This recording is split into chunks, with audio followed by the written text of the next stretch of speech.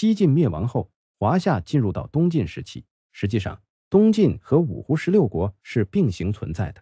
五胡指的是匈奴、鲜卑、羯族、氐族、羌族五个少数民族。这些少数民族内部又分成不同的部落，他们前前后后建立了十六个政权，史称十六国。十六国可以概括为五梁、四燕、三秦、二赵、成汉和夏。十六国并非在西晋灭亡后才开始建立的，早在公元三百零四年，氐人李雄就建立了成汉，匈奴人刘渊建立了汉，其余的十四个政权则在西晋灭亡后建立。由于多个政权并存，彼此之间互相交织。错综复杂，为了更清楚地讲述这段历史，需要经常在不同时间点和故事线上来回跳跃。接下来，让我们进入这段历史。西晋王朝灭亡后，整个华夏大地已经是满目疮痍。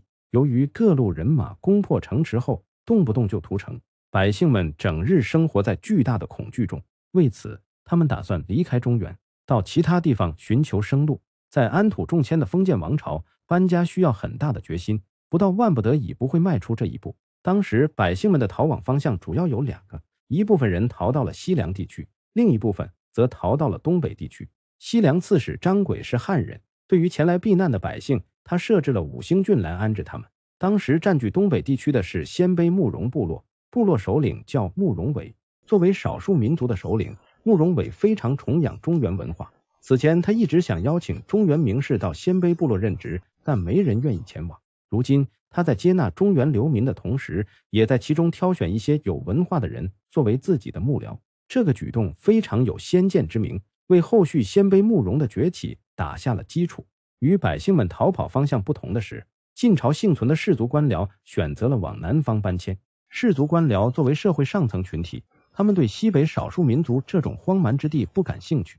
在选择搬迁目的地方面，他们更倾向于江南这种温婉之地。早在西晋灭亡之前，琅琊王司马睿就被任命为安东将军、都扬州诸军事。他的府邸就设在建康，建业就是如今的南京。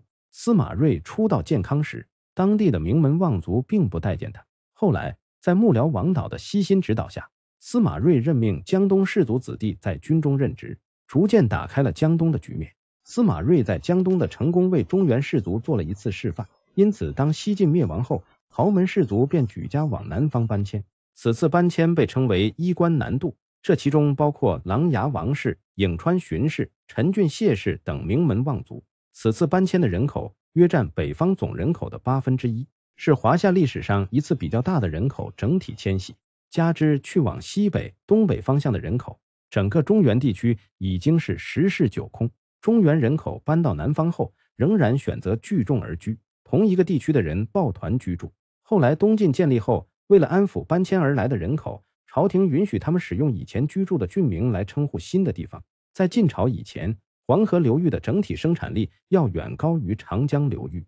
在春秋时期，占据长江流域的楚国还被视作蛮荒之族。到了晋朝，长江流域的生产技术依然不如黄河流域。此次衣冠南渡，不仅给南方带来了多样的文化，也帮当地实现了生产力跃升。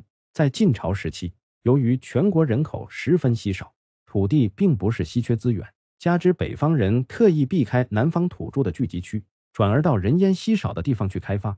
当时吴郡、建康一带开发的较早，城市规模比较成熟。为了避免和当地人产生冲突，北方人把目光转向了浙江、福建一带。就这样，南北两大氏族集团通过地域来划分各自的势力范围，最大化的消除矛盾。人类文明发展到晋朝时期。忠君爱国的思想已经深入人心。对普通百姓来讲，如果不依附于一个政权，就会觉得心里空荡荡的。哪怕这个政权会对他们征收沉重税赋，百姓们也觉得理所当然。只有被他人奴役，才会觉得心安。这是千百年的封建统治给普通百姓树立起来的价值观。对士族官僚阶层来讲，一个合法的政权能让他们继续享受既得利益。在这两种心理的支配下。关于恢复晋朝政权的呼声也变得越来越大。晋朝是司马家族建立的，要想恢复晋朝政权，就得寻找司马家族后裔。此时，在江东具备一定名望的琅琊王司马睿成为大家推崇的首要对象。当初长安失守的消息传到江东时，时任丞相的司马睿十分悲痛，他当即发布讨贼檄文，号召各路诸侯一起往长安聚集，收复失地。但司马睿此次只是表演一番，他并不是真心想北伐。当他匆匆忙忙穿上铠甲，准备往长安进发时，他的部下前来汇报说，运粮队伍迟迟没到，大军无法出行。司马睿听后大怒，将负责运粮的都运使斩首示众。正所谓兵马未动，粮草先行。准备如此大规模的北伐之前，肯定会先调集粮草。司马睿如此着急想行军，并非是报国心切，而是纯粹的作秀。司马睿的部下知道他的意图，但没人敢戳穿。王导为了给司马睿台阶下，把调运粮草的罪责全部揽到自己身上。自此之后，便没人主动提起北伐之事。公元三百一十七年二月，弘农太守宋哲前来投靠司马睿。他此次前来还拿了一份诏书。宋哲声称。此份诏书是晋敏帝去世前亲手交给他的。诏书中写道：“让司马睿统领国家，择机收复旧都，报仇雪恨。”此份诏书是宋哲伪造的。当初汉赵军队攻打弘农郡时，宋哲为了保命弃城而逃。他为了掩饰逃跑行为，伪造了一份诏书前来投奔司马睿，声称是为了送诏书而不得不弃城而走。司马睿知道这份诏书是假的，但他不在乎。眼见有人前来捧他的场。他便顺水推舟接受了这份好意。司马睿身穿素衣，对着西晋首都的方向哀悼了三天。在此期间，晋朝旧臣屡次劝他称帝，对此司马睿坚决不受，并做出一副逃跑的样子。后来在大臣们苦口婆心的劝说下，司马睿表示自己不能称帝，但为了顺应民意，恢复晋朝政权，他暂时以晋王自居。当年三月初九，司马睿正式即晋王位，定都建康。宣布晋朝政权正式回归，后世将这段政权称为东晋。国家刚刚成立，最重要的事情便是休生养息。为此，司马睿下令大力发展农业，军队暂时停止对外征战，将精力放在耕种上。司马睿通过一系列举措，暂时稳定住了局面。当司马睿即晋王位的消息传到西北刘琨和幽州太守段匹敌那里后，刘琨当即表示全力支持司马睿。并派自己的外甥温峤到建康给司马睿送了一封一百八十人的联名表奏。刘琨在表奏中劝司马睿称帝，但司马睿并未接受，继续以晋王身份执政。但司马睿内心对做皇帝一事是非常渴望的。之所以没有称帝，是因为当时晋敏帝只是被俘虏，依然在世。如若贸然称帝，则会被人授以画饼。公元三百一十七年十二月二十日。在汉赵皇帝刘聪的折磨下，年仅十八岁的晋敏帝在平阳去世。次年三月，晋敏帝遇害的消息传到了建康。司马睿听后痛哭流涕，他穿着素衣，对着晋敏帝遇害的方向哀悼。司马睿是否为晋敏帝的去世悲伤，不得而知。但晋敏帝的去世为他称帝扫除了障碍。三天之后，司马睿结束了哀悼，然后登基为帝，史称晋元帝。司马睿能成功登基，离不开王导的帮助。王导和堂兄王敦是琅琊地区的名门望族。古琅琊是现在的山东省临沂市，诸葛亮的故居沂南县便隶属于临沂市。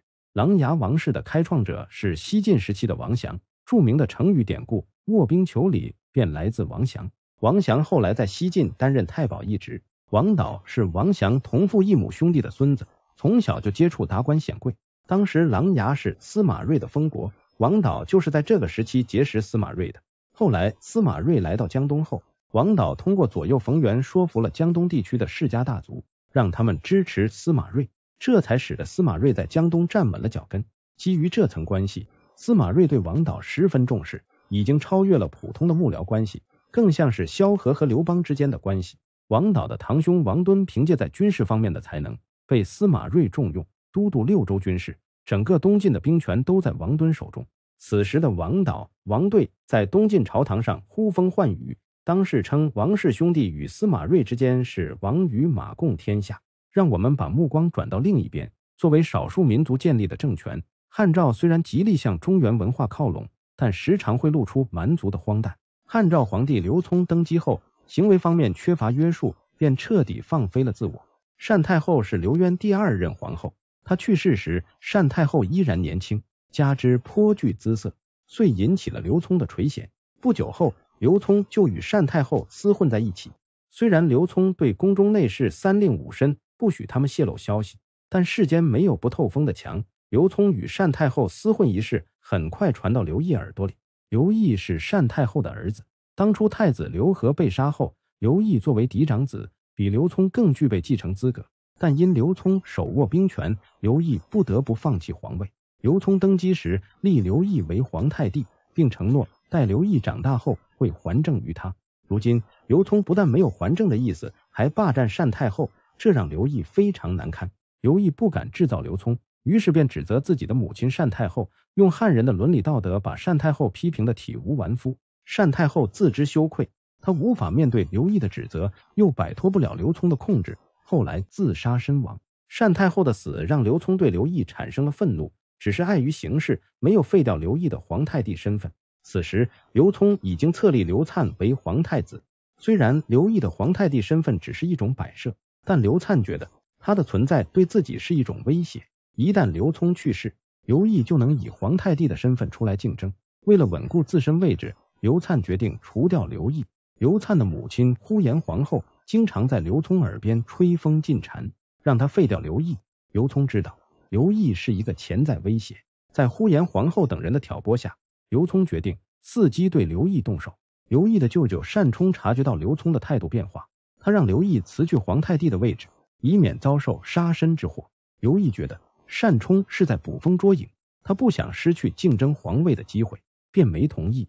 此时。太傅崔伟和太保许霞等几个重臣也察觉到事情不妙，他们一直拥立刘毅，于是建议刘毅先下手为强。当初刘聪立他为皇太帝，只是做做样子，根本没打算传位于他。如果不趁机发动政变，杀死刘聪，将来只会性命不保。刘毅性格比较懦弱，他一听要发生流血事件，瞬间打了退堂鼓，并斥责崔伟等人不可再提及此事。就在刘毅犹豫之际，刘聪安插在他身边的细作将刘毅密谋之事告诉了刘聪。刘聪得知后大怒，立刻将崔伟和许霞处死，并将刘毅软禁在宫中。正所谓一将无能，累死三军。刘毅想竞争皇位，但又不具备霹雳手段，想凭借一个皇太帝的虚名来和别人的刀枪博弈，结果事情不成，身边亲信也受到连累。处理完刘毅的事情后，刘聪又沉溺于后宫淫乱。朝政大事都交给太子刘灿处理。时任中护军的靳准和刘毅有矛盾，他见刘毅被软禁，便去劝说刘灿将其除掉。对刘灿来讲，只要刘毅不死，就始终对他的皇位产生威胁。在靳准的劝说下，他决定对刘毅动手。公元三百一十七年，刘灿收买了刘毅的亲信，让他前去告诉刘毅，说是平阳城内发生叛乱，让他穿上铠甲出城躲避。刘毅没有怀疑自己亲信。当即穿上铠甲，带着武器出门。与此同时，刘灿禀报刘聪说，刘毅准备谋反，现已穿盔甲准备动手。刘聪听后大怒，当即派人前去抓捕刘毅。刘毅被捕时还不知道这一切都是刘灿的阴谋。刘毅被抓后，靳准亲自审讯，他用惨无人道的手段折磨刘毅等人。终于，刘毅的臣子眼睛都被挖了出来。最终，刘毅被迫承认谋反。刘聪下令。将东宫人员全体坑杀，总计一万五千人。之前被刘灿收买的刘毅亲信也被杀死。这也说明叛徒的下场一般都会很惨。刘毅的母亲单太后是氐族部落首领的女儿，眼见刘毅被杀，氐族联合羌族集结大军前去讨伐汉赵。刘聪派靳准为前去平叛。靳准虽然心思不正，但具备一定的军事才能，他很快平息了这场叛乱。无勇无谋的刘毅成为政治斗争的亡魂。平息完叛乱后，刘聪继续沉溺于后宫。此时的刘聪已经不满足于从民间选美，而是直接从大臣身上下手。他先是将大臣刘英的四个孙女和两个女儿同时纳入宫中，又将靳准的两个女儿靳月华和靳月光封为上皇后和右皇后。后来又把宦官中常侍的养女们纳入宫中，封为左皇后和中皇后。刘聪执政时一共封了八位皇后。华夏历史上的昏君有很多，刘聪是封皇后最多的。这八位皇后就像抽水机一样，不断榨干着刘聪的身体。在他们的摧残下，任何补品都无济于事。公元三百一十八年七月，刘聪终于倒下了。他自知时日无多，临终前任命刘耀为丞相，任命石勒为大将军，让他们进京前来辅政。但石勒和刘耀选择留在封地，坚决不进京城。无奈之下。刘聪又任命了五位辅政大臣，让他们轮流执政。此前平乱有功的靳准被任命为大司空，兼任司隶校尉，手里握有重兵。安排完人事任命后，没过几天，刘聪便撒手人寰，结束了荒淫的一生。刘聪死后，太子刘粲继位。刘粲登基后，延续了父亲的光荣传统，在淫乱方面更胜父亲一筹。在为刘聪扶丧期间，刘粲就和皇太后靳月华厮混在一起。时年不满二十岁的靳月华，成功将刘聪父子俘虏在石榴裙下。靳准眼见自己的女儿如此有手段，并萌生了废掉刘灿、自立为王的想法。为了让刘灿听从指挥，靳准让自己的两个女儿在刘灿面前进献谗言，说刘聪留下的辅政大臣打算拥立刘灿的弟弟刘季为皇帝。此时的刘灿已经被靳氏姐妹迷得神魂颠倒，他当即下令处死了大司马刘季等一干人等。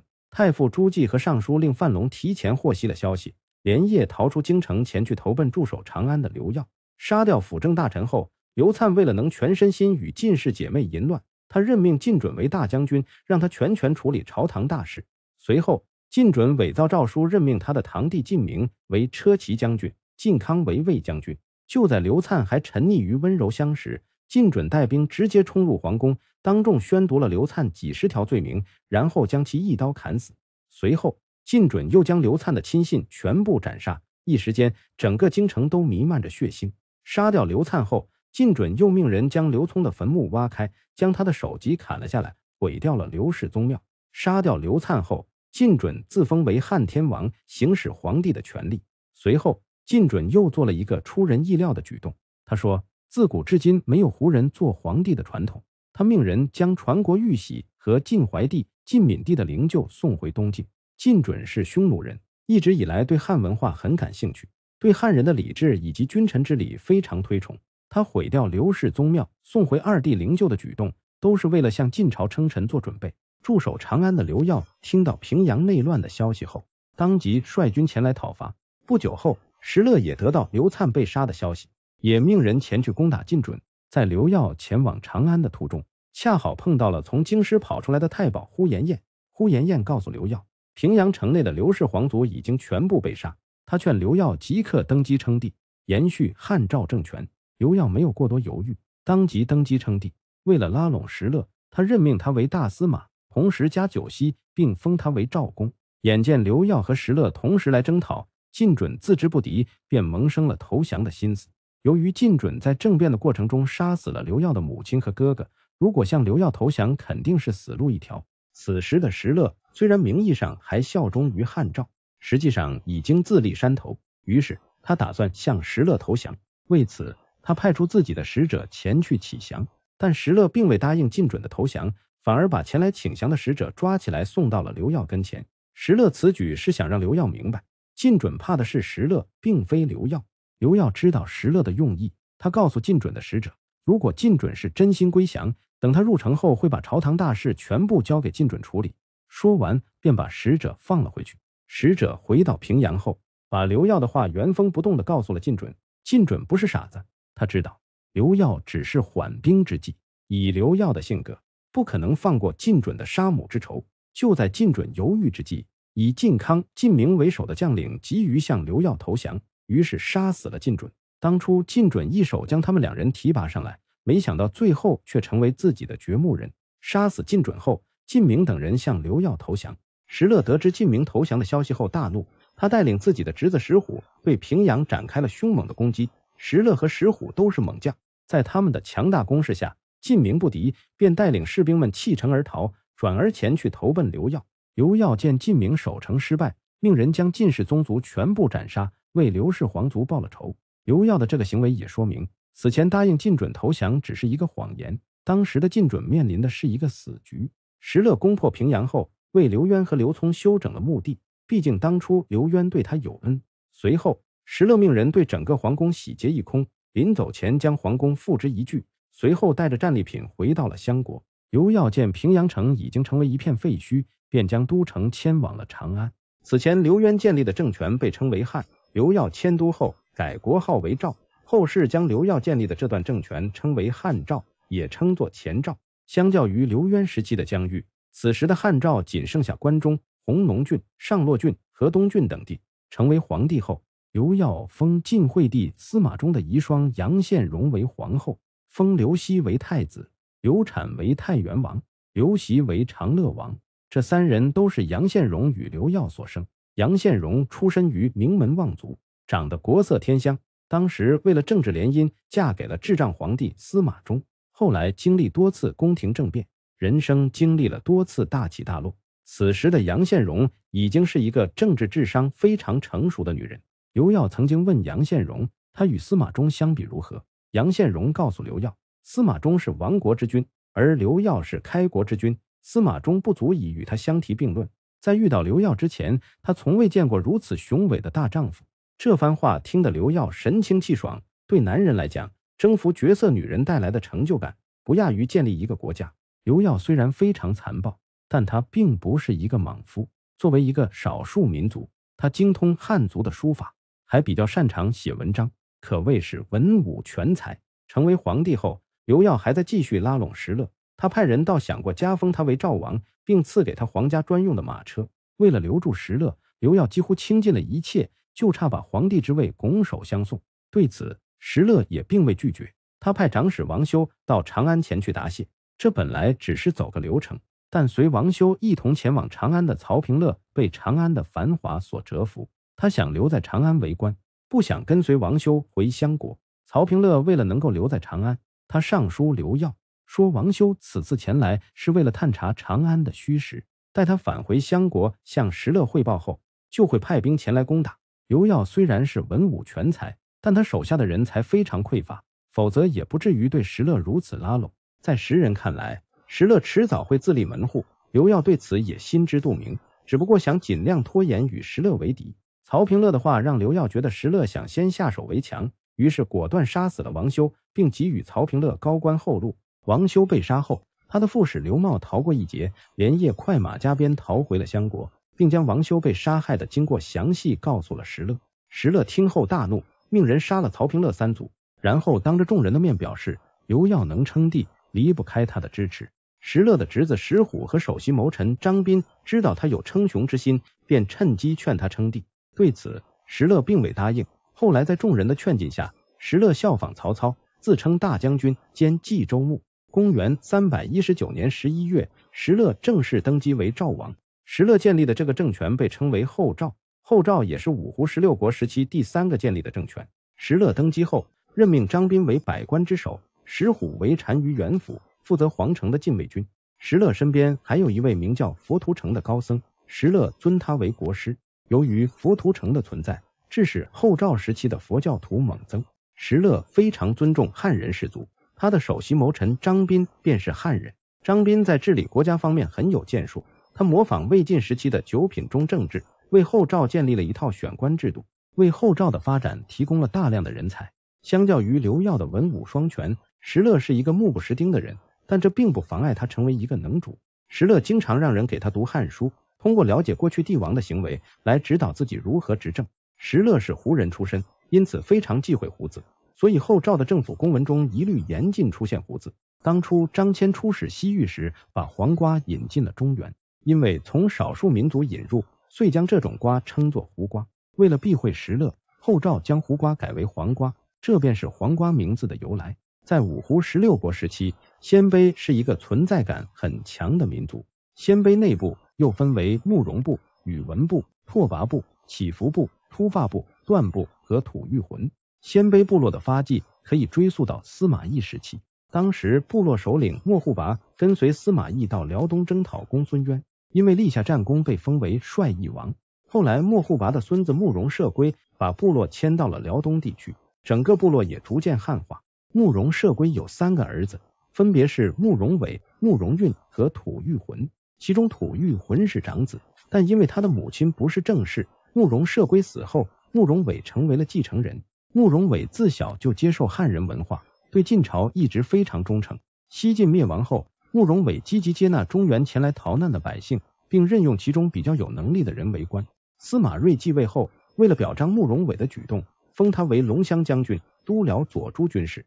因为对汉人比较友好，慕容伟在当地树立了不错的口碑。由于中原百姓相继过来投奔，致使慕容伟遭到了他人的妒忌。时任平州刺史崔弼为了与慕容伟争夺人口，他联合段部、宇文部和高句丽一起攻打慕容伟。慕容伟自身战斗力十足，他的儿子慕容翰、慕容晃也都是勇猛的悍将。面对三路大军集体来讨，他们丝毫不畏惧，并成功将对方打退。司马睿见慕容伟如此勇猛，一心想要拉拢，于是派人加封他为车骑将军，兼任平州牧。这次胜利。为慕容伟日后崛起打下了基础。在五胡十六国当中，第四个政权叫做钱粮。钱粮的建立要从凉州刺史张实说起。当长安沦陷，晋闵帝被俘后，南阳王司马宝也打算称帝，但张实觉得司马睿的血统要比司马宝更加正统，于是遥尊司马睿为帝，并坚守凉州这片区域。生逢乱世，各种旁门左道的人都会倾巢而出。当时在凉州境内有一个善于旁门左道的人，名叫刘洪。凭借一些江湖戏法，刘洪将自己包装成神仙下凡。一些不明真相的百姓被他麻痹。经过口口相传之后，刘洪逐渐被神化，追随他的信众多达上千人。这其中就有长史的下属帐下都严社和衙门将赵养。刘洪眼见自己的信众越来越多，便萌生了一个大胆的想法，他想在凉州称王。于是他告诉自己的信众，说他受到上天的旨意，让他统领凉州。严赦和赵养对刘宏的话深信不疑，并主动提出杀掉张实，拥立刘宏为主帅。严赦等人密谋杀害张实的事情被张实的弟弟张茂得知，他立刻将消息告诉了张实。张实派部将史初前去捉拿刘宏。史初领命后直奔刘宏的住处。就在此时，严赦等人趁史初离开，来到张实的住所，将其杀死。史初抓到刘宏后。直接将其五马分尸。眼见刘洪被大卸八块，他的信徒才明白他根本不是所谓的神仙。随后，史初又带人将刘洪的党羽全部诛杀。但刘洪的死并未让张实死而复生。凉州是一个战略要地，不能一日无主。后来，在众人的推举下，张茂继承了张实的位置。公元三百二十年六月，张茂正式接任凉州刺史，并自称西平公。此时的凉州名义上还归晋朝管辖。实际上已经是一个独立的政权。后来张茂建立了梁国，史称钱粮。当初司马睿听闻晋闵帝被俘的消息后，曾假装起兵前去攻打长安，但这只是一场作秀。司马睿从未想过北伐救国，但并非所有人都喜欢作秀。西晋旧臣祖逖听闻长安陷落的消息后，便积极的招兵买马，为北上光复中原做准备。祖逖出身于名门望族，他的祖辈一直都在朝中为官。而且官职都不小，但祖逖从小失去父母，成长之路颇为艰辛。成年后的祖逖结识了刘琨，两人为了相互鼓励，每次天还未亮，听见鸡叫后就起床练功。闻鸡起舞的典故就出自于此。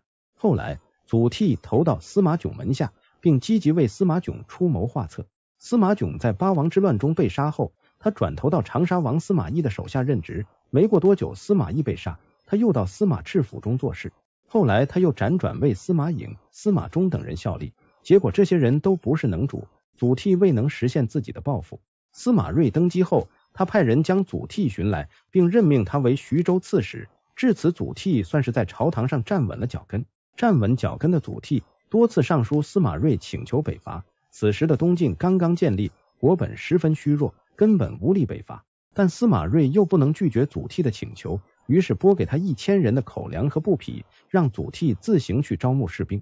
祖逖知道国库空虚，他拿着这些物资，带着自己一百多名旧部北渡长江。当船在长江上行至一半时，祖逖拿起船桨，用力拍打船只，然后对着长江发誓，一定要光复晋室。他的部下被他的豪情所感染，纷纷表示愿意为国捐躯。祖逖的这个举动，也是成语“积极中流”的来源。不得不说。祖逖在制造成语方面还是比较有天赋的。后来，祖逖招募了两千多人，一路向北进发，并成功拿下了谯城，进入了后赵的地盘。石勒听闻祖逖占领谯城后，派石虎前去围攻。祖逖向中郎将王涵求助，王涵派桓宣前来相助。桓宣与祖逖内外夹击，将石虎打得大败。祖逖见桓宣如此勇猛，遂上书司马睿，让其做了谯国太守。石勒首战被祖逖打败，内心十分不甘。随后，他又派石虎和陶豹前去阻击祖逖。陶豹是一员猛将，在他的率领下，后赵军队和祖逖形成了对峙之势。就在双方势均力敌之时，祖逖派人截断了陶豹的粮道，致使陶豹败退而归。陶豹败退至东燕城后，祖逖并未放弃追击，继续派人前去骚扰后赵边境。后赵将士们见识过祖逖的实力后，不少人前来投降。一时间，后赵面临着很大的压力。后来，祖逖又派人前去联络留在中原的晋朝旧将，告诉他们现在是亡国灭种之际，让他们放弃内斗，共同来对付入侵的胡人。身处乱世，硬实力最重要。晋朝旧将见祖逖一路奏凯，便同意接受他的指挥。当初祖逖从一个几百人的小队伍发展壮大为纵横中原的虎狼之师，这充分体现了他的军事才能和人格魅力。祖逖深知取得现在成绩不易，为了维持当前的局面。他在对待下属的时候表现得非常大度，只要有人取得了军功，当即就为他们请赏，绝不故意拖延。将士们在祖逖的带领下，士气达到了空前的高涨。祖逖乘胜追击，很快将黄河以南的地盘收了回来。公元三百二十年七月，司马睿为肯定祖逖的功劳，加封他为镇西将军，兼任豫州刺史。石勒见祖逖如此势不可挡，便打算与其和谈。为了表示诚意。石勒命人修葺祖逖的祖坟，并派专人守护。石勒派人向祖逖谈判，希望双方能停止干戈，并放开边境贸易。由于祖逖和石勒是敌对关系，他表面上并不同意通商贸易，暗地里却默许这种行为，进一步增强经济实力。双方在对峙的过程中，祖逖和石勒逐渐形成了默契，双方互不收留对方阵营前来投降的人，也不主动挑起战事。在这段时期里，边境百姓得到了难得的喘息之机。就在祖逖在前线不断取得胜利之际，东晋大后方出现了不安定因素。司马睿能在江东称帝，王导和王敦兄弟两人功不可没。王导为人比较低调，凡事以大局为重；而王队为人嚣张跋扈，凭借自己的军功在朝堂上呼风唤雨，甚至直接绕过司马睿自主任命州郡官员。对于王敦的行为，司马睿非常不满。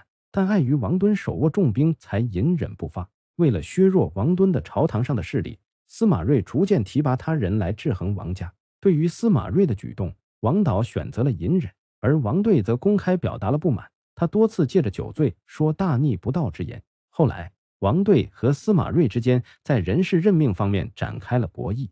司马睿借王敦尚未造反之际，逐渐往核心岗位上安插自己的亲信。与此同时，司马睿还不断架空王导，他任命王导为司空，位列三公。表面上看，王导的位置提高了，实际上失去了兵权。公元三百二十一年七月，司马睿任命自己的亲信戴渊为征西将军，同时都督六州诸军事。司马睿此举确实起到了牵制王敦的作用，但也给祖逖带来了极大的伤害。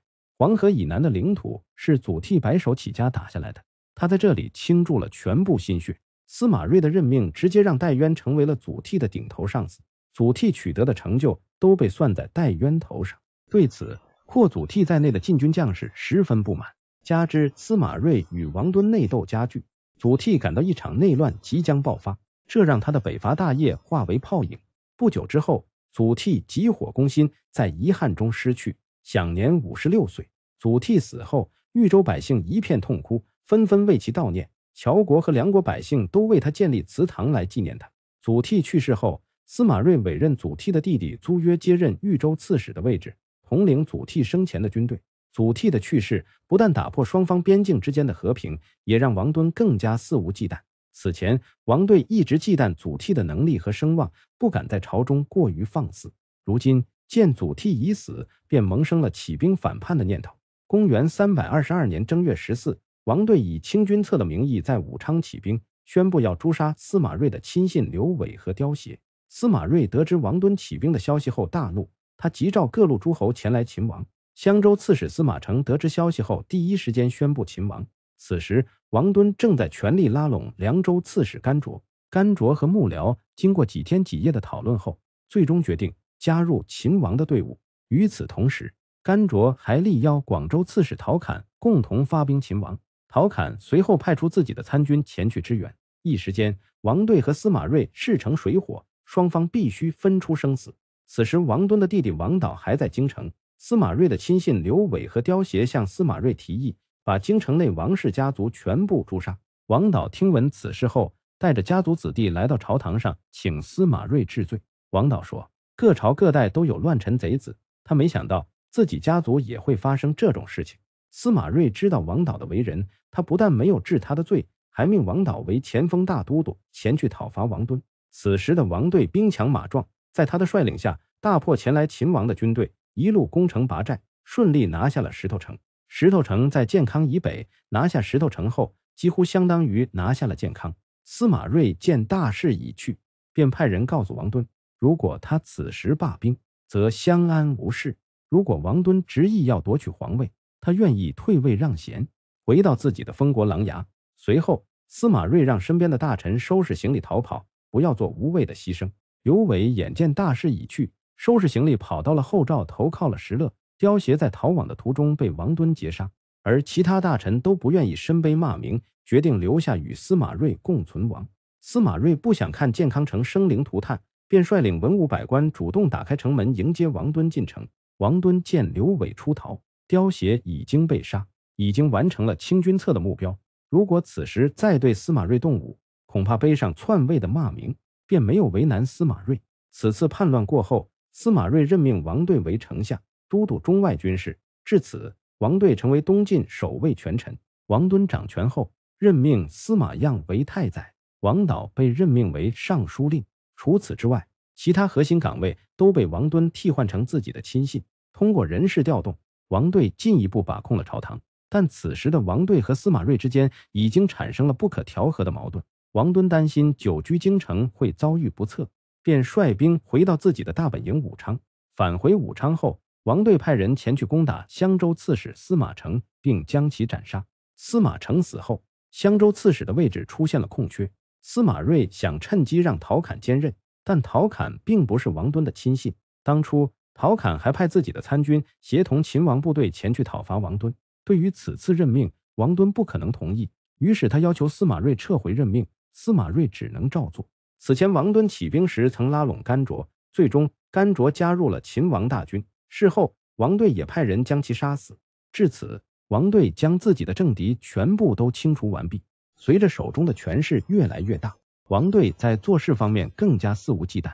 他不但随意任命朝堂大员，还随意截取各地向朝廷进贡的贡品，直接把皇帝当成了摆设。司马睿本是一个很有抱负的皇帝。如今却被王队架空成了傀儡，这让他难以接受，整日郁郁寡欢。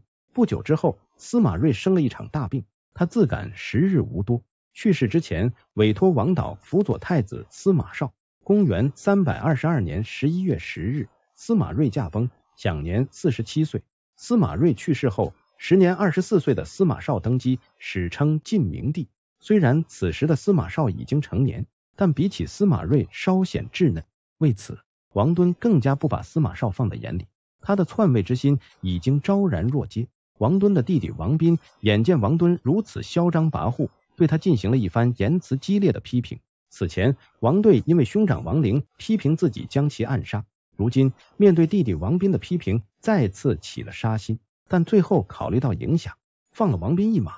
王敦没有儿子，为了传承自己的香火，他将大哥王涵的二儿子王应过继到自己门下。此后没过多久，王队生了一场大病。随着病情不断加重，为了以防不测，他任命王应为卫将军，让他做自己的副手，然后任命王涵为骠骑将军，有开府治事的权利。王敦的生病让他的幕僚集团也开始谋划后路。王敦身边的红人钱凤前去讨教王敦，王敦给他们指了三条退路。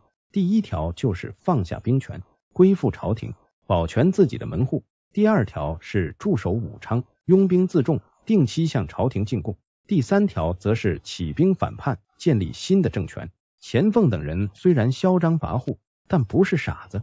如果放下武器归附朝廷，非但不能保住性命，还会被诛灭三族。于是他们选择了第三条退路，起兵造反。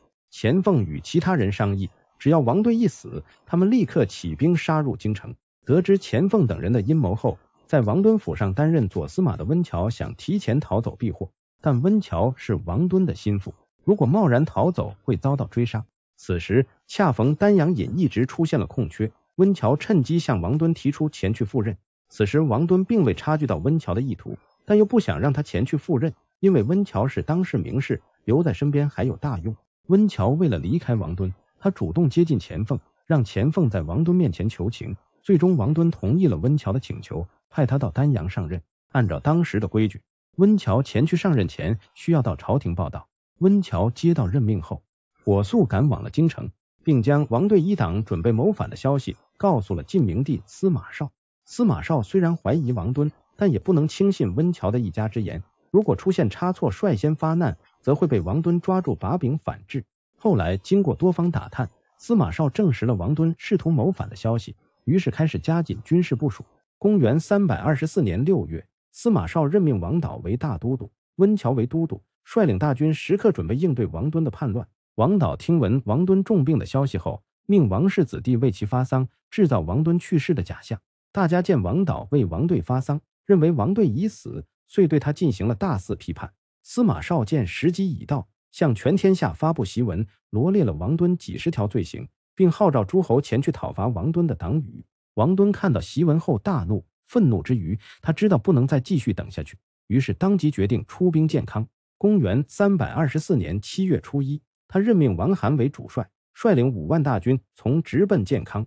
司马绍得知王敦前来讨伐的消息后，并未慌张，他重金在军中招募死士前去迎敌，重赏之下必有勇夫。鲜卑出身的将军段秀筛选了上千人组成敢死队。对王涵的前锋进行偷袭，致使王涵首战失利。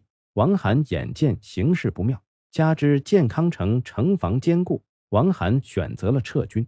王敦听闻王涵兵败的消息后，口吐鲜血。去世之前，他强忍着精神将王应立为接班人，等他一死，立刻登基。但此时整个势头都在朝廷军队这边。接连遭遇失利后，王涵于七月二十六宣布撤军，随后逃往了荆州。荆州刺史王叔是王敦的弟弟，他派人用船前去接应王涵、王应父子，带船行至江中，士兵们将他们父子二人捆绑起来，投入了江中淹死。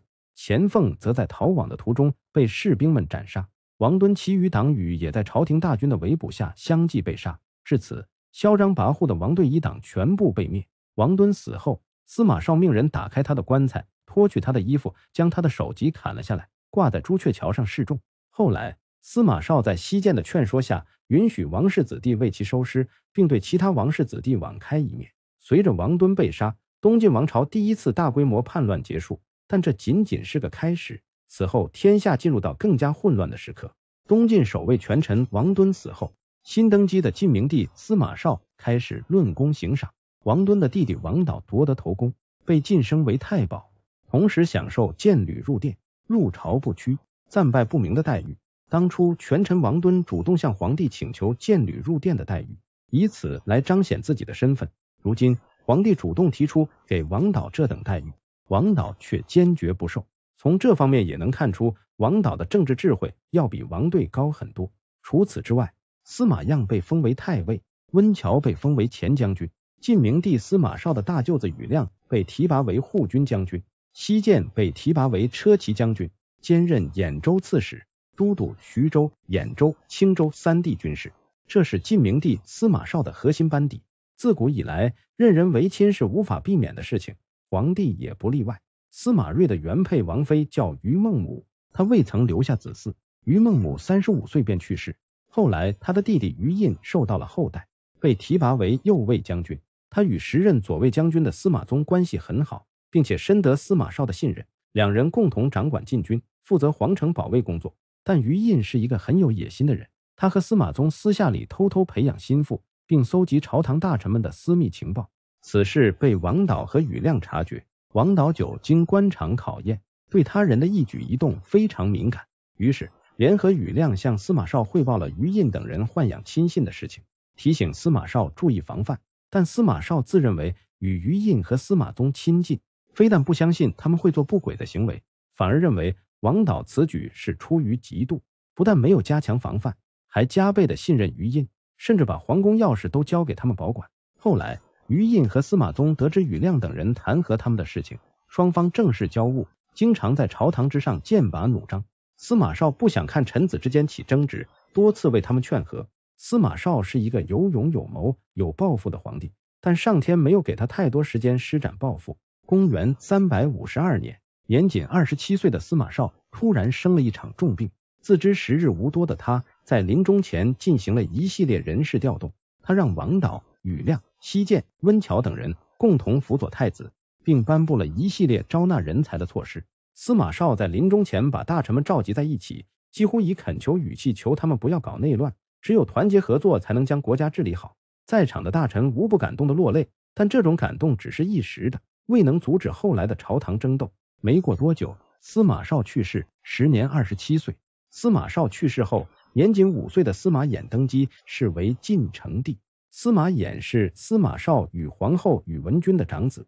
由于皇帝过于年幼，群臣奏请宇文君临朝听政，对此宇文君推脱了四次才同意。宇文君临朝后，进一步提拔王导。宇亮等人为了平衡朝堂势力，他提拔司马宗为骠骑将军，提拔于印为大宗正，掌管皇家事务。由于宇亮是宇文君的哥哥，所以朝堂大事基本上都交由宇亮决断。同为辅政大臣的王导在庾亮面前选择了避让，从而导致庾亮在朝堂上一家独大。庾亮是一个好人，但好人不一定具备政治智慧。庾亮自身政治经验并不足。他凭借妹妹的身份，在朝堂上一飞冲天，在做事方面刚愎自用，只要他人犯了错，从来不给人留有余地，因此得罪了很多人。这其中就包括祖逖的弟弟祖约。担任豫州刺史的祖约，自认为功劳不比西涧、卞捆等人差。当初在平定王敦叛乱时，祖约主动前来保卫京师，立下了战功。如今他在北部边境，常年与后赵军队对峙，处在这种敏感的位置。于情于理，祖约都应该受到厚待。祖约没有被列为托孤大臣，他认为是庾亮从中作梗。与此同时，在平定王队之乱中立下战功的苏峻，也认为自己没有得到应有的待遇。驻守长江以北的他，手握数万军队，暗地里开始招募亡命之徒为自己所用。庾亮执政后，便寻找机会除掉与之有矛盾的司马宗。此时恰逢朝堂上有人弹劾司马宗谋反。庾亮未经证实，就派人前去捉拿司马宗。司马宗不想坐以待毙，于是率兵反抗，结果被当场诛杀。杀掉司马宗后，他的下属便产前去投奔苏峻。苏俊并未将他交给朝廷，而是暗中保护了起来。不久后，后赵军队进犯寿春，祖约一边发兵前去迎敌，一边向朝廷搬救兵。庾亮不但对祖约的求救置之不理，还商讨掘开河堤，淹没祖约驻守的区域。以此来阻挡后赵大军进一步前进。祖约得知此事后大怒，对庾亮生出了怨恨。由于苏俊不是庾亮的亲信，庾亮打算将其召到朝廷任职。此举是明升暗降，剥夺苏俊的兵权。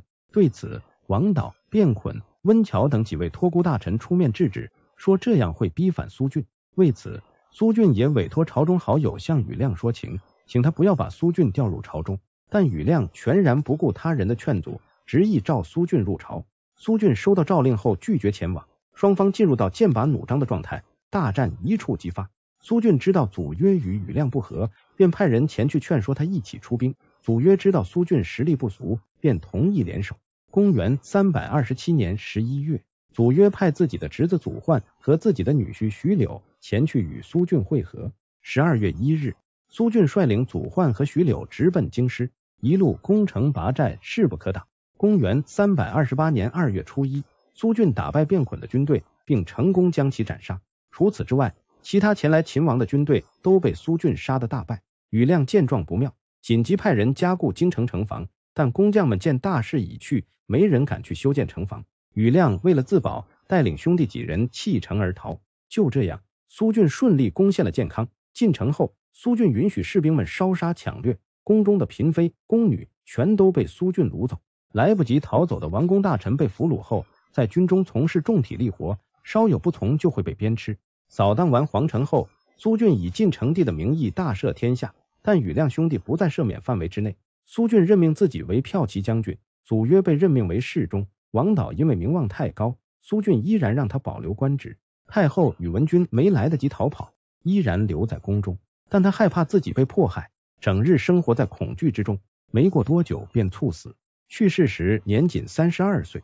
因为庾亮在政治上的不成熟，导致东晋王室又迎来了一场大灾难。庾亮逃往浔阳后，自称接到太后的诏令，召集温峤、西涧等人前来相助。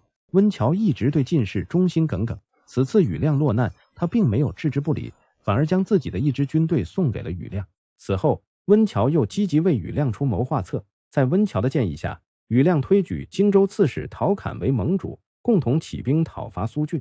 陶侃对庾亮的推举并不感兴趣，相反，两人还有矛盾。之前，陶侃因为没有被列为托孤大臣，耿耿于怀，他也认为是庾亮从中作梗。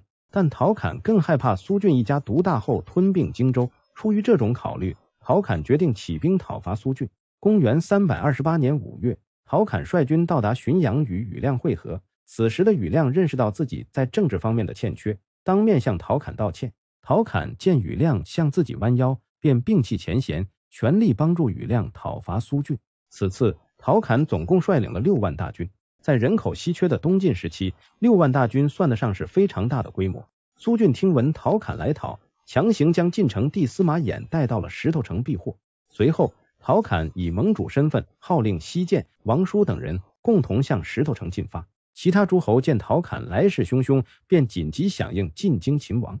秦王大军看似声势浩大，但因为没有统一指挥权，军队各自为战，相互之间没有协调统一，导致战事初期接连失利。双方在石头城形成了拉锯战。由于秦王军队是远道而来，粮草很快吃紧。温峤向陶侃提出借粮。陶侃担心自身粮草不足，便拒绝了温峤。一时间，秦王军队内部人心惶惶，陶侃也无心恋战。就在此时，祖约的手下私自和后赵串通，后赵派出大将前去进攻寿春，并成功将其拿下。寿春陷落后，祖约率人逃走。此次失败让苏峻部队内部出现了动摇。就在此时，卢将军太守毛宝主动请缨前去偷袭苏峻的粮仓，在毛宝的率领下。他成功烧掉了苏峻后方的粮仓，陶侃眼见胜利有望，便亲率军队对石头城发起了猛攻。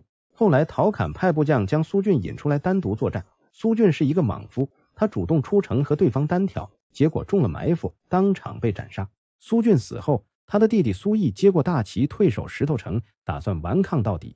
而苏峻的手下将领见大势已去，纷纷溃逃。后来，石头城被攻破，苏毅被斩杀。逃往溧阳的祖约也被围困，情急之下，祖约带着部下投奔了后赵。本来祖约和后赵是死敌，因为一场内乱成了后赵的臣子。公元三百二十九年二月，秦王军队进入石头城，成功解救晋元帝司马衍。至此，苏峻和祖约发起的叛乱全部被平定。平定完叛乱后，陶侃被加封为侍中，兼任太尉、都督六州军事。西涧、温峤等人也被论功行赏。而庾亮则跪在司马衍面前请求降罪。庾亮只是政治经验不足，为人并不坏。此时的他已经认识到自己的错误，换做一般朝臣，惹出这么大祸乱，避免不了被杀头的命运。但庾亮是司马衍的亲舅舅，司马衍并未责罚他，不但让他官复原职，并给他增加了兵权。在皇帝眼里，庾亮固然有错，但比起庾亮的忠诚，在祸乱中死去的人根本不值一提。就在东晋内部激烈斗争之际，汉赵和后赵之间也开始剑拔弩张。后赵的建立者石勒和汉赵皇帝刘耀本是一个战壕里的好朋友。石勒自立门户后，两家也维持了几年的和平。但一山不容二虎，只要有合适的时机，他们就会撕咬对方。公元三百二十四年三月，司州刺史石生突然对隶属于汉赵的河南郡发起攻击，河南太守尹平被杀。石生将河南郡内五千多户百姓全部掳走。这次事件让刘耀大为恼怒，双方也因此彻底成为仇人。此时的刘耀因为根基不稳，选择了忍气吞声。后来，汉赵附近的羌族前来投靠，汉赵将军石佗趁机前去劫杀，俘获了大量牛羊、帐篷。后赵的持续骚扰让汉赵皇帝刘耀十分愤怒，他派出大将刘越前去迎敌，双方在黄河岸边进行了决战。此役，刘越成功斩杀了石佗，并杀死后赵六千多士兵，缴获各种物资不计其数。后来，刘越又率兵前去围剿石生，斩杀对方五千多人，并将石生围困在金庸城。眼见军队接连失败，石勒派自己的侄子石虎前去迎敌。石虎是一个非常残暴的人，在他的带领下大败刘越军队。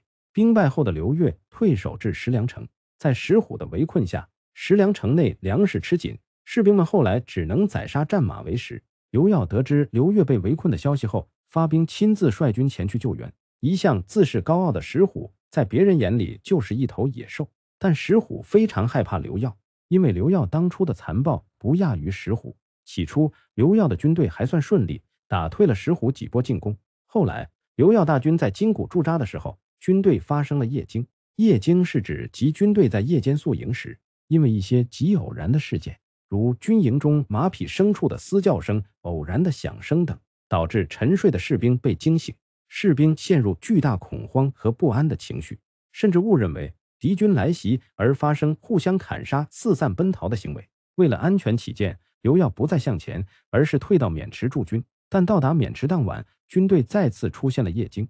刘耀认为这是一个不好的兆头，便放弃前去营救刘越，班师回朝。刘耀的撤退让石梁城彻底陷入孤立无援的境地。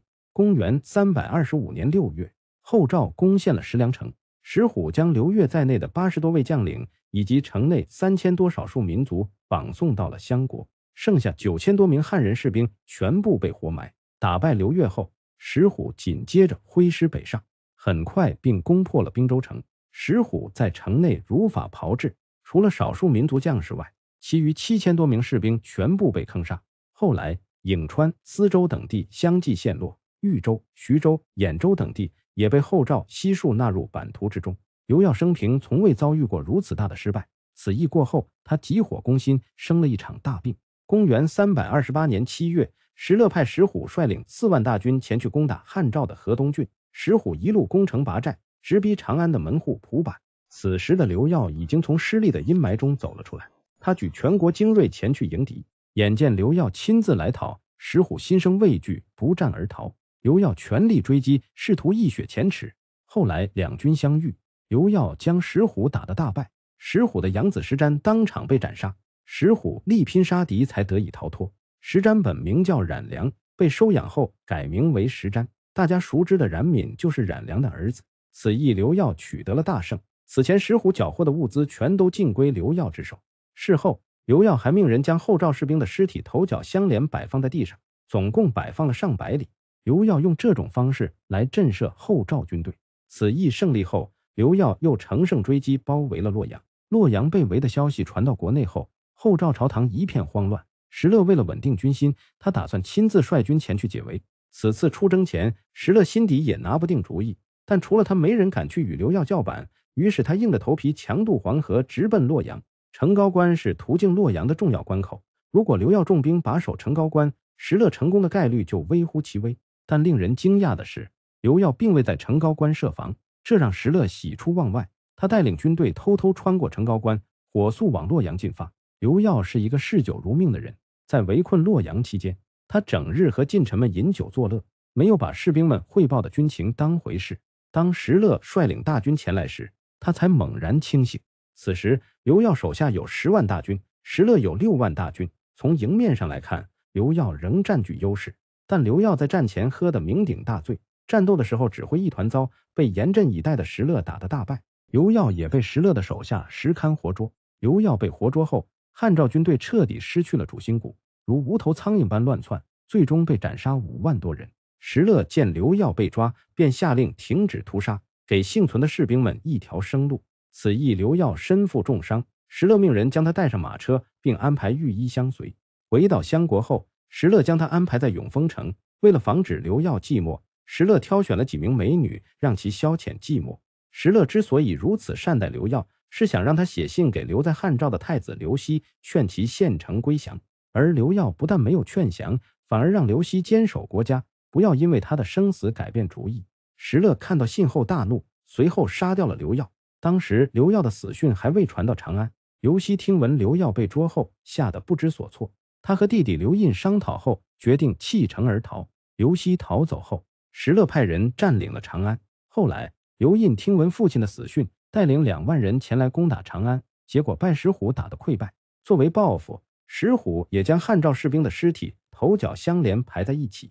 公元三百二十九年九月，石虎乘胜追击。在上邦生擒了刘熙、刘印以及数千名王公大臣，随后将他们全部坑杀。立国二十六年的前赵宣布灭亡。灭掉汉赵后，氐族和羌族十五万户百姓尽归后赵之手，汉赵的地盘也被后赵纳入版图。吞并汉赵后，汉赵成为了中原霸主。公元三百三十年二月，石虎率领文武百官集体表奏石勒登基称帝。此时的石勒没有过多推辞，择日选择称帝。石勒登基后，封自己的大儿子石弘为太子，二儿子石弘被封为秦王，加封大单于；小儿子石辉为辅国将军，石虎则被任命为太尉，加封中山王石虎的儿子石斌被封为太原王。除此之外，其他有功之臣都得到了封赏。此次封赏过后，大臣们都很满意，而石虎则相当不满，甚至心生怨恨。石虎自认为是后赵的首功之臣，为石勒鞍前马后立下大功，而石勒在封赏的时候，却将象征匈奴部落首领的大单于封号给了战功平平的秦王石弘，这让他非常生气。为此，石虎私下对儿子石穗说：“等石勒驾崩后，他一定不会给石勒留后。”分封完众人后。石勒在安西将军姚义仲和尚书右仆叶逞侠的建议下，将此前兵败前来投奔的祖约杀掉，以此来警示大臣们不能做出投敌之事。祖约死后，石勒将他的妻女分给将士们享用。在五胡乱华时期，石勒算是比较有操守的一个皇帝，但他的操守也仅限于和同时期其他皇帝相比。即便如此有操守，也时常做出淫人妻女的事情。足见五胡乱华时期各路统治者的底线有多低。后来，石虎将他的手脚砍去，让他体验痛不欲生的感觉。待他的疼痛散去，石虎又命人将其斩首。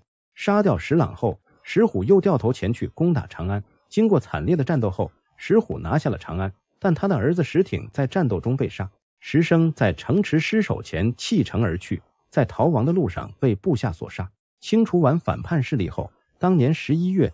石虎直接将皇帝石弘废掉，将其贬为海阳王。石弘早知这一天会到来，被贬的那一刻，石弘如释重负。他本以为不做皇帝就可以安稳度过余生，但石虎没打算放过他。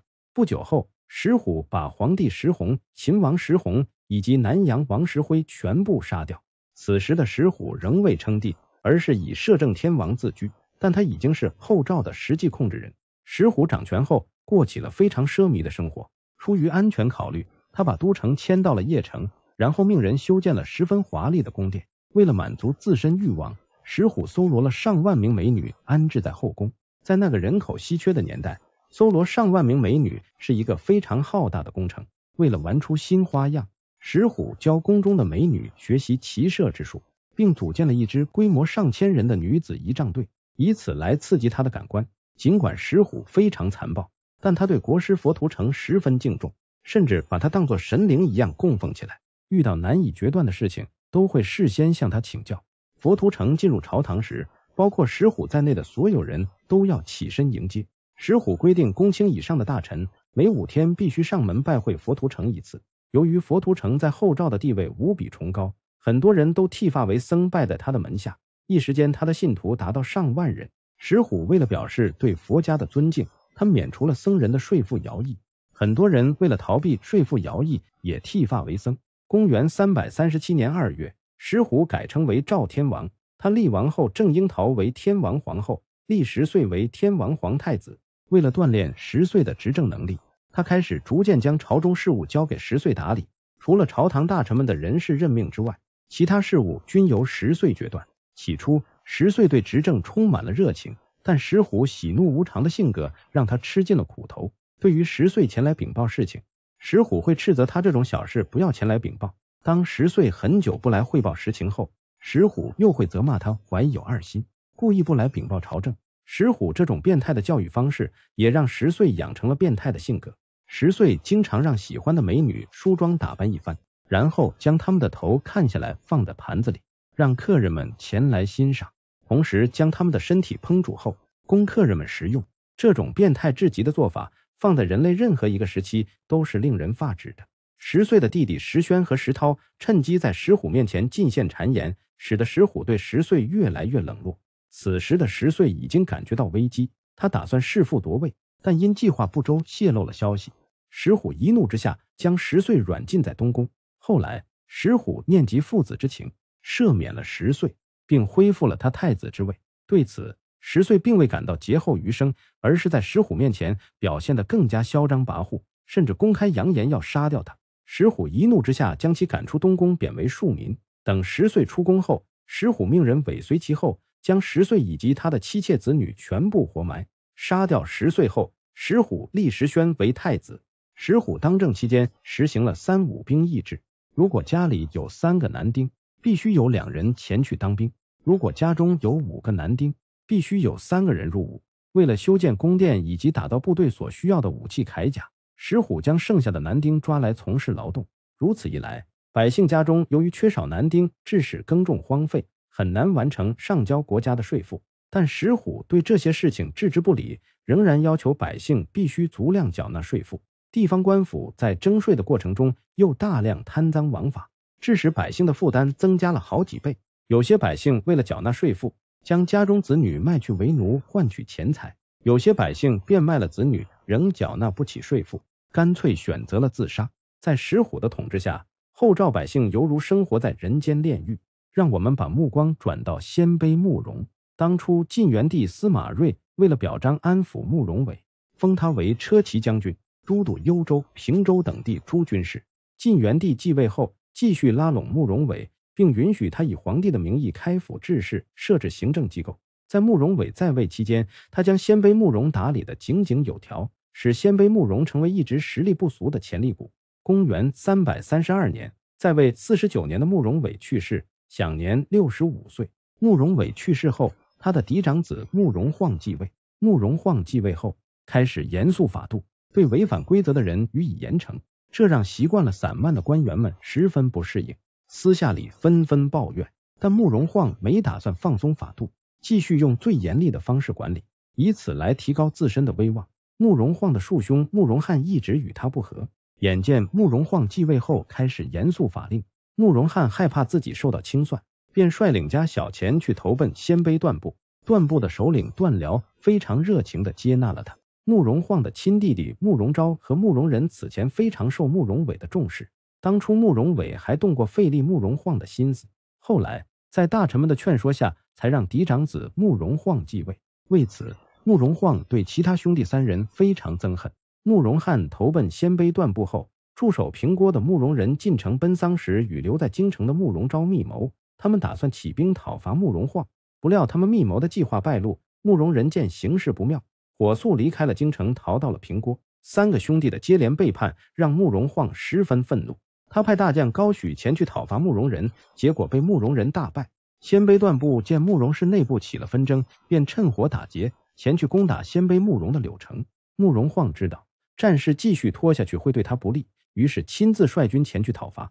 他和弟弟慕容平一起，冒着刺骨的寒风，通过结冰的河面，绕到了平郭城的大后方。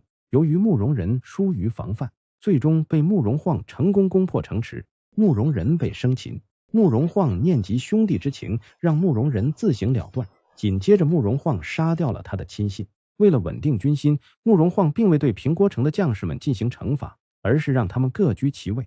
平叛结束后，慕容晃结束了继位后的第一场叛乱。由于在战斗中表现出色，慕容晃的名望得到了很大的提高。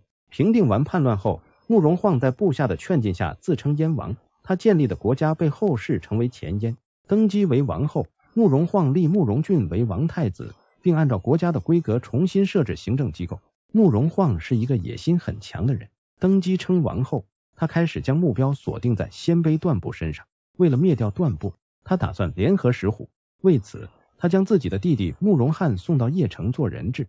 对于慕容晃的示好，石虎欣然接纳。他没有扣留慕容翰，而是将他送了回去，并与慕容晃约定来年发兵讨伐段部。公元三百三十八年一月，慕容晃与石虎兵合一处，对段部的地盘发起了攻击。之前投奔段部的慕容翰非常了解慕容晃的作战方式，给段辽提了很多建议，但段辽始终认为慕容翰不是自己的族人，对他处处提防。结果在石虎和慕容晃的联合夹击下，段辽被打得大败。战败之后。段辽带着妻妾家小和部分亲信逃到了密云山中，慕容翰则带着家眷前去投奔宇文部落。慕容翰逃到宇文部落后，宇文部落的酋长宇文义斗归对他产生了猜忌，想趁机杀掉他。慕容翰为了打消宇文义斗归的疑虑，主动装疯卖傻，以此来展示自己没有野心。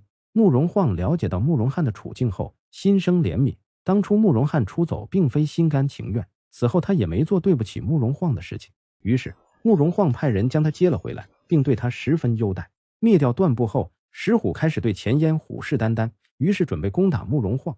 此时的后赵拥有数十万军队，兵力远在前燕之上。面对后赵大军来讨，前燕国内一片惊慌。慕容晃也产生了弃城而逃的想法。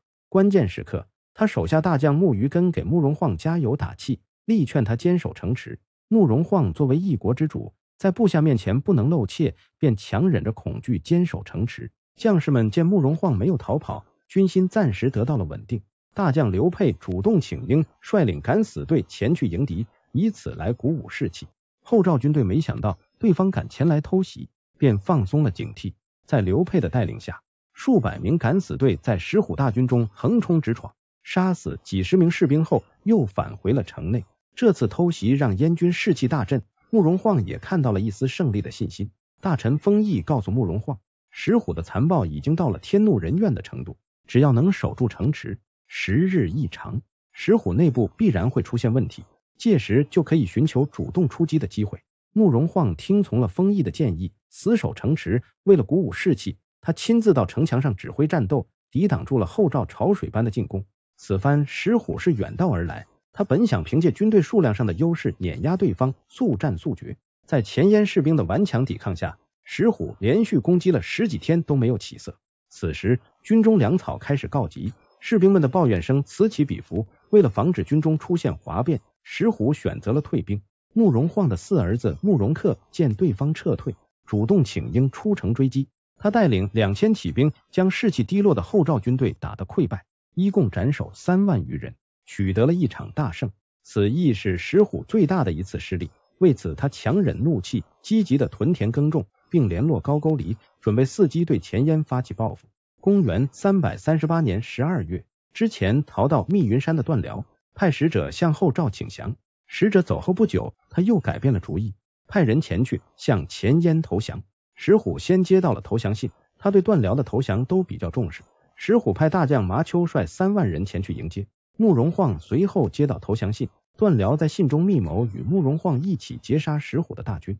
为了完成这次任务，慕容晃亲自率人前去迎接。并在半路设伏，等待后赵军队钻入陷阱。后来，慕容晃在三藏口大败赵军，杀敌两万多人。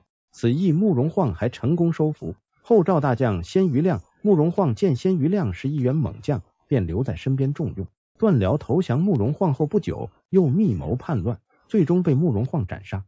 随后，慕容晃将段辽首级送给了石虎，以此来缓和两国之间的关系。石虎见慕容晃有意示好。便暂缓讨伐前燕。在后赵和前燕争斗之际，南方的东晋朝堂也发生了变化。公元三百三十八年五月，王导被任命为太傅，都督中外诸军事；西涧被任命为太尉，宇亮被任命为司空。这三人位居三公，各自负责一个核心部门，是朝堂上的主要力量。三人之间相互配合，相互制约。经过王队之乱后，王家的整体实力已大不如前。王导为了获得赵胤、贾宁等将领的支持，故而默许他们做一些违法乱纪的事情。宇亮是一个眼里不揉沙子的人，他知道王导默许手下人违法乱纪后，便想上书弹劾王导。在弹劾之前，他征求西涧的意见。此时的西涧掌握着京口的军队，这支军队是晋朝的主力部队之一，因此宇亮非常重视西涧的意见。西涧对弹劾王导一事表示拒绝。当初陶侃曾联络他弹劾王导。他都没有同意。宇亮的分量和陶侃比起来不值一提。况且西涧和王导还是儿女亲家关系。西涧的女儿西玄嫁给了王导的侄子，王导的侄子就是大名鼎鼎的王羲之。后来王羲之和西玄育有妻子一女，这其中就有大书法家王献之。西涧认为王导对司马氏非常忠诚，在忠诚这杆大旗下，其他瑕疵都是可以接受的。眼见西涧没站到自己这边，宇亮便放弃了弹劾王导。王导得知宇亮密谋弹劾他的消息后，行事越来越低调，时刻避其锋芒。公元三百三十九年七月，时年六十四岁的王导去世。作为东晋的肱骨之臣，司马衍下令全国为其哀悼三天。一个月之后，时年七十一岁的西涧也相继去世。公元三百四十年正月初一，宇亮也去世，年仅五十二岁。一年之内，晋朝连续失去三个顶梁柱，一时间整个朝堂人才凋零，举国上下陷入一片悲痛当中。王导去世后，他的侄子王允之出任江州刺史。此前，江州是宇亮的地盘。此次任命让宇亮的弟弟宇义内心十分不快，因为江州是军事重镇，战略地位非同小可。王允之上任江州后，被认为侵占了宇氏家族的地盘。公元三百四十二年正月，宇义以道贺的名义给王允之送了一壶毒酒，但被王允之识破。王允之秘密将此事上书给司马衍。司马衍得知此事后，感叹道。之前，宇亮已经将国家搞乱过一次，宇翼难道也要搞乱一次？不久后，司马衍的话传到了宇翼耳边，他担心自己会受到怪罪，便服毒自尽，时年五十岁。当年五月，年仅二十二岁的司马衍突生重病，卧床不起。此时，司马衍的两个儿子都不满两岁。中书监宇兵劝说司马衍将皇位传给他的亲弟弟司马越，如果让尚在襁褓中的幼儿称帝。会引发朝堂动荡。司马衍认为有道理，便决定将皇位传于司马越。宇兵之所以如此积极推荐司马越，是因为司马越是他的亲外甥。司马越掌权后，宇氏家族能够在朝堂中掌握话语权。公元三百四十二年六月，司马衍去世，随后司马越登基称帝，史称晋康帝。随后，司马越将先帝司马衍的大儿子司马丕封为琅琊王。小儿子司马懿封为东海王。此次司马越能顺利登基，羽兵和何冲功不可没。司马越本想抬高何冲在朝堂上的地位，但何冲知道羽兵已经是朝堂实际掌控者，为了远离斗争漩涡，他主动请缨到外地任职。司马越看穿了他的心思，便任命何冲为骠骑将军，兼任徐州刺史，到外地驻军。司马越的皇后楚算子的父亲是当时的名士。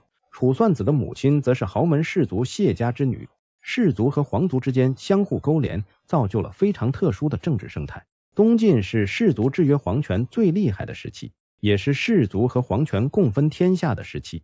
在东晋时期，非氏族出生的普通人不能身居高位，朝堂上的核心位置必须由氏族子弟担任。对此，皇帝也无可奈何。宇亮去世后，他的另一个弟弟宇义被任命为荆州刺史。羽翼是一个非常有抱负的人，他想寻找一名志同道合的人，一同北伐，收复故土。在他的细心观察下，琅琊太守桓温进入了他的视线。桓温的父亲名叫桓仪，桓温刚满周岁时，名士温峤前来家中做客，他发现桓温的面相非凡，将来会有大成就。桓仪得到温峤的夸赞后，非常开心，遂给儿子起名为桓温。羽翼为了拉拢桓温。曾向司马衍上书，请求把南康公主司马兴南嫁给桓温。司马兴南是晋明帝司马绍与宇文君之女。桓温成为驸马后，和羽翼的关系越走越近。后来两人立志北伐，收复故土。当时北方最大的势力是后赵，为了讨伐后赵，羽翼派人前去联络前燕和钱粮，共同商定讨伐后赵。对于讨伐后赵一事，朝堂大臣多数都不赞同。他们认为东晋不具备这个实力，但桓温对于北伐一事非常赞同。晋康帝司马越也有收复中原之心，遂命令羽翼为主帅，连同桓温一起聚集全国兵马前去讨伐后赵。就在羽翼出兵后不久，司马越突然病倒，卧床不起的他丝毫没有变好的迹象。司马越自知时日无多，便开始安排后事。此时，司马越与楚算子的儿子司马聘年仅两岁，根本不具备执政的能力。出于大局考虑，羽翼和羽兵建议立晋元帝司马睿的幼子司马昱为接班人。此事遭到何冲的坚决反对，他认为就应该立两岁的司马聘为太子。司马越本不想把皇位传给他人，恰好何冲坚决拥护立司马聘，因此司马越便正式下诏立司马聘为太子。羽翼和羽兵之所以拥立司马昱，是基于自身政治利益考虑。如今他们的计划被破坏，便对何冲恨之入骨。公元三百四十四年九月，年仅二十三岁的司马越去世。随后，皇太后楚算子抱着两岁的司马聘登基。由于司马聘不具备执政能力，楚算子选择垂帘听政。司马聘登基后，楚算子为了感谢何冲，将其提拔为录尚书事。羽氏家族由于拥立新皇帝失败，在朝堂上的地位被大大削弱。当年十一月羽冰去世。公元三百四十五年七月，羽翼身上的毒疮发作，最终不治身亡，年仅四十一岁。羽翼死后，他的儿子羽爱之接过了父亲的权力。由于羽氏家族在荆州经营多年，在当地的势力盘根错节，如果让羽爱之继续担任荆州刺史，恐怕会养虎为患。为此，楚算子打算找人替换羽爱之。何冲推荐桓温前去接替，对此楚算子非常不理解。因为桓温一向与羽翼交好，桓温能取得今日成就，离不开羽翼的提携。羽翼生前还联合桓温一起共同北伐，他担心桓温出于情义不肯与羽爱之撕破脸皮。即使桓温愿意接任荆州刺史，与爱之是否会放权也是个未知数。何冲告诉楚算子，桓温虽然与羽氏家族交好，但他更想追求功业。如果与爱之成为他的阻碍，他会毫不犹豫地扫清障碍，而且。桓温的能力远超于与爱之，后者不敢与桓温作对。在何冲的建议下，楚算子最终决定重用桓温，封他为安西将军，兼任荆州刺史，都督六州军事。至此，羽氏家族在朝堂上的势力越来越衰弱，一代权臣桓温就此登上历史舞台。此前，桓温和羽翼打算北上讨伐后赵，结果因为新皇帝登基出现了一系列变故，为此。桓温对整个北伐计划进行了调整，他将成汉作为首个北伐目标。此时的成汉政权和后赵一样，都在国内实施惨无人道的暴政。成汉是五胡十六国当中第一个建立国家的。成汉的建立者是氐族首领李雄。占据蜀地的成汉，虽然时常和东晋发生冲突，但都未伤及国本。近三十年来，国家一直在稳定运行。公元三百三十三年正月。成汉大将李寿拿下了东晋的熟食郡，随后周边几个郡见李寿来势汹汹，便主动献城投降。此役过后，李寿名声大噪。李寿是李雄的堂弟，非常能征善战，而且为人宽厚，深得李雄喜爱。后来李雄封他为建宁王。公元三百三十四年六月，李雄重病不起，由于他身上生的是恶疮，流脓的时候味道很大。此时只有皇太子李班守在身边，尽心照料。李班是李雄的侄子，李雄见自己的儿子们荒淫无度，不适合治理国家，遂将皇位传给了德才兼备的李班。没过多久，李雄去世，享年六十一岁。身为皇太子的李班顺利继位。李班登基后，把朝堂大事委托给李寿，自己专心为李雄治丧守孝。眼见李班顺利登基，李雄的两个儿子李悦和李七十分不满。李悦趁李班守灵之际疏于防范，便将其杀害。然后以皇太后的诏令拥立李七为皇帝。李七成为皇帝后，很快露出了本性，不但骄奢淫逸，还将其他对皇位有威胁的人全部杀掉。李寿由于功勋卓著，他深感不安，于是主动请求到边境驻守。李寿到了边境后，李七仍然不放心，为了给李寿下马威，李七派人毒死了李寿的弟弟。李寿表面上选择了隐忍，暗地里谋划进攻成都。公元三百三十八年四月。蛰伏已久的李寿对城府发起了进攻。为了鼓舞士气，李寿承诺拿下成都后，允许将士们在城中烧杀抢掠。当时李寿的儿子李氏在城中任职。当李寿大军兵临城下时，他偷偷打开了城门。李寿不费吹灰之力便拿下了成都。进城后，李寿命人逮捕了李悦等人，将他们全部诛杀，然后将皇帝李七软禁起来。局势稳定后，李寿开始兑现将士们的承诺。让他们在城内烧杀抢掠。本来李寿计划拿下成都后，向进士称臣，自己做一个偏安一隅的诸侯。但攻打成都过于顺利，他内心萌生了称帝的想法。举棋不定之际，他请巫师前来占卜。巫师根据卦象告诉他，他可以做几年天子。李寿听后大喜，决定称帝。他的谋臣谢思明劝李寿三思，做几年皇帝不如成为百世诸侯。但李寿表示：朝闻道。夕死可以，只要能做皇帝，哪怕只有一天也会满足。最终，李寿登基为帝，立李氏为太子。称帝后，李寿将李七贬为县丞。由于心理落差太大，李七随后自杀，年仅二十五岁。权力是一把双刃剑，既可以成就一个人，也可以毁掉一个人。李寿登基之前，为人谦虚，生活节俭，在骄奢淫逸的李氏子弟中是一个清流。但屠龙少年终成恶龙。当李寿成为皇帝后，变得极度奢靡，并且嗜杀成性。他将开国皇帝李雄的子嗣全部杀掉，彻底铲除能威胁他皇位的人。在生活方面，他将石虎作为榜样，在全国范围内大肆征集劳工前来修宫殿。此前跟随他打天下的旧臣也因为直言进谏而遭到诛杀。公元三百四十三年八月，四十四岁的李寿去世，太子李氏登基为帝。李氏对父亲的所作所为耳濡目染，登基后便一头扎进后宫美女堆里。为了能聚精会神的淫乱，他将朝政大事委托给身边的几个近臣，其他朝堂大臣全都成了摆设。此时的成汉已经和石虎统治下的后赵无异。桓温见成汉国内混乱不堪，便将北伐第一个目标改为成汉。蜀地自古以来都是易守难攻之地，但桓温对于拿下蜀地志在必得。公元三百四十六年冬月，桓温率领大军从荆州出发，逆流长江而上，并于次年二月到达四川境内。沉溺在温柔乡的李氏听闻桓温率军来讨的消息后，立马调兵遣将来应对桓温大军。公元三百四十七年三月，桓温到达了彭模，他留下参军驻守迎敌，然后亲自率领骑兵，带着三天口粮向成都进发。在桓温的带领下，晋军犹如猛虎出笼，将成汉军队打得溃败。来不及逃走的汉军为了保命，选择向桓温投降。桓温得胜后，继续往成都逼近，很快便兵临城下。成汉皇帝李氏见情势危急。把全国能用得上的军队全部调入成都，准备和桓温决一死战。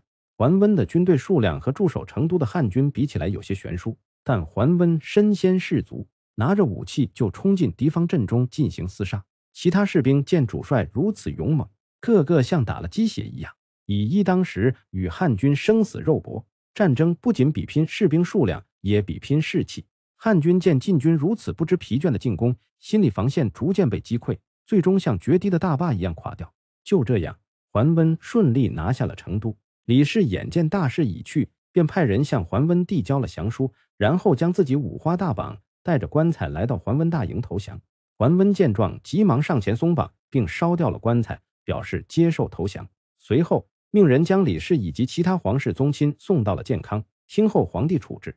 后来，李氏被封为归义侯，得以寿终正寝。三国两晋南北朝时期是华夏暴君最多的时期，很多暴君最后都没有受到惩罚，而是得以善终。很多读者对此不理解，甚至情绪受到影响。在读历史的时候，一定要把“善有善报，恶有恶报”这种世俗观念抛在脑后。这句话只是平民内心的一种美好期许，很多时候都是不成立的。以宽厚仁孝著称的汉文帝，为了剥离与吕氏集团的关联，顺利登基。亲手杀了自己的四个儿子。汉史为了掩盖这段历史，将其描述为病亡。后来汉文帝的弟弟刘长造反，汉文帝为了体现仁义，并未杀他，而是将沿途为刘长送饭的百姓们杀死。用现代文明眼光看封建时代的帝王，绝大多数都应该遭受报应。但在封建时代，百姓命如草芥，统治者诛杀他们的时候，不会有任何心理负担。随着桓温占领成都，立国四十四年的成汉宣告灭亡。成汉是五胡十六国中第二个灭亡的国家。桓温灭掉成汉后，在成都短暂逗留，便班师回朝。为了嘉奖他的战功，桓温被封为征西大将军，特许他开府治事的权利。在东晋灭掉成汉的同时，北方的成汉与后赵也在进行着大战。前凉的皇帝是张俊，张俊是一个非常勤政而且很有能力的人，在他的治理下，国家比较繁荣。公元三百四十六年五月，张俊去世。年仅四十岁。张俊去世后，张茂的儿子张崇华继位。张俊的去世让隔壁的石虎认为有机可乘，他趁前凉皇帝登基之际发兵前去讨伐，并成功掠夺了上万户百姓。为了应对石虎的攻击，张崇华将全国军队都集合起来，并任命征南将军裴恒为主帅，前去抵抗石虎大军。裴恒领命后，将军队驻扎广武，便不再往前，因为他害怕石虎，不敢与之交战。尽管张崇华三番五次派人前去催促，但裴恒以将在外，军命有所不受为由拒绝出兵。眼见主帅不敢出兵，前凉将士们的士气越来越低落。一时间，张崇华找不到办法来破局。就在此时，凉州司马张丹上书皇帝，提出替换主帅的建议。张丹表示，目前朝堂任用人才需要看资历和门户出身，致使有能力的人无法展示才能。要想成为明君圣主，就得打破这种条条框框，让真正有能力的人担任主帅。就像当初刘邦任用韩信一样。张崇华觉得张丹说的有道理，并根据他的建议启用谢艾为中间将军前去迎敌。谢艾是一个文武双全、精通谋略的人，他仅用七千人马就将石虎的军队打退，并斩首五千多人，成功化解了钱粮的危机。此役过后，谢艾本想在朝堂上大施拳脚，但其他士族见国家危机已经解除，加之谢艾没有士族背景，随后把他排挤出了朝堂。公元三百四十七年四月，石虎再次派军队前来攻打钱粮，形势对钱粮十分不利。关键时刻，张崇华再次启用谢艾前去迎敌。谢艾凭借惊人的谋略，将后赵军队打得大败。此役斩杀对方一万多人，接连失利让石虎非常不悦。当年五月，石虎派大将麻丘和石宁率领十二万大军，准备再次进攻钱粮。前几次胜利让张崇华觉得石虎大军并非传言中那般强大。为了提高自身威望，张崇华准备御驾亲征。对此，久经沙场的谢艾全力劝阻。他将自己与后赵军队作战的凶险细节讲给张崇华听，后者听完后放弃了御驾亲征的打算，然后任命谢艾为主帅前去迎敌。在谢艾的率领下，钱粮将士如下山猛虎，将石虎派来的几路大军相继打退，没人敢去与谢艾正面交战。石虎听闻前方失败的战报后，不禁感叹谢艾的实力。打退石虎大军后，谢艾接连平定了周边一些部落，凭借一连串的战功，谢艾名震西北。此时的石虎已经年逾五十，他自知不可能像年轻时一样东征西讨，而手下又缺乏猛将，不能替他开疆拓土。此番攻打钱粮失败，让石虎很失望。加之东边前燕不断发展壮大，南边的东晋有长江天险护卫，一时间他不再对开疆拓土抱有希望。他打算在剩余的生命里最大限度的享乐，至于是否会透支国力，他完全不在乎。当时西晋设置了十九个州，后赵独占其中十个，版图相当之大。石虎命人在国内搜刮各种奇珍异宝，后来民间的奇珍异宝已经不能满足他的胃口，他组建了一支官方盗墓团伙，专门在国内进行盗墓，将前朝王侯将相们的陵墓挖开，盗取其中的宝物。为了修建园林，石虎在国内征召了十几万劳工，昼夜不停的在邺城周围施工。最终导致数万人累死。眼见一座座宫殿拔地而起，石虎认为自己是苍生之主。他告诉身边的人，除非天地崩塌，否则没人能夺去他的这一切。太子石宣继承了父亲的残暴与奢侈，在横征暴敛方面完全不输于石虎。石宣的弟弟石涛同样如此。不过，石宣和石涛二人一向不和，石虎更偏爱年纪较小的石涛。当初曾打算立石涛为太子。后来，在大臣们的建议下，才决定立嫡长。石涛仰仗石虎的宠爱，越来越不把石宣放在眼里，这让石宣非常震怒。他心生一计，他想先杀掉石涛，等石虎前去平调的时候，再将石虎杀掉。公元三百四十八年八月，石涛在邺城外设宴招待群臣，石宣派出的杀手趁他酩酊大醉之际，混入宴会将其杀死。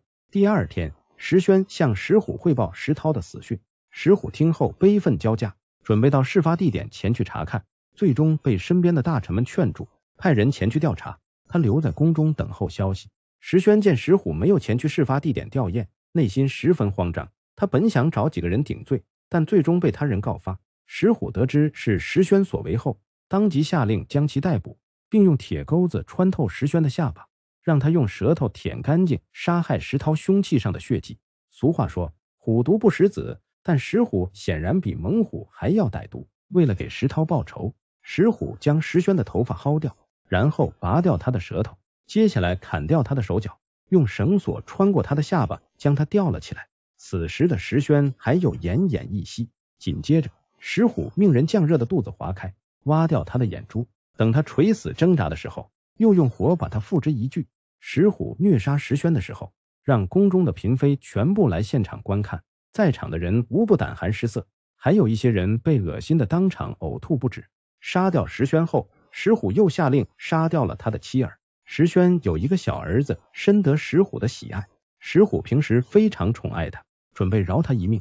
但大臣们劝谏石虎斩草除根，以免将来孩子长大后前来复仇。石虎不忍心杀孙，大臣们果断从石虎手中将其夺走，活活摔死。清理完石宣的妻儿。石虎又将东宫所有人全部杀掉，然后将东宫改成了猪圈。隶属于东宫的一万多名的高丽军被发配到边疆做苦力。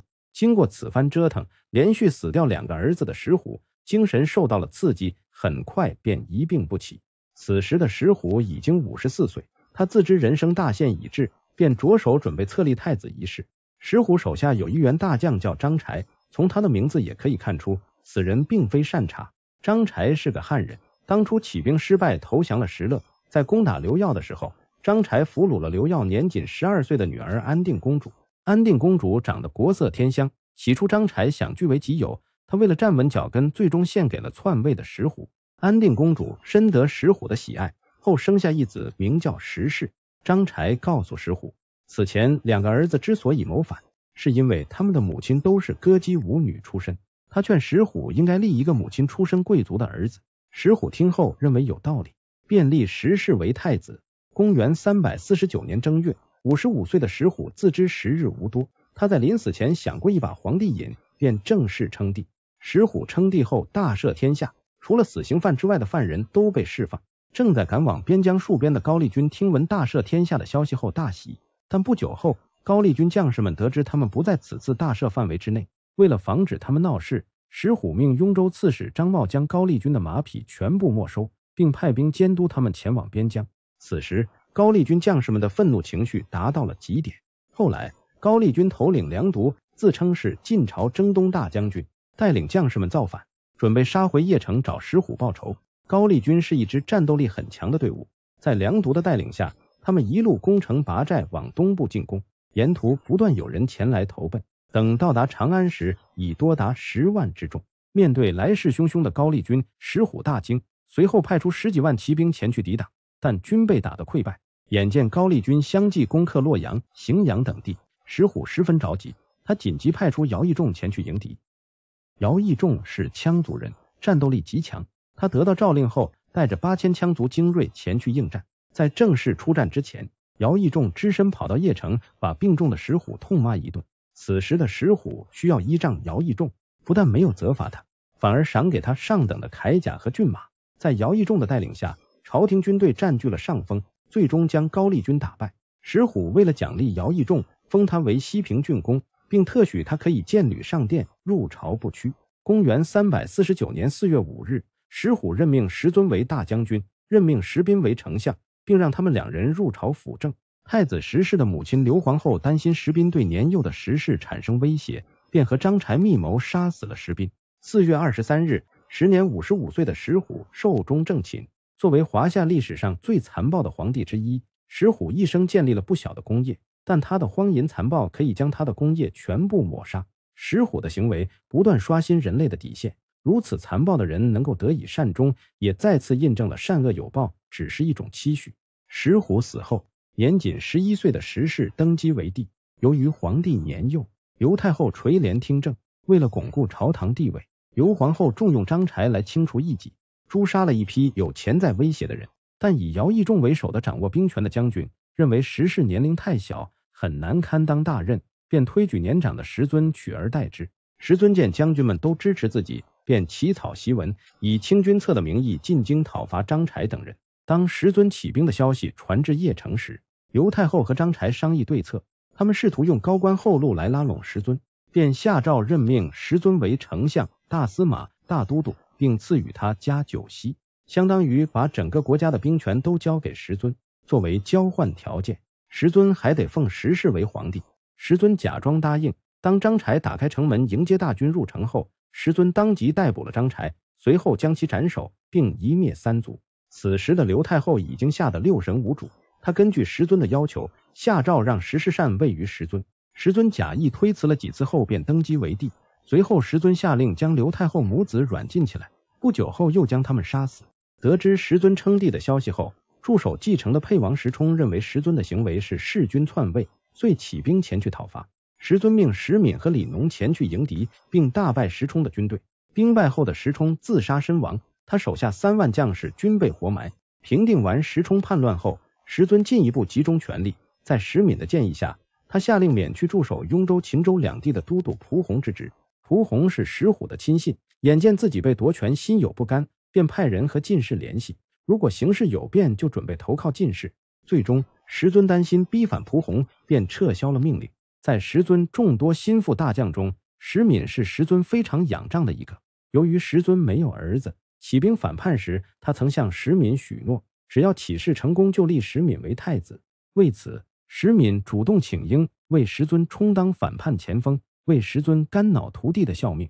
但石尊登基称帝后，却改变了主意，最终立石斌的儿子石衍为皇太子。石尊之所以食言，是因为石敏并不是正宗的羯族血统，而是汉人的后代。石敏峰父亲名叫冉良，冉良祖上世代都是军中的衙门将。西晋八王之乱过后，天下大乱，冉良为了谋生路，加入了陈武领导的起活军。在与石勒战斗的过程中，起活军被石勒打得大败，但冉良因为表现相当勇猛，获得了石勒的关注，最终被石勒留在身边。此时的冉良年仅十二岁。后来，石勒让石虎将其收为养子，石虎将其改名为石瞻。石瞻天生神力，在作战的过程中异常勇猛，凭借战功在军中一路高升。后来，石瞻在跟随石虎前去征讨刘耀的过程中被杀。石瞻去世后，他的儿子石敏继续跟在石虎身边。石敏的身体素质丝毫不逊于父亲，他也因此得到了石虎的厚爱。成年后的石敏跟随石虎东征西讨。凭借惊人的武力，屡屡获得战功。后来被任命为游击将军。此前在消灭高丽军的过程中，石敏也立下战功。这一系列表现让石敏逐渐声名鹊起。由于从小在石虎身边生活，石敏一直将自己视为血统正宗的石氏宗亲。所以，当石尊承诺立他为太子的时候，石敏对此深信不疑。但石尊知道石敏的出身，他不可能将石氏家族建立的王朝交给一个汉人，因此食言。石尊对此并未放在心上，但石敏却一直怀恨在心，久而久之便萌生了武力夺权的想法。石敏为了成功上位，在夺权之前，他开始在军中拉拢亲信，并获得了一众亲随。石敏的举动逐渐引起他人的注意，眼见石敏不断培植亲信，有人建议石尊杀掉石敏，以免夜长梦多。此时的石尊已经动了杀心。公元三百四十九年十一月，石尊召集其他皇室子弟前去面见郑太后。在郑太后面前，石尊说：“石敏已经显现出谋反之心，他建议诛杀石敏。”石尊的提议得到了其他人的支持，但郑太后不同意。他说：“石尊能顺利登基称帝，石敏功不可没，不能因为他表现出一些骄傲自满就要杀掉他。”由于郑太后的阻拦，石尊便打消了诛杀石敏的念头。当天，石尊的哥哥石建参加了这次讨论，而且石建也赞同诛杀石敏。令人意想不到的是，会议结束后，石建派人前去通知石敏，说石尊准备杀他。石建之所以这么做，也是出于对皇位的觊觎，想利用石敏之手除掉石尊。果不其然，石敏听闻这个消息后，火冒三丈，他没有坐以待毙，而是当即起兵造反。他派手下大将周成率领三千人杀入皇宫，然后将石尊杀死，随即又将郑太后、太子石衍等一众亲事全部杀死。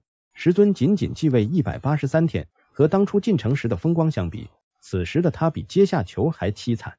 杀掉石尊后，石敏并未取而代之，而是拥立石建为帝。石建等这一天等了好久，他假意推辞了几次后，便登基称帝。随后，他封石敏为大将军，任命李农为大司马，其他参与政变的人都得到了封赏。由于李农等人都是石敏的心腹，朝堂掌控者实际上是石敏。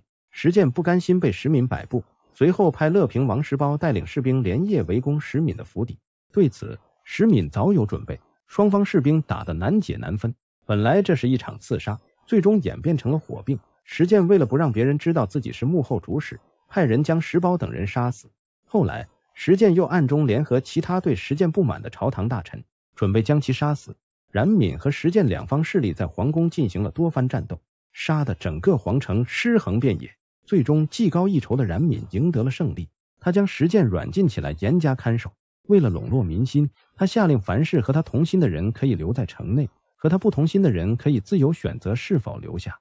由于石敏是汉人，此项命令一出，城内的胡人纷纷逃走，而周围的汉人则入城声援石敏。这番场景让石敏彻底明白了一个道理：人们只会忠诚于同样血统的人。虽然他很想融入石氏宗亲的。但血统上的隔阂决定了石氏宗亲不可能真正接纳他。想到此处，石敏发布了一条命令：只要斩杀一个胡人，文官、进位三等，武官直接拜为衙门将。这道命令被称为“杀胡令”。此道命令一出，城中汉人像发了疯一样屠杀城中的胡人，一天之内就杀掉上万胡人。与此同时，石敏也亲自上阵斩杀胡人，不论男女老幼，一概成为被诛杀的对象。胡人和汉人的长相有一定的区别，但并不是非常明显。有些身形高大、鼻梁高挺的汉人也被当作胡人诛杀。在杀胡令的推动下，邺城周围被屠杀的胡人就多达二十万。为了处理这些尸体，石敏命人将其抛到郊外，任凭野兽吞食。处理完邺城的胡人后，石敏将杀胡令颁发到整个国家。其他汉人将领看到命令后，纷纷拿起武器，对境内的胡人展开清剿。一时间，后赵境内的胡人成为待宰的羔羊。这道杀胡令不仅为石敏出了一口恶气，也让他获得了众多汉人的支持。此时的石敏野心已经急剧膨胀，内心有了称帝的想法。在古代，称帝讲究顺应天命，他命人翻遍史书典籍，在其中找到一句谶语，内容为祭赵礼，也就是说，赵李两位皇帝称帝后，他才能做新皇帝。为了顺应这句谶语，他改国号为魏，同时将自己的名字改为李敏。此时。李敏并未正式称帝，后赵的将军们见形势不妙，纷纷逃离邺城，到其他地方拥兵自重。这些人不但拒绝接受李敏的号令，还在伺机而动，时刻准备出兵邺城诛杀李敏。后来不断有人率兵进攻邺城。公元三百五十年七月，石坤和张举集结了七万大军前来征讨李敏。为了立威，他披挂上阵，亲自出城作战，并一举将石坤等人打得溃败。此后。又有陆陆续续多路大军前来征讨。由于李敏和李农都在城外迎敌，邺城内部城防出现了空虚。被软禁的石建秘密联系驻守在外地的将领，打算联合他们趁机夺取邺城。但石建的信被李敏截获，一怒之下，李敏将石建杀死，随后将石氏家族不分男女老少全部杀死，这其中包括石虎二十多个孙子。邺城内的石氏宗亲彻底被灭族。此时，李敏的声望达到了巅峰。众人联名劝他称帝，对此李敏坚决不受，而是执意要把皇帝的位置让给李农。李农是个聪明人，他知道皇帝之位是个烫手山芋，而且他也知道李敏只是谦让一下，如果他真的接受帝位，恐怕会遭到报复。为了推却帝位，李农表示汉人都是晋氏的臣子，如今晋氏依然保存完好，应该向晋朝称臣，迎接晋朝天子还都洛阳。听完李农的建议后，李敏面露难色。尚书令胡穆察觉到李敏只是对李农谦让，如果真的对晋士称臣，恐怕会造成新的内乱。于是胡穆劝说大家说：“晋士已经衰微，而且远在江南，没有能力领导群雄统一中原。现在当务之急是称帝自立，将来统一中原后，再迎接晋士回洛阳也不迟。”李敏见胡穆为自己说话，果断抓住了这个台阶。随后登基称帝。李敏称帝后恢复冉姓，名叫冉闵，然后改国号为魏。这段政权被后世称为冉魏。冉魏政权在历史上争议很大，它并未被后世归为十六国之一。现如今，冉闵备受一些历史爱好者推崇，因为颁布了杀胡令，很多人将其视作汉族的救世主。他们觉得，如果没有杀胡令，汉人将被全部灭种。杀胡令之所以能在后世引起如此大的反响，是因为五胡乱华时期，各路少数民族对汉人的迫害令人发指。在各路少数民族中，尤其以石勒所属的羯族最为残暴。他们攻陷城池后，会将城中男性全部杀死，将妙龄女子掳走供士兵们奸淫。如果遇到军粮短缺的情况，会直接杀掉烹食。他们将这些汉人成为两脚羊。客观来讲，杀胡令在维护汉人方面起到了一定的作用。但颁布杀胡令的石敏。并不是什么救世主，他只是一个政治投机分子。他颁布杀胡令的初衷，并非是拯救汉人，而是为了报复自己不被胡人接受。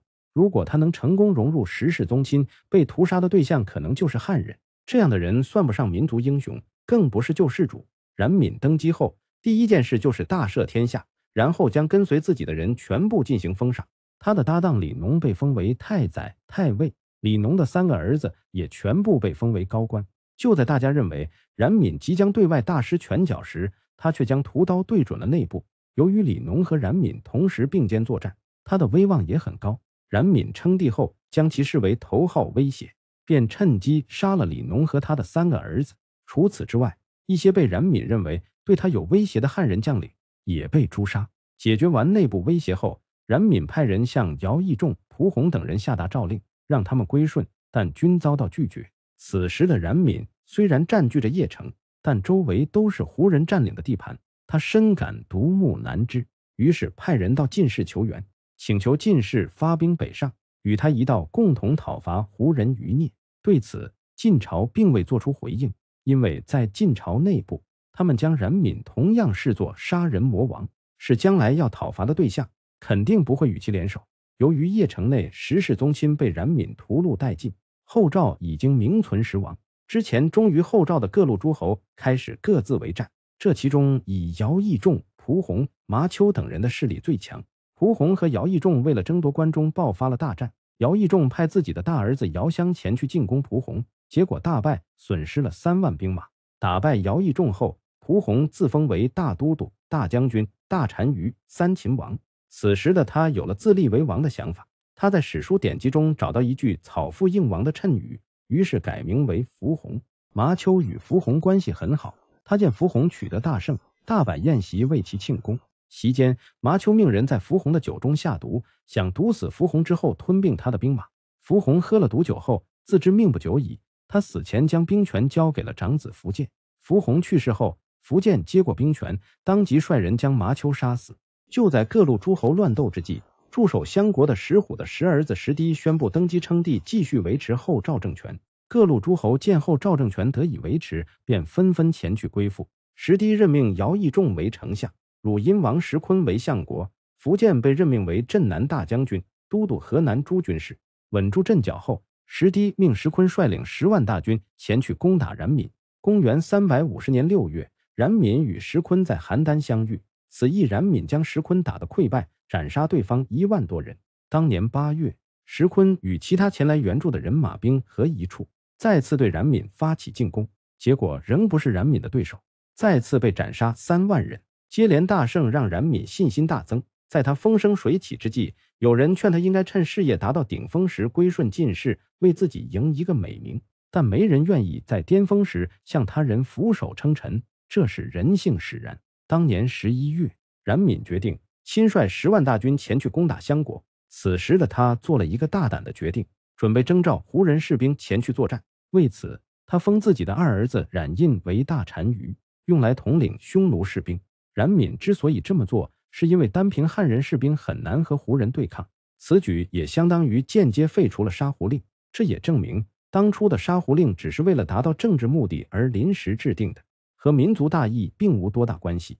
对于征召胡人士兵一事，他的部下劝他不要任用胡人士兵，这些胡人士兵只是碍于形势暂时归附，一旦被他们找到机会，肯定会发生叛乱。冉闵听后不但没听劝阻，还将前来进言的部下一灭三族。此后再也没人敢前来劝阻。在冉闵的围攻下，襄国坚持了一百多天，城内已经弹尽粮绝，用不了多久就会被攻破。危难之际，石堤去掉皇帝的尊号，改称赵王。然后派人突出重围，向前燕和羌族首领姚义仲求救。石堤向前燕承诺，只要他答应前来相救，解围后就会把传国玉玺相赠。此时的姚义仲已经七十一岁，他无力再上战场，但他之前蒙受石虎的恩惠，为了报恩，他派自己的大儿子姚襄前去相助。与此同时，姚义仲给前燕写信，请求出兵前去相助。前燕最终答应出兵相救，他派将军岳婉与姚襄兵合一处。共同抵抗冉闵。公元三百五十一年三月，姚襄、岳婉会同石坤一起集结了十几万人前去征讨冉闵。起初，冉闵派出几员大将前去迎敌，结果大败而归。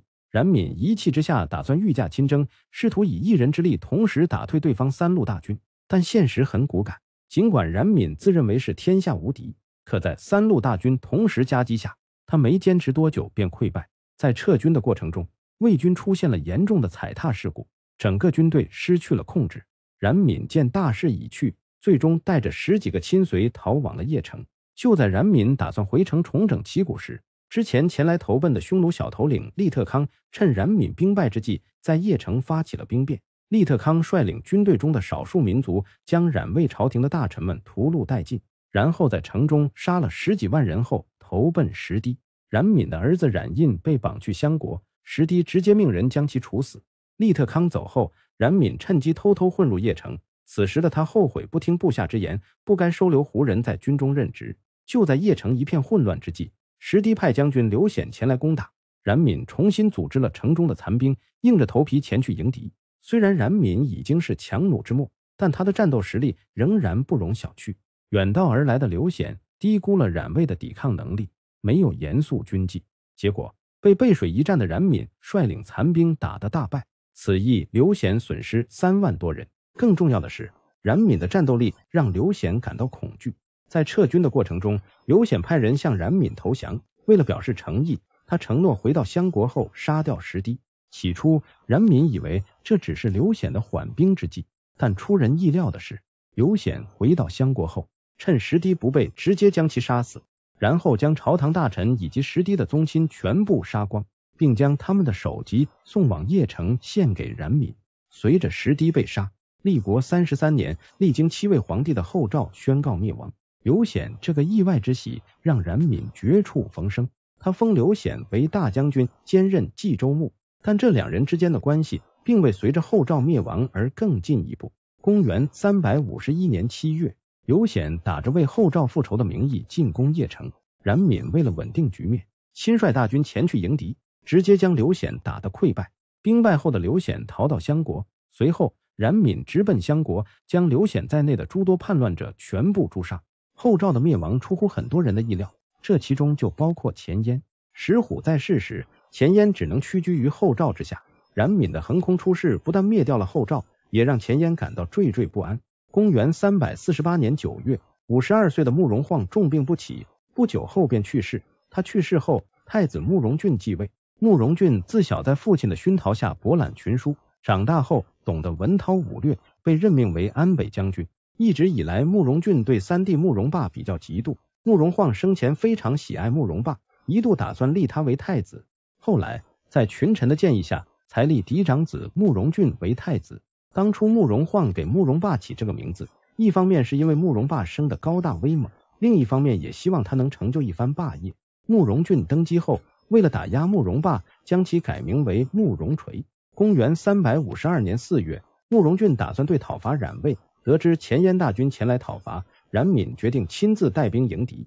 此次带兵前来的是慕容俊的弟弟慕容恪。两军在魏昌县莲台村遭遇，冉闵凭借惊人的武力将慕容恪打得大败。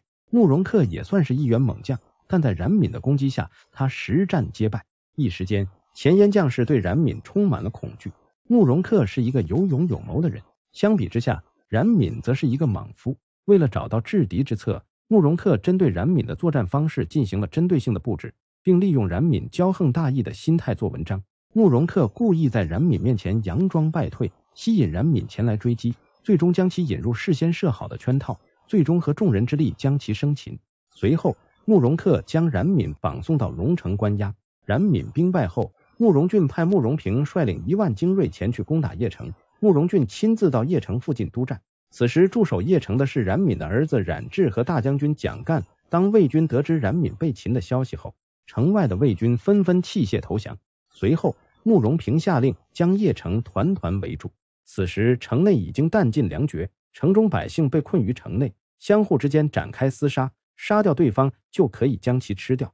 冉智和蒋干知道投降后是死路一条，遂下令殊死抵抗。为了解决粮食问题，冉智下令将宫中的嫔妃宫女烹杀。在饥饿面前，将士们都失去了人性，对于同类相食，并未感到任何不适。围城持续了一段时间，大将军蒋干派人向驻守在寿春的晋朝大将谢尚搬救兵，只要对方同意相救，蒋干就会献城投降。但谢尚对此不感兴趣，并没有发兵相救。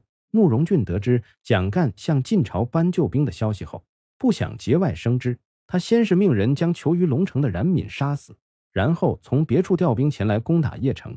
经过三个月的围困，城内将士坚持不住，发生了哗变。打开城门迎接燕军，蒋干见状不妙，在打开城门前，带领几个亲随从城墙上放下绳子逃跑。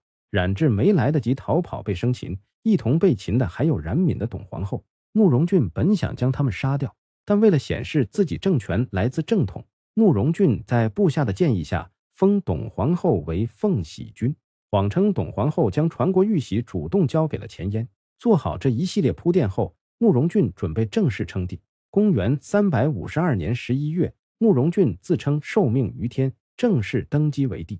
冉魏这段政权虽然只存在了短短三年，但他给中原带来的破坏力非常之大。冉闵作为冉魏政权的建立者，因为一纸杀胡令被汉民族无限尊崇，但也因为自身非常残暴，致使后世史书将其归咎为暴君之列。冉闵是一个争议性很强的人物，不过本人认为冉闵并不值得推崇，后世史书将其归为暴君也并无不妥。以现在官方的主流历史观来看，但凡冉闵身上有一点值得赞颂的地方，都会被拿出来当做民族英雄无限歌颂。他的各种事迹也会被挖掘出来，无限放大。如果冉魏这种政权继续存在下去，冉闵就会成为下一个石虎。就在冉闵与后赵缠斗之际，另外一股力量也在迅速崛起。当初福洪死后，将权力交给了儿子苻建。苻建根据父亲的遗命，打算在关中建立根据地。此时驻守长安的是后赵旧臣杜洪。苻建自称晋朝的征西大将军，兵分两路对长安发起攻击。杜洪得到消息后。派兵前去御敌，但均被苻建打退。公元三百五十年十月，苻建大军攻破长安，顺利入城。当初苻建夺取关中时，打的是晋朝的旗号，因此得到关中地区汉人的拥戴。为了继续扛着这杆大旗，苻建拿下长安后，派人向晋朝送去了捷报，并与桓温保持着很好的关系。后来，苻建继续打着为晋士收复故土的旗号，继续攻城拔寨，将秦州、雍州等地变为自己的地盘。此时的苻建已经是一股非常强大的力量。在诸侯割据的时代，左长史贾硕劝苻建效仿刘备自称汉中王的例子，也向进士请封王位。苻建听后勃然大怒，斥责贾硕不懂规矩。贾硕本以为苻建不想称王，后来在他人的暗示下才知道，苻建早有称帝之心。苻建之所以发怒，是因为贾硕等人为他请封的官职太小。不久后。贾硕等人联名上书，请求苻建称帝。苻建听后推辞了几次，然后选择了登基。公元三百五十一年正月，苻建正式登基为帝，定国号为秦，封嫡长子苻长为太子。这段政权被后世称之为前秦。前秦是五胡十六国中第六个建立的政权。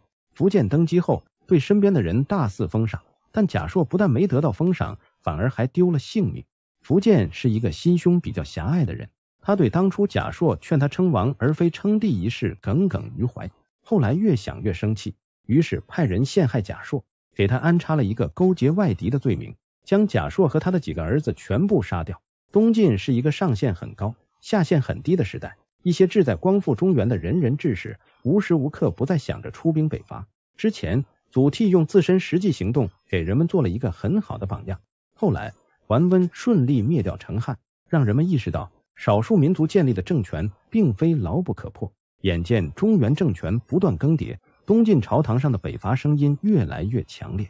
皇太后楚算子的父亲楚侯利用女儿垂帘听政之便，率领大军前去北伐，结果被打得大败。他与因为此次失败羞愧难当，最终郁郁而终。此前，桓温灭掉成汉后，在朝堂上的地位如日中天。为了制衡桓温，会稽王司马昱。举荐殷浩入朝为官，官拜武将军，兼任扬州刺史。为了在朝堂上压过桓温，殷浩请求北伐。公元三百五十一年，殷浩率领大军前去攻打刚成立不久的前秦。时任中军将军的王羲之和殷浩是好友，他极力劝阻殷浩不要北伐，因为北伐是一项艰巨的任务，以殷浩的实力尚不足以完成北伐大业。但殷浩不听劝阻，执意出兵，结果因为用兵不当。被姚襄打败。姚襄是姚义仲的儿子，此时的姚义仲已经去世，姚襄成为队伍的新领袖。殷浩兵败后，桓温见机向朝廷发难，朝廷迫于压力将殷浩贬为庶人。后来殷浩死于流放之地。殷浩的去世也让桓温在朝堂上的地位越来越高，没有人能压住他的锋芒。为了进一步建功立业，桓温再次决定北伐。北伐之前需要先上书朝廷，接受朝廷的任命。即便这仅仅是个形式，也要逐章走完。但桓温自恃位高权重，只是通知朝廷要北伐，便起兵前往。前燕灭掉冉魏后，实力大增。桓温认为此时不能和前燕硬碰硬，遂将目标锁定在刚建立不久的前秦。公元三百五十四年二月，桓温率领四万大军从江陵出发，沿着水路直奔武关。钱粮眼见桓温攻打前秦，派兵前去支援桓温。苻建听过桓温的大名，他不敢轻敌，于是派太子苻长、丞相苻雄、淮南王苻生、平昌王苻京率领五万精锐前去迎敌。这是前秦能拿得出手的最强力量。前秦当中不乏猛将，两军首战，勇猛的苻生率军杀入桓温阵中，将晋军冲得七零八落。桓温是个作战经验丰富的人。他见浮生采用冲击策略，便主动后退，稳扎稳打。等浮生第一波冲锋结束后，桓温亲自上阵冲锋杀敌。在他的带领下，晋军势如破竹，将前秦军队打得大败，并顺利抵达坝上。当桓温抵达坝上之时，当地的中原百姓拿着酒肉前来慰劳军队。他们都是晋朝百姓，如今再次见到王师北上，激动之情无以言表。此情此景让桓温也触景生情，他发誓一定要将北伐大业进行到底，重新匡扶晋室。桓温在此次北伐中有一个很大的收获，那便是得到了谋士王猛。王猛是华夏历史上一个非常厉害的人物，只是生在东晋时期，名气比不上三国时代的谋士。论能力，王猛与三国顶级谋士的水平不相上下。王猛从小就熟读兵书，一直寻找建功立业的机会。如今见桓温入关，他知道建功立业的机会来了，便前去求见桓温。此时的王猛比较穷困潦倒，穿着一身破旧衣服，但谈吐间气质非凡。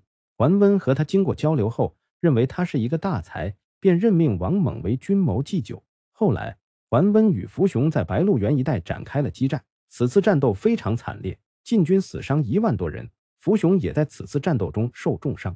由于晋军是远道而来。粮草方面遭遇到很大的压力，桓温为了保存实力，选择了撤军。桓温本想带王猛一起回江东共谋大业，但王猛不想去江东，最后留在本地寻找机会。公元三百五十四年六月，福雄受伤去世，他的儿子苻坚继承了爵位，继续统领兵权。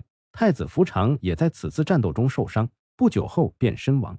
太子福长死后，苻建便开始考虑册立新太子。之前在与晋军作战中立下赫赫战功的福生成为首选。福生是苻建的三儿子，他凭借惊人的武力成为前秦第一猛士。福生小时候眼睛受过伤，是一个独眼龙。苻建在谶语中读过“三羊五眼”这句话，意思是三只羊只有五只眼睛，少一只眼睛。苻建认为这是天意，便册立福生为太子，任命福京为太尉。福京是福建哥哥的长子。他对福生成为太子一事十分不满，想趁机夺权。公元三百五十五年六月初六，卧病在床的福建连续几天没有上朝。福京以为福建已经去世，便率兵杀入东宫，试图杀死太子福生后取而代之。福建得知福京叛变的消息后，强撑着身体前去指挥战斗。在福建的坐镇下，福生叛乱很快被平息，福生也因为谋反被诛杀。没过多久，福建感觉自己时日无多。便召集群臣前来进行托孤，一口气给浮生安排了八位顾命大臣。福建去世后，浮生顺利登基。浮生登基后露出了凶狠的一面，半年内就用各种理由杀了四个顾命大臣，甚至因为占卜师的一句谶语，将自己的皇后也一并杀掉。浮生登基后，非常宠幸赵少、董荣等善于溜须拍马的大臣，董赵二人恃宠而骄，经常在福生面前进献谗言来打压其他朝臣。丞相雷若儿是一个非常耿直的人，在前秦建立的过程中立过汗马功劳。他对董赵二人的行为深恶痛绝，并在朝堂上呵斥过他们。董赵二人心生怨恨，便诬陷雷若儿意图谋反。福生不是一个明君，对雷若儿这种耿直的性情非常反感。他利用董赵二人弹劾雷若儿的时机，下令诛杀了雷若儿全族，这其中包括雷若儿九个儿子、二十七个孙子。雷若儿是羌族的首领之一，他的被杀在羌族内部引起轩然大波，部落内部开始出现反叛浮生的声音。雷若儿死后，董荣等人并未收敛，而是继续扩大打压范围。时任司空的王铎因为不屑与之为伍，遭到了董荣的报复。在董荣的诬陷下，福生下令将王铎处死。丞相和司空是国家重臣，他们的接连被杀，使得整个朝堂充满一片肃杀之气。董荣等人更加肆意妄为。福生由于天生残疾，一只眼睛是瞎的，心理上有自卑，久而久之，这种自卑演化成了变态心理。福生对大臣们非常凶残，他设宴招待群臣的时候，命令他们必须要喝得酩酊大醉，如果没有喝醉，就会被当场杀死。福生在出行的时候会让人随身携带各种刑具，随时准备虐杀他不喜欢的人。上至王公大臣，后宫嫔妃，下至仆人宫女，都是他虐杀的对象。为了享受虐杀的快感，他会亲自拿锯去锯断别人的小腿，或者剖开孕妇的肚子，让他们慢慢流血而死。他登基后不久就虐杀了五百多人。有一次，福生因吃多了红枣导致身体不适，赵御医前来医治。御医通过病症告诫他不要吃太多红枣。按照正常人的思维，应该夸赞御医医术高明，但福生却反问御医：“他又不是圣人，为何知道枣吃多了？”然后将御医杀害。时任光禄大夫的强平自认为是福生的亲舅舅，上书劝谏福生要以朝堂大事为重，不能肆意杀戮。福生听后根本不顾及强平的身份，直接命人将他的头敲碎，活活将其打死。强平死后，福生的生母强太后悲愤交加。他不敢相信自己的儿子如此残忍，不久后便急火攻心而死。在福生当政期间，诸如此类的事情不胜枚举。这种残暴的手段比后赵暴君石虎更要残忍百倍。翻遍史书，也找不到像福生这般残暴的人。残暴的福生引起了国内百姓的不满，也间接影响着其他人的命运。此前打败殷浩北伐的姚襄，后来无处可去，归顺了晋氏。但姚襄明白，晋氏接受他只是权宜之计。早晚会对他进行清算，于是私下和前燕密谋，准备向其投降。为了表明诚意，姚襄攻下了晋国许昌，作为向前燕投降的礼物。姚襄这番作为让晋氏大为恼怒，准备新仇旧恨一起算，派人前去讨伐姚襄。讨伐姚襄的大任又落在了桓温身上。之前桓温北伐失败后，又恰逢自己的母亲去世，连番打击让他倍感失落。按照祖制，桓温要为去世的母亲守孝三年。但此时正是朝廷用人之际，于是给桓温开了特例，让他不用回乡丁忧，继续留在朝堂主持大局。公元三百五十六年三月，朝廷下诏任命桓温为大都督，正式出师讨伐驻扎在许昌的姚襄。当年七月，桓温率领大军渡过淮河，一路直奔许昌。姚襄知道桓温是一个猛人，于是选择先礼后兵，他派人给桓温送去亲笔信。姚襄在信中告诉桓温，他将要率领大军赶往关中，如果桓温能放行，他将感激不尽。桓温没有答应姚襄的请求，而是排兵布阵，对其展开攻击。姚襄见桓温来势汹汹，便率领大军逃离许昌。桓温在追击的过程中斩杀对方数千人。姚襄付出巨大代价后，终于摆脱了桓温的追击。桓温见姚襄走远，便率军回撤。随后又一举拿下了洛阳，这是桓温第一次来到洛阳。桓温进城后，对司马家族的陵墓进行了修复，并安排专人为其守陵。晋穆帝司马聘得知桓温收复洛阳的消息后，率领群臣穿着孝衣摇拜司马懿、司马师等祖先。姚襄虽然成功从桓温手下逃脱，但他并没有合适的安身之所。他听说长安城内一片民怨，便打算趁机夺取长安，将其作为根据地。为了拿下长安。姚襄派人联络对浮生有怨气的少数民族，联合他们一起进攻长安。浮生听闻姚襄前来攻打的消息后，派出苻坚等人前去迎战，并一举将姚襄生擒，随后被苻坚处死。姚襄死后，他的弟弟姚长自知大势已去，最终选择向前秦投降。苻坚打败姚襄后，向浮生请功。浮生不但没有赏赐苻坚等人，反而诛杀了其中一些将领。此事让苻坚等人非常不满。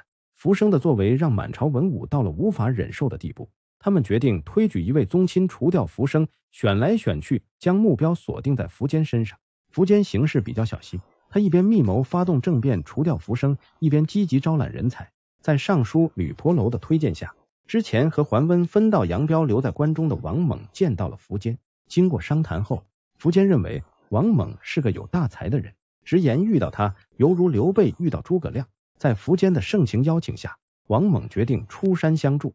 就这样，一代猛人王猛成为了苻坚的幕僚。公元三百五十七年六月，福生在宫中喝得酩酊大醉，对旁边的侍女说要除掉福法和苻坚兄弟。苻坚此前在宫中安插了眼线，此事当晚便传到了苻坚耳朵。经过商议后，苻坚决定当晚就起事。随后，苻坚率领几百个精锐直接杀入皇城。皇城守卫见来者是福坚，没有过多抵抗，便缴械投降。这些守卫也盼着福生早日伏法。就这样，福坚成功攻入皇宫，并将福生活捉。福坚当时并未诛杀福生，而是将其贬为越王。不久后，又派人杀了他。福生死时年仅二十三岁。得知福生被杀后，没有人指责福坚的弑君之举，反而大肆庆祝。这也足以证明福生的残暴已经彻底引起众怒。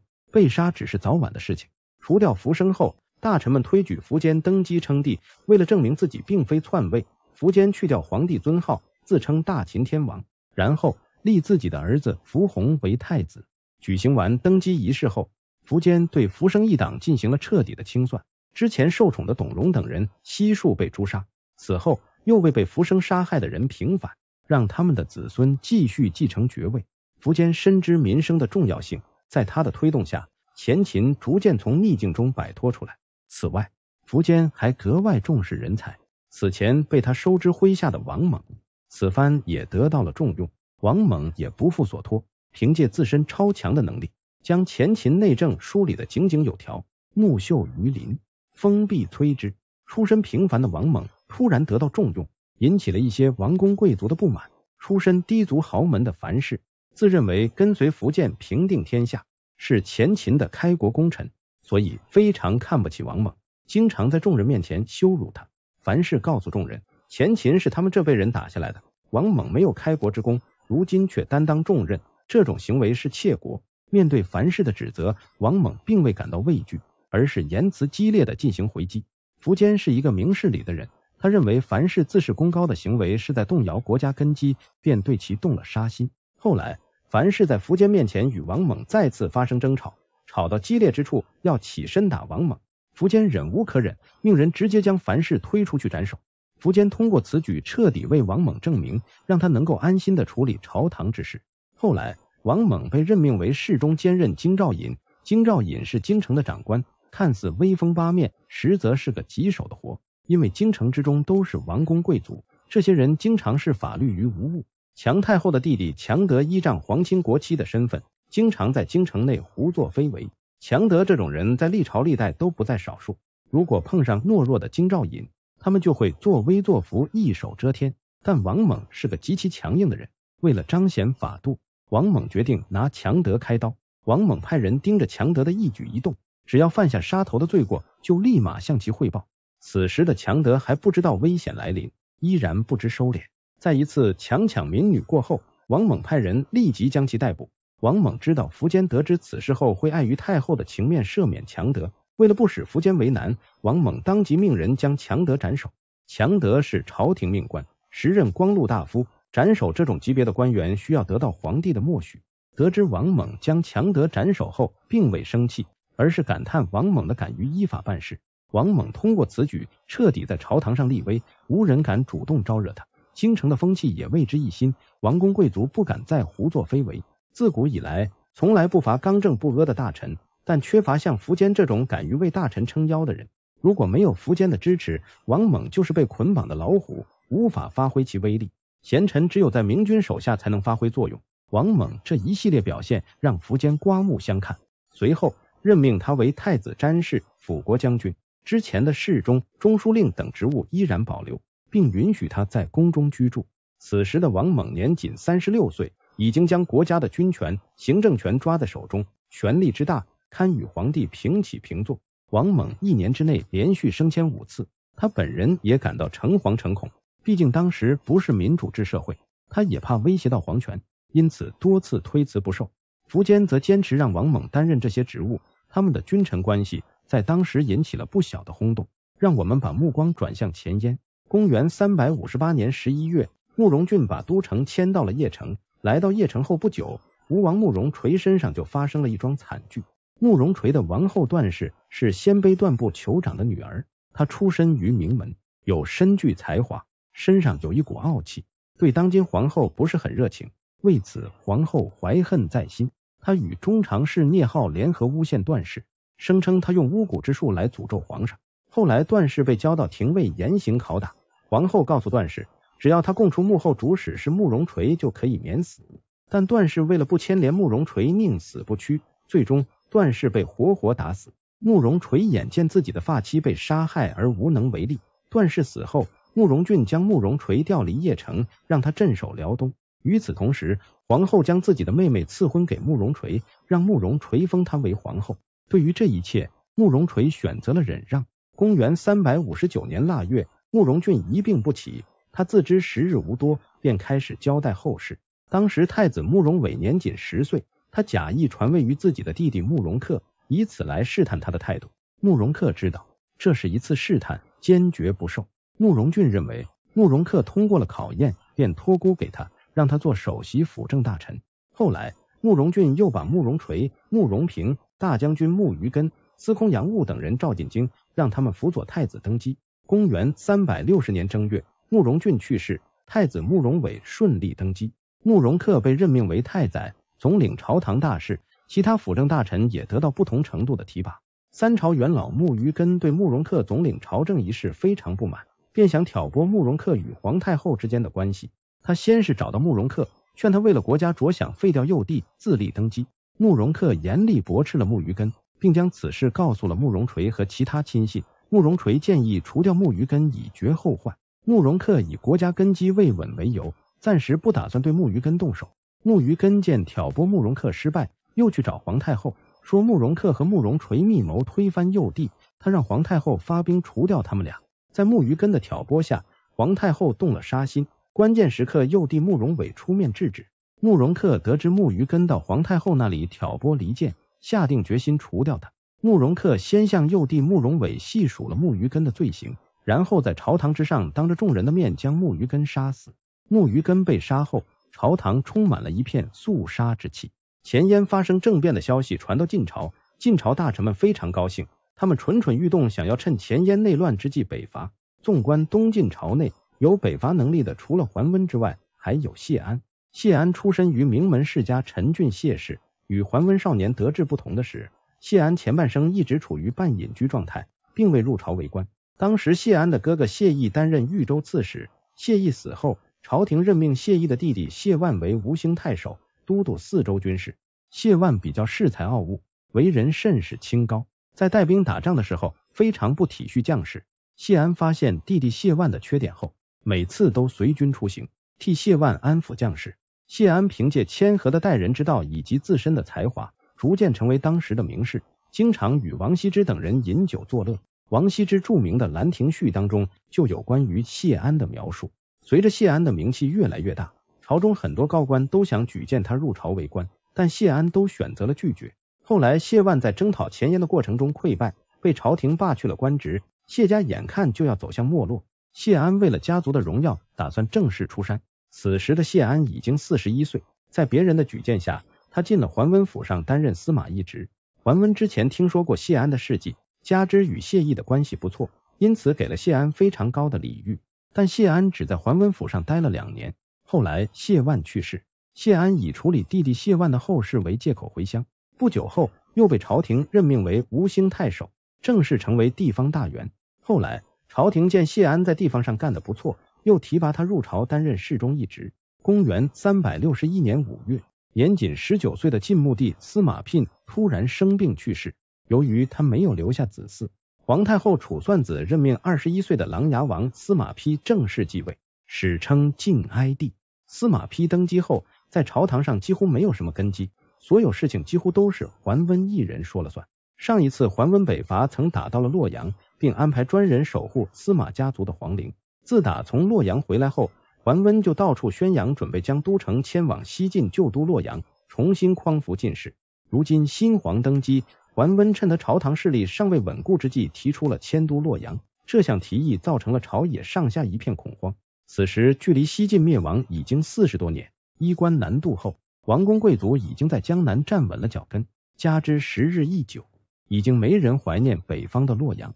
朝廷害怕桓温强行迁都，打算派一些与之关系好的大臣前去劝说。但扬州刺史王树告诉皇帝，桓温意图迁都是假，他这么做只是刻意为难朝廷，目的是为了要挟朝廷获得更多的话语权。只要顺从他的意思，他就不会再提迁都一事。晋哀帝司马丕认为王述分析的有道理，便下诏同意桓温迁都的请求。桓温见要挟朝廷失败，便不再提迁都一事。钱燕得知桓温提议迁都洛阳一事后，便将洛阳视为下一个争夺的目标。公元三百六十四年二月，慕容恪、慕容垂和慕容平三者兵合一处，对洛阳展开了猛烈的攻击。经过长达一年的围攻，钱燕终于攻破洛阳。拿下洛阳后，慕容恪又趁势夺取了小谷、渑池等地，势力范围直逼前秦的大本营。秦王苻坚眼见慕容恪来势汹汹，便亲自率军前去迎敌。慕容恪认为此时并不是进攻秦地的好时机，遂让慕容垂镇守鲁阳，他率领大军班师回朝。此时的钱燕靠慕容恪一人苦苦支撑。他虽然出身于鲜卑，但行事作风方面完全遵循汉人之道，更是对汉人的名家典籍十分推崇。慕容恪虽然大权在握。但他奉行以德服人，满朝文武对此都非常敬佩。在慕容恪的执政下，钱燕的实力达到了巅峰。但这种巅峰随着慕容恪的溘然长逝一去不复返。公元三百六十七年六月，长年累月的征战让慕容恪的身体严重被透支。四十七岁的他一病不起。病重之际，皇帝慕容伟前去探视。慕容恪告诉皇帝，可以把大权交给慕容垂，这样就能继续维持大燕的荣光。交代完后事。慕容恪与世长辞。慕容恪是一位文武兼备的人才，被称为十六国第一名将。他去世前没有徇私将自己的权力交给子嗣，而是力推慕容垂挑起大梁。这一点也能看出慕容恪的品格。慕容恪生前考虑到慕容平和慕容垂关系不好，恐怕不会让大司马一直落到慕容垂身上，于是苦口婆心的劝说慕容平一定要以国家社稷为重，把朝政大权交给慕容垂。慕容平表面上假装答应。慕容恪死后，他推举慕容伟的哥哥慕容冲为大司马，总领朝政。慕容垂仅仅被任命为侍中。得知慕容恪去世的消息后，苻坚大喜，他准备起兵吞并对方。就在此时，秦国内部发生了反叛。之前苻坚通过政变夺权上位时，苻生的九弟苻幼心生不满，发兵攻打长安，最后兵败被杀。参与此次叛乱的还有苻柳和苻霜。苻柳是先帝苻建最喜欢的儿子之一，苻霜则是苻坚的亲弟弟，所以苻坚最终赦免了他们两人。可苻坚的宽容并未获得回报。公元三百六十七年十月，苻柳、苻双、苻武和苻搜共同起兵反叛。苻坚得知消息后，并未打算起兵讨伐，而是派人前去劝说，只要他们肯罢兵，一切都不予追究。苻坚此举已经是仁至义尽。但苻柳等人不接受苻坚的好意，坚持反叛。无奈之下，苻坚打算派兵讨伐。眼见苻坚派兵来讨，扶苏自知不敌，便主动献城向前燕投降，希望对方能发兵相助。对此，慕容平、慕容垂和皇甫真都建议不要贸然出兵，因为对方有苻坚和王猛坐镇，前燕没有人是他们的对手。前燕的袖手旁观，让叛军失去了援助。在苻坚和王猛的率领下，苻双。苻武和苻柳相继兵败被杀，扶苏则被生擒至长安。苻坚问他为什么要谋反，扶苏表示他本不想造反，他担心其他兄弟们都起兵造反，如果自己不反，会成为被攻打的目标。苻坚知道苻搜为人忠厚，但又不能赦免他谋反的行为，于是让苻搜自杀，赦免他的七个儿子，让他的长子继续世袭苻搜的爵位。苻坚这么做可谓是仁至义尽。由于国内发生叛乱，需要休生养息，苻坚暂时打消了攻打前燕的念头。而坐镇南方的桓温听闻慕容恪去世的消息后，认为攻打前燕的最大威胁已经去除，当即上书请求北伐。对于桓温的决定，皇帝不得不同意。为了一举拿下前燕，桓温此次是倾尽全国之力，将所有的精锐都汇集到一起，准备对前燕发起致命一击。公元三百六十九年四月。桓温率领五万精锐出发北上，试图一举收复中原。得知晋军前来讨伐的消息后，慕容伟任命下邳王慕容立为大都督，率领两万大军前去迎战。在身经百战的桓温面前，慕容立根本不堪一击，很快便被击溃。紧接着，慕容伟又任命安乐王慕容臧前去迎战，结果依然是大败。接连大败让慕容伟和慕容平十分慌张，慕容平建议逃到旧都龙城躲避。面对朝堂一片慌乱，慕容垂依然保持着镇定。他请求率兵前去迎战桓温，如果他打不赢桓温，届时再逃至龙城也不迟。在慕容垂的再三请求下，慕容伟答应了他的请求，任命他为征讨大都督，率兵五万前去迎击桓温。为了保证万无一失，慕容伟派人到前秦搬救兵，希望苻坚能发兵相救。作为条件，慕容伟承诺把虎牢关以西的地盘割让给他们。在王猛的建议下，苻坚答应出兵两万前去相助。桓温不是一个善于冒险的人，此次大军长途远征，军粮运输是重中之重。为了保证粮草供应，桓温命令豫州刺史元贞拿下乔国和梁国后，全力在石门县开凿河道，打通睢水和黄河之间的连接，保证粮草能够通过水路运至前线。开凿河道能否成功，关系着整个大军的命脉。为此，桓温多次嘱咐元贞一定要按时完成任务。元贞领命后，便组织劳工全力开凿河道。慕容垂得知元贞的动向后，立马明白了石门的重要性，于是。派慕容德率领一万精锐赶赴石门，阻断开凿工程。与此同时，派另外一支精锐绕到桓温后方，截断他的粮道。慕容垂改变了以往正面硬杠的作战方式，利用自身骑兵的优势，兵分多路对桓温大军进行偷袭，用埋伏游击的方式骚扰对方。慕容垂的战术给桓温造成了很大的困扰，加之元贞开凿河道受阻，桓温大军的粮草日渐紧张。士气一天比一天低落，加之前秦的援军将要抵达战场，形势对晋军非常不利。无奈之下，桓温打算撤军。公元三百六十九年九月，桓温命令下令撤军，摒弃水路，从陆路撤退。眼见桓温撤退，慕容垂并未着急追击。他知道桓温为人谨慎，撤退的时候一定会布置精兵断后。此时前去追击并不能获利。等对方精疲力尽、疏于防范时，再前去追击，定能大获全胜。几天后，慕容垂料定桓温会放松警惕，便下令全速追击桓温。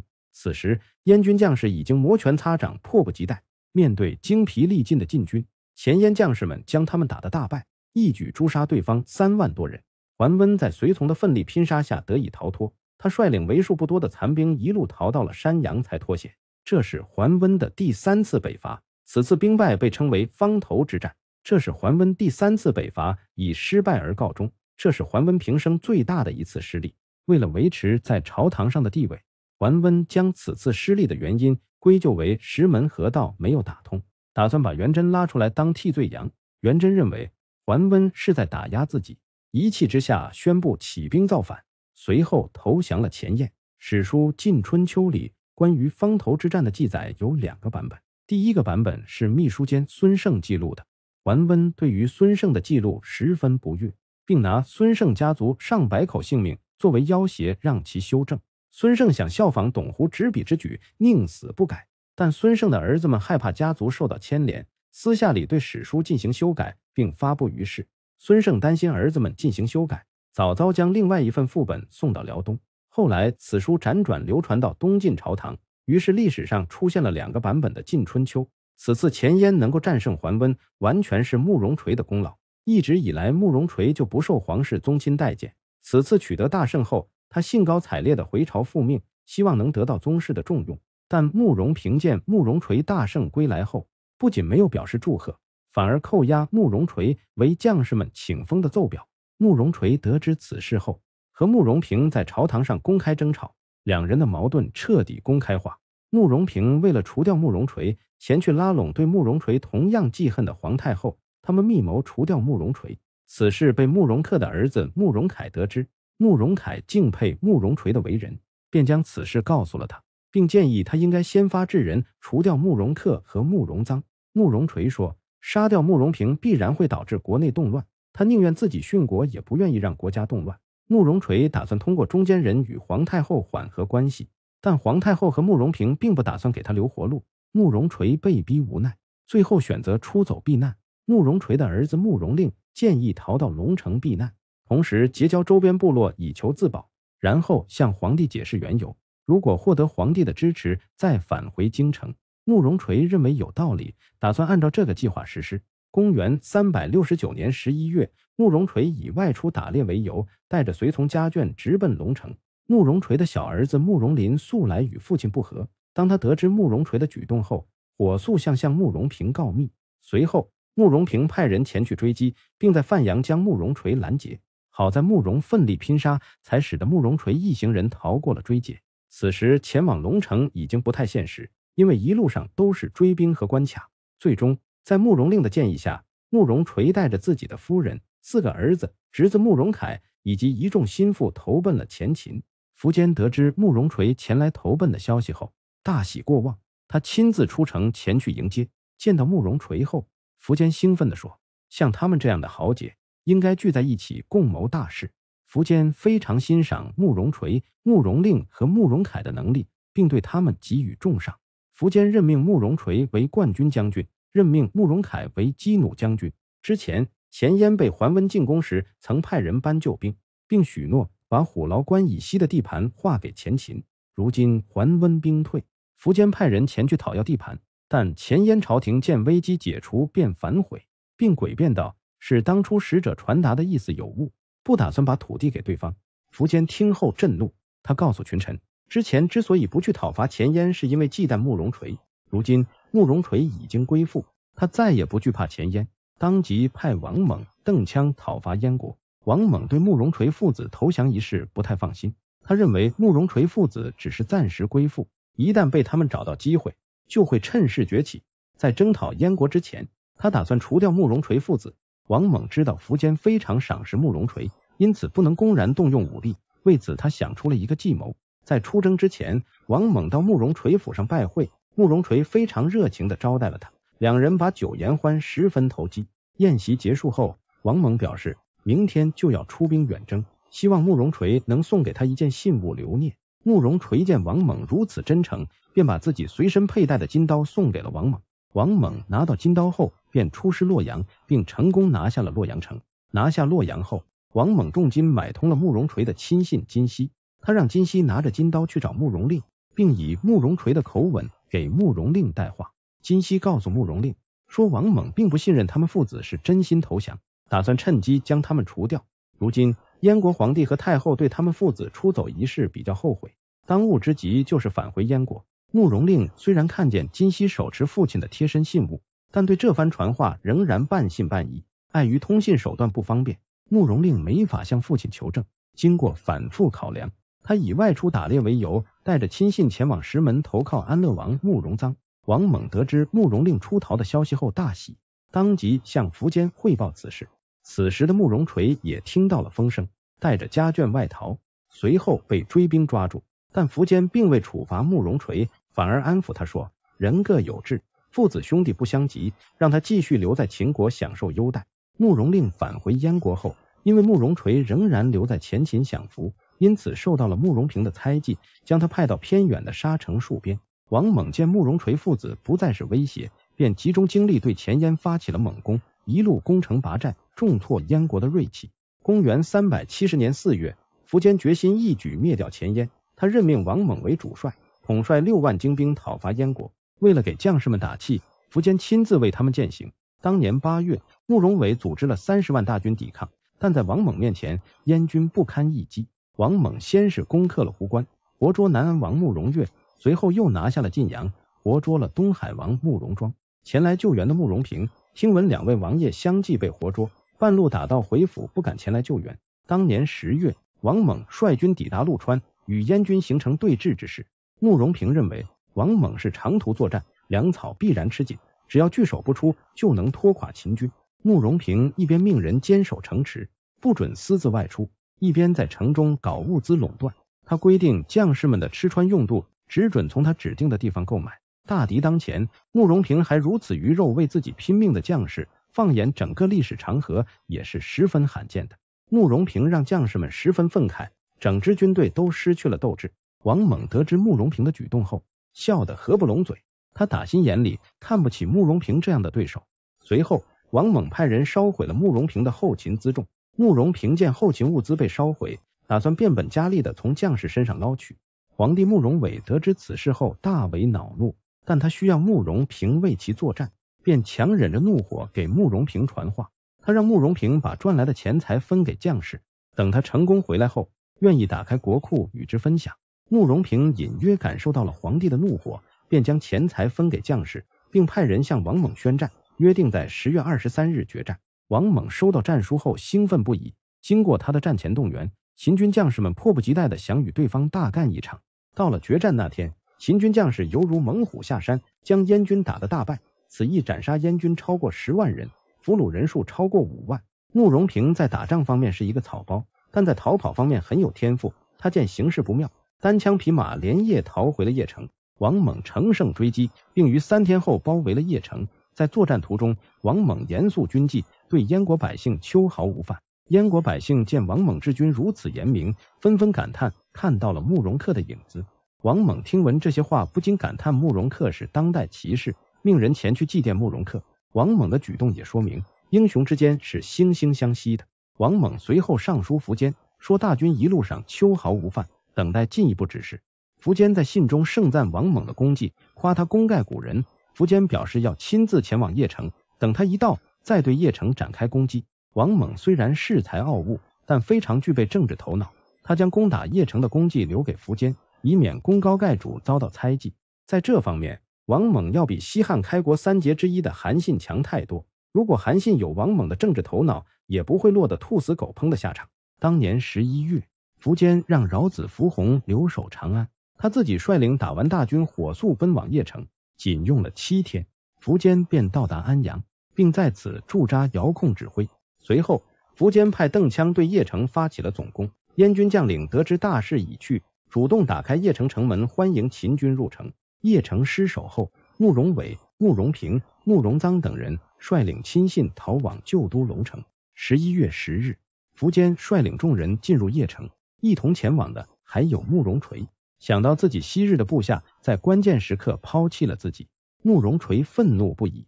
而一旁的心腹高壁则告诉慕容垂，他应该善待这些老部下，说不定以后能用得上他们。慕容垂听后若有所悟，便改变了态度。慕容伟在逃亡的途中，随从将士们接连离他而去。仅剩的几位士兵眼见大势已去，将慕容伟五花大绑的送到了苻坚面前。苻坚并未虐杀慕容伟，而是让他体面的回到皇宫，带领文武百官前来投降。随着慕容伟宣布投降，立国四十三年的前燕宣布灭亡。前燕也是五胡十六国当中第四个灭亡的国家。慕容伟由于在苻坚面前表现的从容不迫，受到了厚待。而慕容平逃到了高句丽之后，高句丽国王不想得罪前秦将慕容平，五花大绑的动了回去。他的下场史书上没有明确记载。眼见京城被攻陷，燕国其他州郡也纷纷献城表示归附。灭掉前燕后，王猛作为头号功臣得到了重赏。苻坚任命他都督六州军事、车骑大将军，兼任冀州牧，并将邺城交给他驻守。之前慕容平搜刮的金银财物也一并赏给了王猛。除了王猛之外，其他将士也得到不同程度的重赏，大家对于赏赐都十分满意。公元三百七十年十二月，苻坚把慕容宗室的王公贵族全部迁往长安。这一系列操作结束后，前燕彻底退出历史舞台。方头之战失败后，桓温许久都没从失败的阴影中走出来，他将这次失败看作奇耻大辱，久久不能释怀。桓温之所以如此耿耿于怀，是因为。他想凭借此次北伐一举消灭前燕，等他收复中原后回来接受加九锡之礼，为接下来取代司马氏做准备。但此次失利让他的计划成为幻想。为了发泄心中的恶气，他一直准备攻打占据寿春的元贞，只是因为元贞有一定的军事能力，桓温没有必胜的把握，才暂时作罢。公元三百七十年二月，元贞去世，他的儿子元锦接过了兵权。元贞一死，桓温便没有了忌惮。当年八月，率领两万精锐包围了寿春，经过几个月的围困，终于拿下了寿春。桓温将袁瑾以及他们的宗族全部押送到京城，以此来发泄心中的怒火。攻下寿春后，桓温问自己的谋士西超，此举能否抵消方头之战失利带来的影响？西超是名将西涧的孙子，他直言不讳地告诉桓温不能。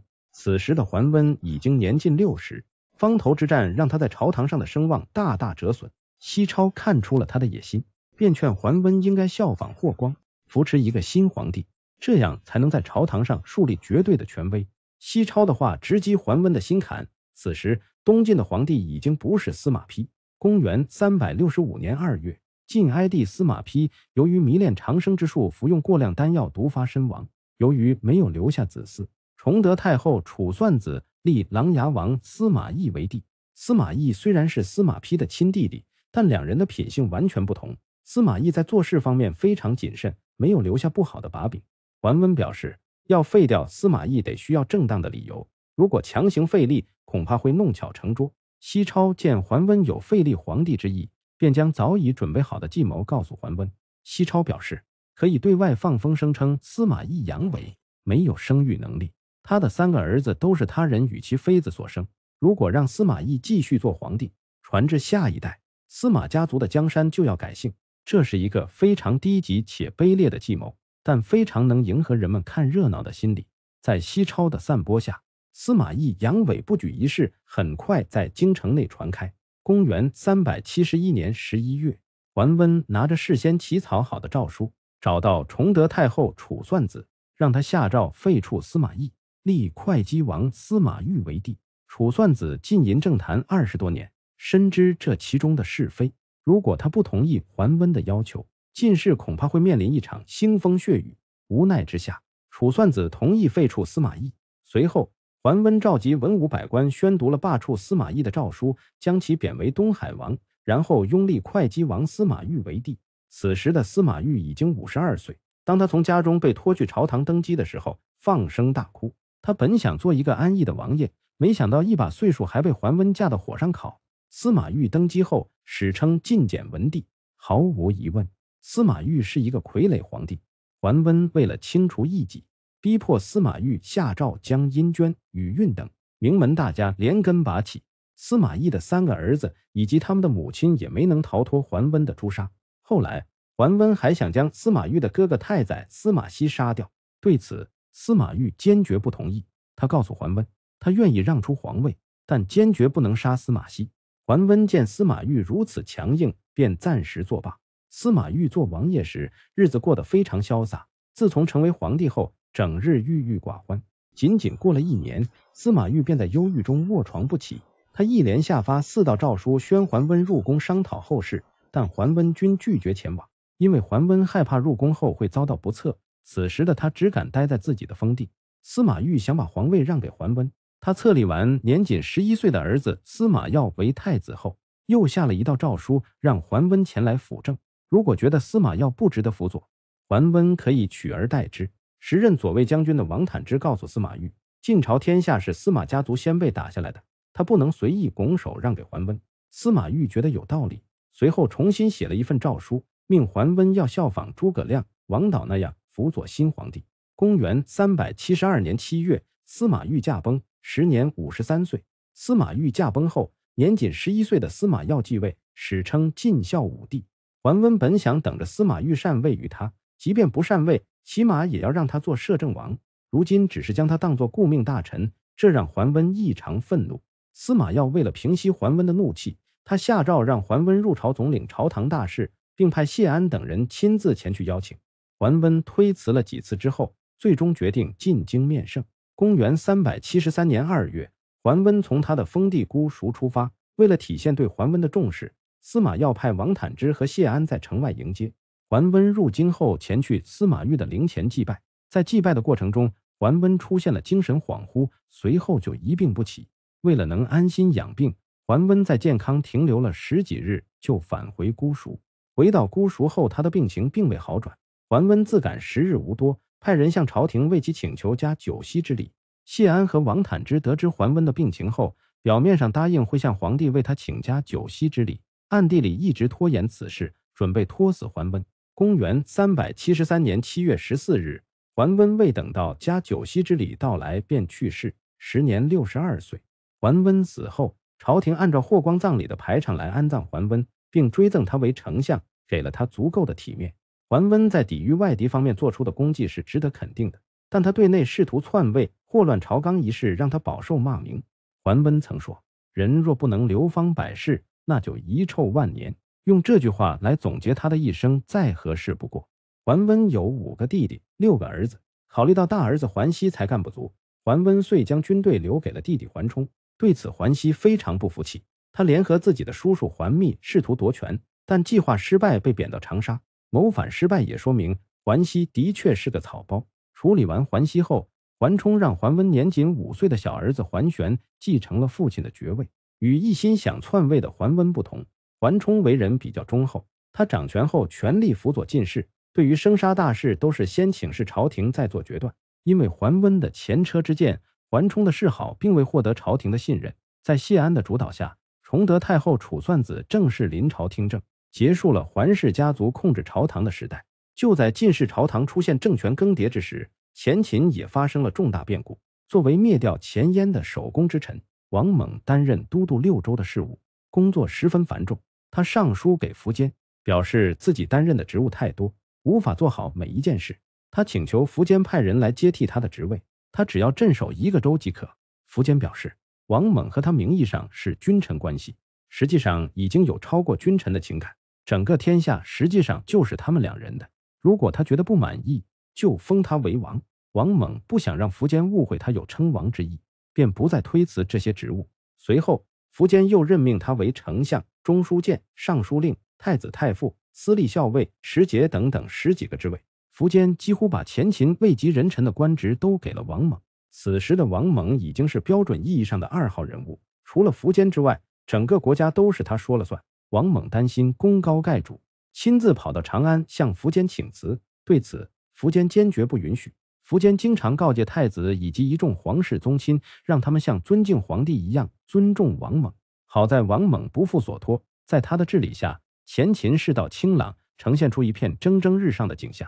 但长年累月的秦政严重透支了王猛的身体。公元三百七十五年六月，王猛一病不起。苻坚听后心急如焚，带领文武百官到宗庙为王猛祈福。为了给王猛积德，苻坚大赦天下。死刑犯以下的罪犯均被赦免，但这一系列操作并未让王猛的病情好转。当年七月，王猛病情加重，苻坚来到王猛的病榻前看望。弥留之际的王猛告诉苻坚，南方的晋士是皇室正统，经过几十年的动荡后，现在朝堂上下一心，不要试图灭掉晋士。前秦真正的敌人是鲜卑、羌人等部落，只要能平定他们，就能安定社稷。交代完后事。王猛溘然长逝，时年五十一岁。王猛的死让苻坚悲痛欲绝，他亲自把王猛放进棺材，并下令以霍光下葬的规格来为他举行葬礼。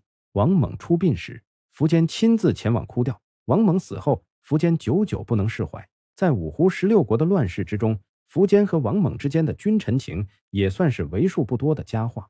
王猛死后，苻坚并未放弃一统天下的决心。此次他打算把征讨目标放在钱粮身上。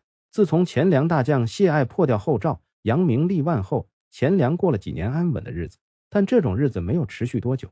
公元三百五十三年，钱粮王张崇华病重，下诏让谢爱进京辅政。但张氏宗族十分嫉妒谢爱，张崇华的表哥张作将谢爱进京辅政的诏书撕毁，然后拥立张崇华的次子张耀龄继位。为了彻底除掉谢爱，张作假传诏书诛杀了谢爱。谢爱作为安定钱粮的顶梁柱。随着他的被杀，钱粮的根基也彻底被毁。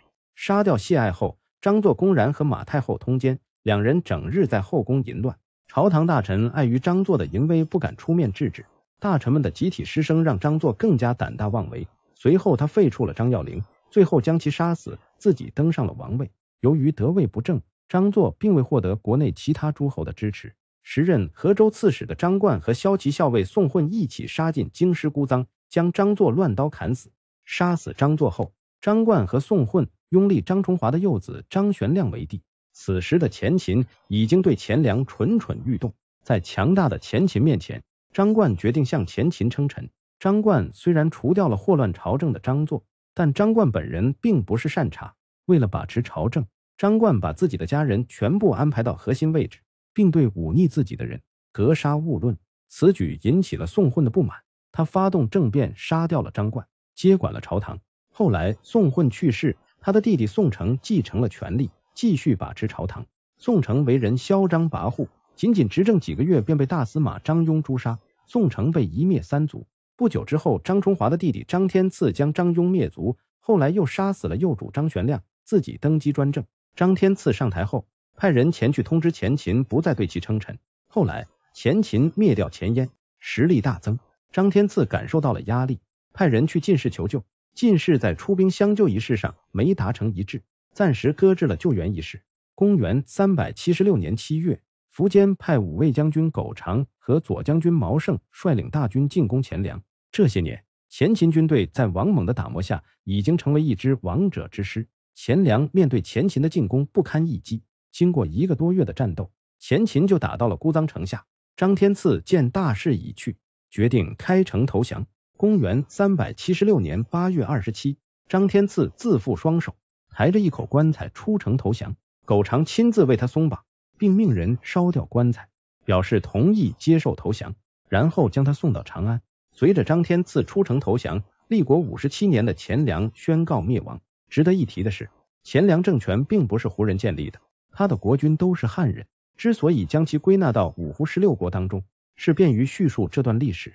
钱粮的实力并不强，在历史中的存在感也不高，但却是五胡十六国当中立国时间最久的。张天赐被押到张安后，苻坚给予其很高的礼遇，并任命他为北部尚书，封归义侯。其他钱粮官员也得到不同程度的任用。在钱粮灭亡前夕，晋士已经决定出兵相救，但因为前秦攻击速度太快，在晋军尚未到达战场之前就攻陷了姑臧。听说钱粮被灭，晋士后悔不已，但也只能接受这种结果。灭掉钱粮后，苻坚稍作休整，紧接着又把目标指向代国。代国是鲜卑拓跋部建立的，君主名叫拓跋十翼前。当前秦灭掉钱粮后，拓跋十翼前慑于前秦的实力，对前秦称臣。由于代国主动称臣，苻坚没有理由对其发难。后来，臣服于代国的匈奴部落酋长刘卫辰投降了前秦，拓跋十翼前非常生气，派兵前去讨伐。刘卫辰向前秦班救兵，苻坚本就想对代国动手，于是以支援刘卫辰为由，对代国发起进攻。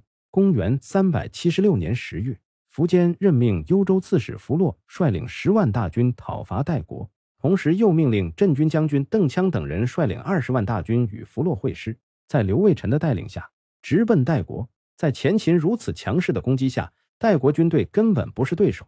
拓跋十翼前为了保存主力军，于当年十二月退至漠南。当初，拓跋十翼前是在弟弟拓跋孤的拥戴下成为代王的。拓跋孤的儿子拓跋金多次一直不满，如今拓跋十翼前落难，拓跋金打算煽动叛乱。拓跋十翼前和慕容王妃有六个儿子。拓跋金为了煽动叛乱，他告诉拓跋十翼前另外一个儿子拓跋十君，说拓跋十翼前打算将王位传给慕容王妃的儿子。拓跋十君是个头脑简单的人，在拓跋金的挑拨下，他打算先下手为强，于是联合拓跋金一起杀掉了拓跋十翼前和慕容王妃的六个儿子。拓跋十翼前死后，代国内部一片大乱。慕容王妃带着六个儿媳逃到了前秦投降。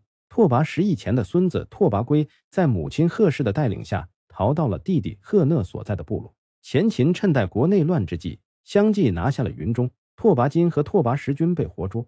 苻坚得知他们两个人的行为后，下令将他们车裂，以此来惩罚弑君作乱的行为。拿下代国后，苻坚将代国分成两部分：黄河以西交给刘卫辰，黄河以东。交给了拓跋十翼前的旧将刘库仁，以此来弱化代国的实力。后来，拓跋圭在母亲的带领下前去投奔刘库仁，年幼的拓跋圭暂时在刘库仁的照料下安定下来。经过连年的征战讨伐，前秦相继灭掉了前燕、前凉和代国，国家版图不断扩大，整体实力达到了巅峰。但实力强大的背后也隐藏着隐患。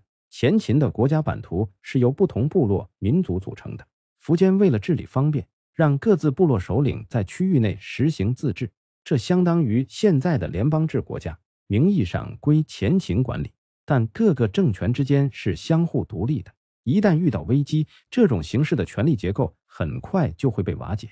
灭掉代国后，前秦完成了对北方的统一。前秦的强大让南方的进士感到不安，因为苻坚是一个胸怀大志的帝王，接下来他会将目标指向南方。桓温去世后。谢安被任命为尚书仆射，与王坦之一起共同辅政。谢安在辅政方面非常尽心尽力，他为人温和，推行德政，给东晋朝堂带来一缕清风。他也因此被拿来和王导做比较，甚至人们觉得他比王导更加儒雅。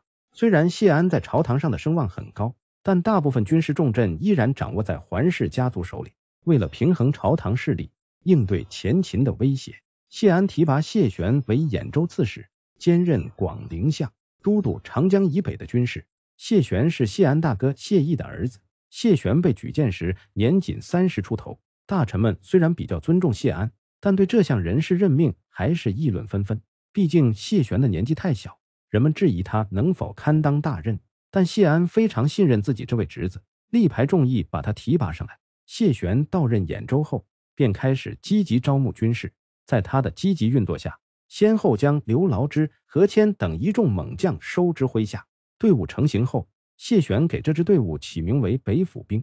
公元三百七十八年十月，苻坚派征南大将军苻丕、五卫将军苟长、尚书慕容伟率领七万大军攻打襄阳，同时让慕容垂、石越等人统领十万大军作为配合。此次苻坚几乎出动了全国精锐，之所以如此兴师动众，就是为了一举拿下襄阳。在秦军的围攻下，襄阳守军不敌，很快失去了外城防御。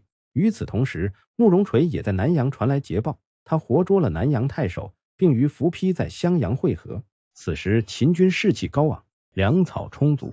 苻丕和慕容垂本以为能轻松拿下襄阳，但襄阳军民团结在一起，前赴后继，浴血奋战，暂时守住了襄阳。由于秦军是远程作战，每日消耗巨大，眼见攻打襄阳迟迟无果，苻坚非常愤怒，他派人给苻丕传话。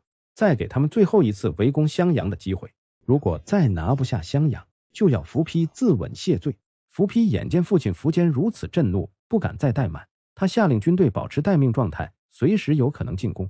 此时的苻丕并没有更好的破敌之策，眼看日子一天天过，苻丕十分着急。就在他一筹莫展之际，襄阳城内发生了叛变。襄阳守将朱旭打了几次胜仗后，便放松了戒备和警惕。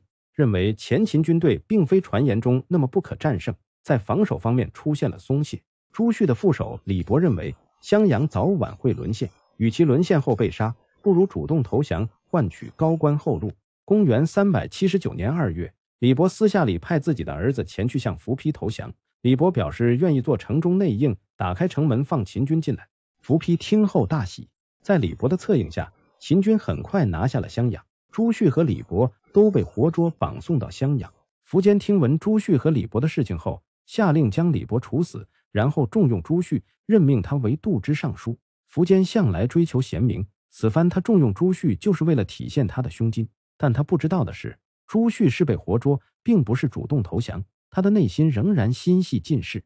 这个任命也给苻坚挖了一个大坑。拿下襄阳后，苻坚让梁成担任荆州刺史，驻守襄阳，然后派人继续南下。在大将彭超和巨南的联合围攻下，秦军攻陷了盱眙，生擒了高密内史毛早之。公元三百七十九年五月，秦军逼近三阿，并对三阿城展开围攻。三阿距离广陵仅有一百多里，此事让东晋朝野震惊。为了抵挡秦军，朝廷下令让谢安的弟弟谢石前去驻守，途中命令谢玄从广陵出发前去支援三阿。谢玄领命之后，率领军容齐整的北府兵赶赴三阿。并一举击退了秦军。彭超和巨南见北府兵来势汹汹，暂时退到了盱眙。此次胜利给谢玄以及北府兵带来了极大的信心。经过短暂的休整后，谢玄与何谦、刘牢之兵分三路，继续对秦军发起攻击，将驻守盱眙的秦军打得大败。彭超继续退守至淮阴，谢玄趁势追击，继续对淮阴发起攻击。前几次失败让彭超等人颜面尽失。为了挽回颜面，彭超下令与谢玄决一死战。双方在军川展开了大战。此时的北府兵士气正盛，在谢玄的率领下再次击败秦军。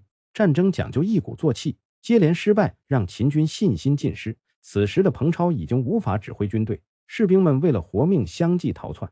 彭超自知大势已去，他害怕受到苻坚的惩罚，在惊恐中自杀身亡。而巨南则被贬为平民。谢玄通过一系列酣畅淋漓的胜利，彻底让自己名扬天下。为了表彰谢玄的功绩，司马曜封其为东兴县侯，并晋升他为冠军将军，兼任徐州刺史。此番攻打东晋失败，并未伤及前秦的根基。北方及西域各个部落小国将前秦视为天朝正统，纷纷前来朝贡。长安城内呈现出一片车水马龙的景象，万国来朝的景象让苻坚非常高兴。此时的他已经在位将近三十年，在这期间，他荡平了北方，在执政方面勤勤恳恳，是一位标准的明君。如果他此时能够占据北方和进士划江而治，前秦的光辉历史会继续延续下去。但苻坚志在夺取天下，他想在有生之年完成天下大一统。公元三百八十二年十月，苻坚召集群臣在皇宫内议事。他说：“前秦坐拥百万大军，他想亲自率军踏平东南，问各位大臣有没有不同意见。”苻坚此话一出，犹如一颗重磅炸弹，大臣们对此议论纷纷。秘书监朱荣当即附和说：“只要苻坚率军前去，晋士皇帝必然口衔玉璧，抬着棺材前来投降。”苻坚听后微微一笑，表示同意。但权义以及太子左卫石越等人表示坚决反对。他们说：“东晋以长江为天然垄断，让大军很难跨江而过。而且东晋朝堂人才济济，谢安和桓冲都是治国之才，君臣上下没有离心离德，这样的进士很难打败。”苻坚拿吴王夫差、东吴后主孙皓亡国的例子据理力争，以此来证明长江天险不能阻挡王朝灭亡。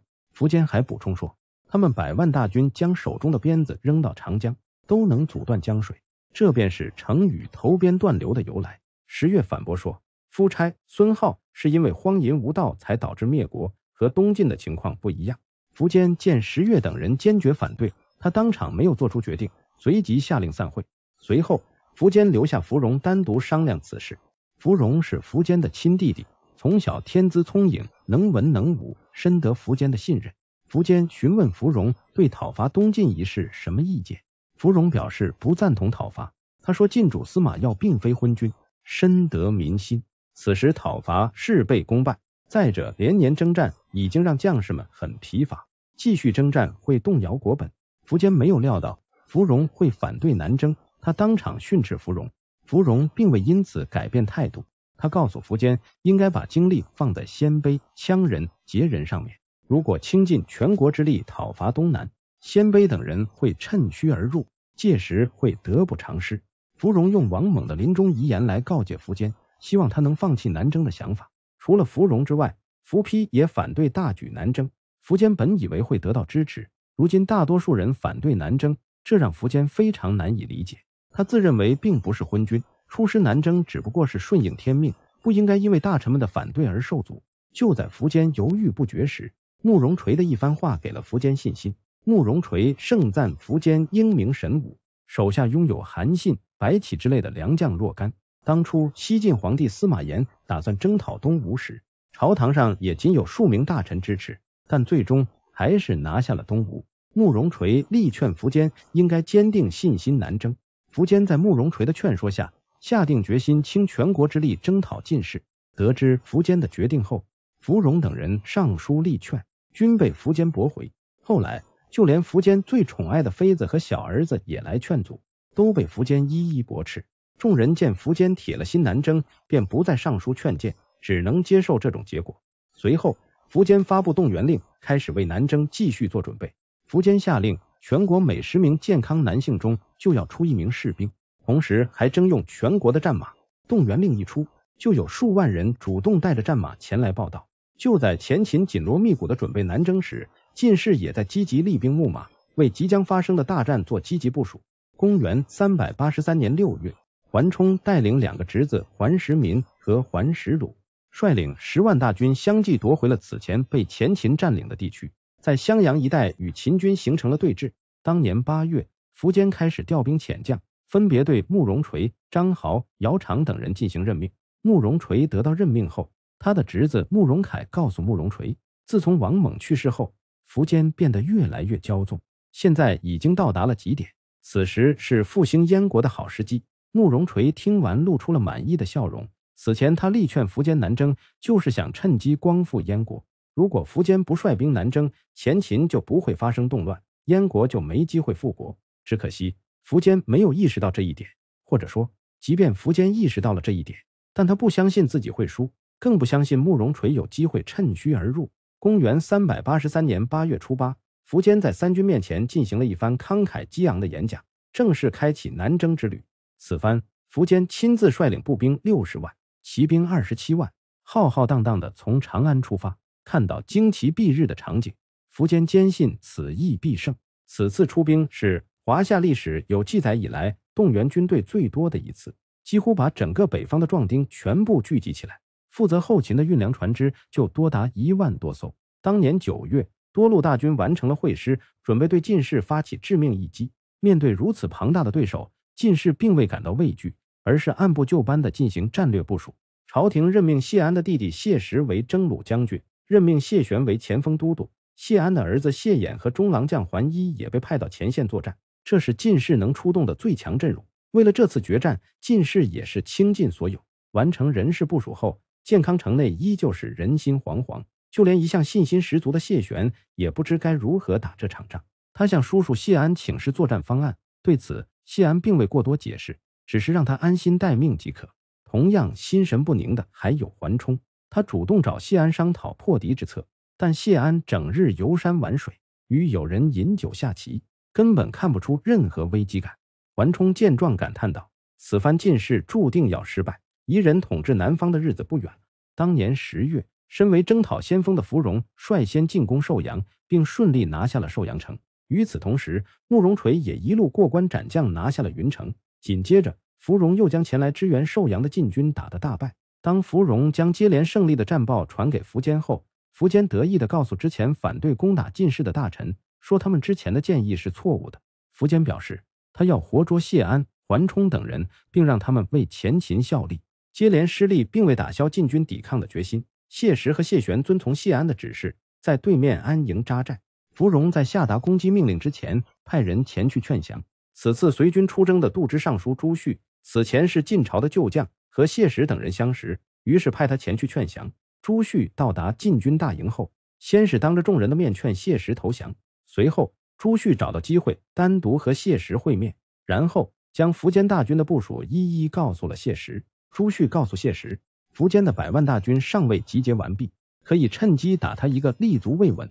如果等他们集结完毕，晋军就回天乏术了。交代完谢石后，朱旭便返回大营。谢石随后把这个消息告诉了谢玄。当年十一月，谢玄从北府兵中挑选了五千精锐，让刘牢之前去偷袭驻扎在洛涧的梁城大军。在距离洛涧十余里时，梁城已经获悉刘牢之前来投降，并命人设下埋伏。准备等刘牢之入瓮，但刘牢之是一员猛将，他明知山有虎，偏往虎山行。在他率领下，五千北府兵个个以一当十，把梁城的大军搅和的底朝天。梁城在混乱中被杀。此役，刘牢之斩杀秦军一万五千多人，缴获粮草辎重无数，并生擒扬州刺史王显等人。刘牢之的勇猛出乎了谢玄的意外，更加感到意外的则是苻坚。他听闻秦军大败，和芙蓉登上寿阳城头远眺，只见晋军铠甲鲜亮，阵容齐整，口号喊得震天动地。此景让苻坚为之一颤。在晋军撤退的时候，苻坚把旁边的草木都误以为是晋军，这便是成语“草木皆兵”的由来。苻坚为之前的轻敌大意深感惭愧，眼见晋军攻势凶猛，为了保险起见，苻坚下令在淝水西岸摆开阵势。阻挡晋军渡河。谢玄看到秦军的排兵布阵后，派人给芙蓉送信，说秦军远道而来，却临水布阵，看来是想打持久战。谢玄请求芙蓉把军队后撤，让晋军过河，两军决一死战。芙蓉将这个信息告诉了苻坚。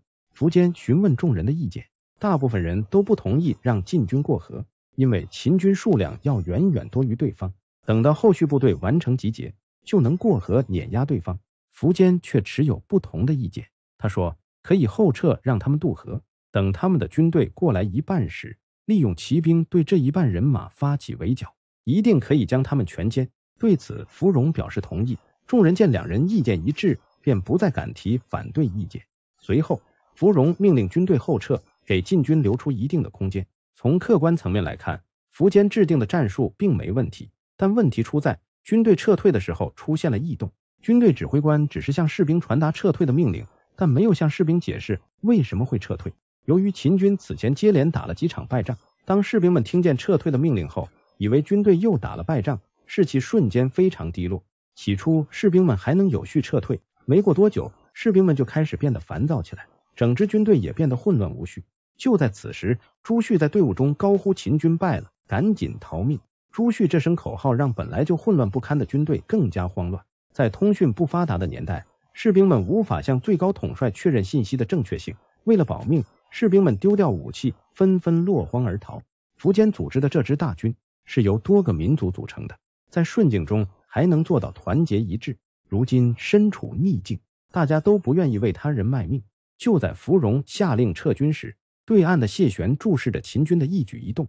当他看到秦军出现慌乱，马上协同谢石和桓冲率领八千精锐士兵火速渡河，准备对秦军发起攻击。芙蓉作为高级统帅，为了制止慌乱，他骑马努力奔走来维持秩序。但士兵们根本无心理会芙蓉的指令，只顾着逃跑。随后，晋军成功渡河，并趁乱将芙蓉斩杀。秦军见主帅芙蓉被杀，更加慌乱，一时间数十万大军呈鸟兽状散去。谢玄见秦军已经彻底失去方寸，带领精锐拼命追杀。秦军士兵因为自相踩踏而死的人不计取数，加上在沿途中走丢的、掉入河水中冻死的，战损人数高达十之八九。朱旭和钱粮王张天赐趁乱逃到了晋军大营。此役过后。晋军成功夺回寿阳，并重挫秦军的主力部队。在此次战乱中，苻坚被流矢击中，差点命丧当场。好在他的坐骑跑得快，最终帮他脱离了险境。脱险后的苻坚非常惭愧，他很后悔没有听从群臣的建议，盲目发动战争。客观来讲，这场战争对苻坚来说是一场稳赢的战争。从苻坚的战前部署以及战争中的决策来看，他并没有犯致命错误，只是。这其中的偶然因素导致了他整个战局的失败，运气也是实力的一部分。苻坚有一千种赢得胜利的方式，只有极小的概率输掉战争，奈何运气不站在他这边，这才导致小概率事件发生。此时的苻坚身边仅有一千多人，随军出征的慕容垂则率领三万大军毫发无损。为了寻求庇护，苻坚率领残兵前去投奔慕容垂。慕容垂的长子慕容宝劝说将苻坚杀死。趁机光复燕国。慕容垂是一个重情义的人，当初在燕国受到排挤时，是苻坚收留了他。当他被王猛设计陷害时，苻坚仍然选择相信他。出于这份恩情，慕容垂没有听从部下们的建议杀死苻坚，而是将三万士兵交给了苻坚。慕容垂告诉众人，如果秦国气数已尽，他必定能扫平关中；如果秦国气数未尽，即便杀了苻坚，也无法取得天下。苻坚之前对慕容垂宽宏大度，为他赢得了一条生路。兵败后的苻坚率领三万士兵往长安撤退，一路上不断聚拢走散的士兵。等到达洛阳的时候，苻坚又组织起了十几万大军。公元三百八十三年十二月，苻坚终于抵达了长安。几个月前，他怀揣一统天下的梦想南下征讨，如今归来时，百万大军只剩下十几万人。想到死去的弟弟芙蓉以及几十万将士。苻坚失声痛哭。当初慕容垂将三万士兵交给苻坚后，跟随苻坚往长安回撤。在走至渑池时，慕容垂向苻坚请辞，说要前往邺城祭拜一下祖先。苻坚没有考虑太多，便答应了他的请求。事后，尚书左仆射权益建议苻坚将慕容垂追回来，放他出走等于给前秦树立一个强敌。但苻坚已经答应慕容垂，他不想再反悔，便任由慕容垂离去。权益见苻坚不忍心动手，便派刺客前去追击慕容垂，准备将其诛杀。慕容垂早就预料到这种情况，他出走后不久就乔装成普通百姓，瞒过了前来追击的刺客，最终逃过一劫。后来到达了邺城，听闻慕容垂到达邺城，驻守邺城的伏丕亲自出城迎接，但伏丕并未让慕容垂入城，而是将他安排在城外居住。慕容垂一心想要进城祭拜先祖。但伏丕下令拒绝他入城，慕容垂一怒之下杀死了守城侍卫，强行闯入。十月得知此事后，建议伏丕趁机杀死慕容垂，免得养虎为患。伏丕以慕容垂护主有功为由，暂时没有对他动手。但伏丕知道慕容垂胸怀大志，所以并未打算放过他。苻坚兵败的消息散开后，之前被前秦打败的部落开始蠢蠢欲动。丁灵族酋长翟斌趁乱起兵反秦。宣布脱离前秦的管理，并准备攻打洛阳。为了平息叛乱，苻坚下令让慕容垂前去平叛。慕容垂此番前去平叛，需要从邺城调集兵马。伏丕为了除掉慕容垂，拨给他三千老弱病残。伏丕此举是想借翟斌之手除掉慕容垂，为了置他于死地，伏丕另派大将伏飞龙率领一千骑兵随军策应。伏丕嘱咐伏飞龙伺机将慕容垂杀掉。此时的慕容垂还不知道伏丕准备杀他。出发之前，他把慕容农、慕容凯、慕容绍等人留在邺城。他亲自率军南下平叛，当行至河内郡时，有人将伏丕的阴谋告诉了他。慕容垂得知后大怒，他没有大肆声张，而是对身边宣布不再效忠于伏氏家族，并以兵力不足为由停在当地招兵买马。不久之后，就聚集了一支八千人的队伍。公元三百八十三年十二月二十七日深夜，慕容垂趁伏飞龙熟睡之际，起兵杀死了伏飞龙以及他的部属。次日。慕容垂渡过黄河，直奔洛阳。留在邺城的慕容凯等人听闻慕容垂起事后，当即逃离了邺城，前去投奔。翟斌知道慕容垂不是一般人，他无意与之交手。后来在部下的劝说下，奉慕容垂为盟主，共同进攻前秦。慕容垂见翟斌主动来投，便放弃攻打洛阳，转而率兵东进，准备拿下邺城。随着慕容垂起兵的消息广泛扩散，前来投奔的人越来越多。当他从石门渡过黄河时，部众已接近二十万。与此同时，慕容农等人逃出邺城后，他以父亲慕容垂的名义，积极在各个部落之间周旋，说服他们站出来，共同抵抗前秦。在慕容农的努力下，他聚集了一支几万人的部队。伏丕得知慕容垂起兵的消息后，派十月前去阻击，结果被埋伏在半道的慕容农偷袭，十月被当场斩杀。十月是前秦猛将，他的死在军中引起巨大的慌乱。公元三百八十四年正月二十六，慕容垂与慕容农在邺城外会师。在大家的劝谏下，慕容垂自封为燕王，兼任大将军。随后，他封自己的儿子慕容宝为世子，任命弟弟慕容德为车骑将军。慕容凯、慕容农等人都得到封赏。随着慕容垂自立为王，五胡十六国之中又多了一个政权。后世将慕容垂建立的燕国称为后燕。后燕是五胡十六国中第七个国家。在慕容垂自立为王的同时，慕容俊的七儿子慕容宏从北地郡逃往关西，一路上召集了数千士兵据守华阴。随后，慕容宏打败了前来讨伐的秦军将领强勇，一时间名声大振。他见叔叔慕容垂建立了政权，也自封为大将军，建立了自己的政权，史称西燕。不过，西燕并未被列入五胡十六国。慕容宏起兵后不久。镇守平阳的慕容冲也起兵反秦，一时间慕容氏把前秦大地搅和得非常混乱。慕容氏的相继背叛让苻坚大为恼火，他后悔当初没有听从权义的建议杀掉慕容垂。为了压制慕容氏的势头，苻坚在权义的建议下，派自己的儿子福瑞前去攻打慕容宏。福瑞初出茅庐，为了给他保驾护航，苻坚任命龙骧将军姚常为司马，协助福瑞。听说秦军大举来伐，慕容宏不敢力敌，准备从关西逃往关东。姚常建议福瑞给慕容宏留一个口子，让他们顺利过去。如果强行阻拦，恐怕会引起鲜卑人的誓死反抗。福瑞自视甚高，他觉得鲜卑人只是一群乌合之众，根本不足为惧，强行与慕容宏决战，结果因为轻敌遭到大败，福瑞也在乱军中被杀。福瑞是苻坚非常疼爱的儿子。当姚常派参军江协到长安汇报死讯时，苻坚一怒之下将江协斩首。姚常得知江协被斩的消息后，十分害怕，他不敢返回长安，而是逃到了渭北一个养马场藏身。羌人贵族尹伟听说姚常脱离苻坚的消息后，率领五万部众前来投奔，推举姚常为首领。姚常自知不可能得到苻坚的谅解，经过一番思量，决定自立门户，自封为大将军、大单于、万年秦王。后世将这段政权称为后秦。后秦是五胡十六国中第八个国家。此时，前燕雇主慕容伟还留在长安任职。接连遭遇背叛的苻坚把慕容伟叫到跟前，怒斥了一顿。他痛骂慕容氏背信弃义，人面兽心。慕容伟听后连连磕头认错。苻坚本想杀慕容伟泄愤，气消后又放过了他。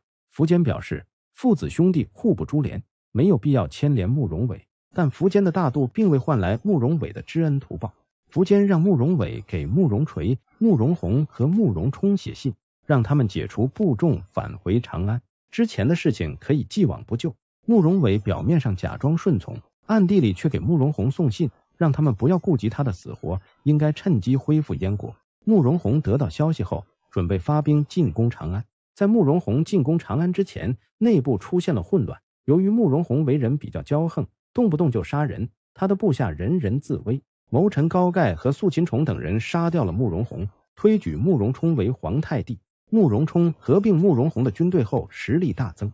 姚苌为了拉拢慕容冲，将自己的儿子姚松送到慕容冲那里做人质，请求与慕容冲和平相处。与此同时，在邺城外集结完毕的慕容垂，准备攻取邺城作为后燕的都城。慕容垂念及苻坚对自己的恩情，在攻城之前派人前去劝说苻丕，只要苻丕能让出邺城，他会让苻丕顺利返回长安。但苻丕坚决不从，誓死保卫邺城。劝说无果后，慕容垂下达了攻城命令。为了顺利拿下邺城，慕容垂亲自到前线督战。由于邺城易守难攻，加之苻丕抵抗决心强烈，燕军久攻不下，还出现了严重伤亡。后来，慕容垂下令退兵，双方形成了对峙之势。此前尊慕容垂为盟主的翟斌见邺城久攻不下，觉得慕容垂被高估，便开始谋划退路。太子慕容宝察觉到异样后，劝说父亲除掉翟斌。慕容垂不想主动发难，免得遭人画饼。但慕容垂并未打算放过翟斌，他打算用捧杀的方式除掉他。于是，慕容垂故意在翟斌面前示弱，处处礼让他。此举让翟斌觉得慕容垂畏惧自己，变得越来越狂傲。后来，翟斌向慕容垂请求尚书令一职，慕容垂表示，以翟斌的功绩，应该位列上宫。只是现在四方尚未平定，不能马上任命，等拿下邺城后再讨论此事。一向骄横的翟斌认为慕容垂怠慢了自己，便决定反叛。他派人和伏丕秘密商议，准备里应外合除掉慕容垂。但因为走漏消息，被慕容垂提前获悉。拿到翟斌的通敌的证据后，慕容垂下令诛灭了翟斌一族。慕容垂通过此举，不但除掉了潜在威胁，也成功在众将面前立威。经过长达八个月的围困后，邺城已经弹尽粮绝，但苻丕仍没有投降的意思。此时，慕容垂做了一个大胆的决定，他下令军队后撤到新兴城，给苻丕让出一条生路，让粮食能够进入城中。这样既能保全邺城内的百姓，也算是报答苻坚的恩情，同时也让长期作战的燕军得以休整。慕容垂撤退后，苻丕得到了喘息之机，但他的危机并未因此解除，因为南方的进士正在酝酿北伐。淝水之战过后，谢安因为指挥有功被提拔为太保，谢石被提拔为尚书令，谢玄被封为前将军，其他有功之人也均得到奖赏。此次大胜并未让谢安躺在功劳簿上坐吃山空，他眼见北方陷入一片混战，于是向皇帝司马曜提出北伐。司马曜听后大喜，当即表示同意，随后将十五个州的军事交给谢安都督。东晋当时一共有十七个州。谢安一人就管理十五个州，这相当于整个国家都归谢安调度。此时的谢安比当初桓温的权势还要大。与桓温不同的是，司马曜是完全信任谢安的，而桓温是利用手中的权势架空皇权。桓冲去世后，谢安本有能力将剩下的荆州和江州都归于谢家，但谢安认为此举会给谢家招致祸乱，坚决不同意将二州交给谢玄。再者，桓家在二州经营多年，强行让谢玄前去接管，必然会引起祸乱，这对朝堂稳定非常不利。经过一番考量，谢安让桓冲的两个侄子桓石民和桓石鲁分别担任二州刺史。不得不说，谢安在个人品格和政治成熟度方面是高于桓温的。决定北伐后，谢安任命谢玄为前锋都督。谢玄领命后，带领刘牢之等一众猛将攻城拔寨。公元三百八十四年九月。谢玄攻打兖州，兖州刺史张崇弃城而逃，前去投奔了慕容垂。拿下兖州后，黄河以南的城池纷纷献城投降。随后，大军一路北上，直逼邺城。伏丕刚从慕容垂的围攻中缓过神来，眼见晋军大举来伐，他急忙向其他前秦军队求援。但此时的前秦已经是满目疮痍，没人前来相救。为了保全邺城，伏丕派弟弟伏。就和参军焦魁前去找谢玄求和。伏丕表示，只要进士肯借粮给邺城，他就愿意把邺城拱手相送。然后他率领军队回援长安。伏丕特意交代，在与进士谈判的时候，一定要让他们善待邺城百姓。如果不遵守承诺，他会誓死抵抗。参军焦魁觉得晋士不一定会答应相救，便打算私自更改谈判条件，以臣子的口气向晋士求救。等晋军一来，他就联合其他人挟持伏丕向晋军投降。但后来焦魁计划败露，伏丕一怒之下杀了焦魁。和谈失败后，晋军继续朝邺城逼近。当初慕容垂撤退，就是为了给伏丕一条生路，让他离开邺城回长安。如今伏丕不仅没有离开，晋军又不断向邺城逼近，慕容垂被逼无奈，再次包围邺城，防止邺城落入晋军之手。没过多久，晋军和燕军在邺城附近相遇，慕容垂和刘牢之都是猛将，两人棋逢对手，斗得不可开交，彼此之间都有伤亡。此番两人打成平手，后来。刘牢之再次与慕容垂交锋，并一举将慕容垂击败。伏丕见慕容垂败走，开城尾随刘牢之一起攻打慕容垂，准备对慕容垂形成了合围之势。慕容垂见军队退无可退，便下令停止撤退，准备与晋军、秦军决一死战。陷入绝境的慕容垂命令军队丢下辎重，以此来麻痹前来追击的晋军。晋军见到燕军辎重丢了一地，便放弃了追击。士兵们丢下武器，前去整理辎重。就在此时，埋伏在一边的慕容垂率兵杀出，将晋军杀得大败，斩首晋军数千人。幸好秦军及时赶来相助，主帅刘牢之才幸免于难。为了感谢伏丕出手相救，谢玄拨给邺城一些粮食。晋士朝廷见北伐难度太大，一时间很难打败前秦和后燕，遂召回谢玄。此次北伐最终以失败收场。就在谢玄北伐之际，接管西燕的慕容冲对长安发起攻击。在慕容冲的率领下，西燕军队接连打败了秦军，慕容冲顺利占领了阿房城，随后又兵临长安城下。慕容冲曾经受过苻坚的恩情，苻坚试图打柔情牌让他退兵，但慕容冲并不领情，反倒让苻坚自负双手出城投降。苻坚此时才意识到慕容一家个个都是狼子野心，他后悔当初没有听王猛的话清除慕容氏。长安在苻坚的经营下，城防非常坚固。慕容冲一时间无法攻攻进来。就在此时，留在城中的慕容伟心生一计，他准备率领长安城内一千多名鲜卑人反抗苻坚。公元三百八十四年十二月，慕容伟以小儿子结婚的名义邀请苻坚来参加婚礼，并打算在婚礼上除掉他。结果婚礼当天天降大雨，苻坚没有赴宴，才躲过一劫。后来苻坚得知慕容伟的计划，质问他为何要背叛他。慕容伟表示。为了复兴大燕，只能将各种恩情抛在一边。失望透顶的苻坚下令将慕容伟处死。慕容伟死时年仅三十五岁。慕容冲得知哥哥慕容伟被杀后，当即决定登基称帝，然后对长安展开围攻。为了鼓舞士气，苻坚亲自率军前去迎敌，连续两次打退了慕容冲的进攻。急于求成的苻坚打算一鼓作气拿下慕容冲，结果中了埋伏，损失惨重。苻坚在亲信的奋力拼杀下，才得以返回长安。连年作战，导致长安城内发生了饥荒，到处都是饿死的人。西燕军队也面临着粮食短缺的情况。双方军队为了补充军粮，用对方士兵的尸体充饥。没有战事的时候，西燕士兵就到城外捉活人作为军粮。此时的苻坚已经乱了方寸，由于他的指挥失误，致使他的小儿子苻辉兵败自杀。随后，高阳公苻方也被慕容冲打败。将士们见长安大势已去，心灰意冷。很多人为了自保，不再听从苻坚的调度，自己谋求后路。被逼至绝路的苻坚带领女婿杨定誓死抵抗，打退了西燕几波进攻，暂时保住了长安。当年五月，慕容冲将全部队伍集结到长安城下，准备毕其功于一役。苻坚知道这是一次生死战，他亲自登上城楼督战，结果被流矢击中，身受重伤。就在慕容冲围攻长安之际，其他受过苻坚恩惠的部落偷偷往长安城内运粮，继续支持苻坚作战。还有一些部落首领冲到西燕军中放火，以此来声援苻坚。但在西燕大军面前，这些举动都于事无补。苻坚见这么多人为了他而牺牲，心痛不已。此时的他已经心力交瘁。随后，杨定被生擒，成为压垮他的最后一根稻草。纵横一生的苻坚终于感受到了恐惧，他没有其他办法来破敌。为了给将士们祈福，他打算到武将山进行祭拜，于是留下太子伏弘驻守长安，然后带领一众妻儿以及数百骑兵前往武将山。苻坚走后，慕容冲趁机对长安发起攻击。伏洪不是慕容冲的对手，眼看城破在即，伏洪带着皇室宗亲以及私立校尉权益，准备投奔后秦。伏洪走后，长安随即被慕容冲攻破。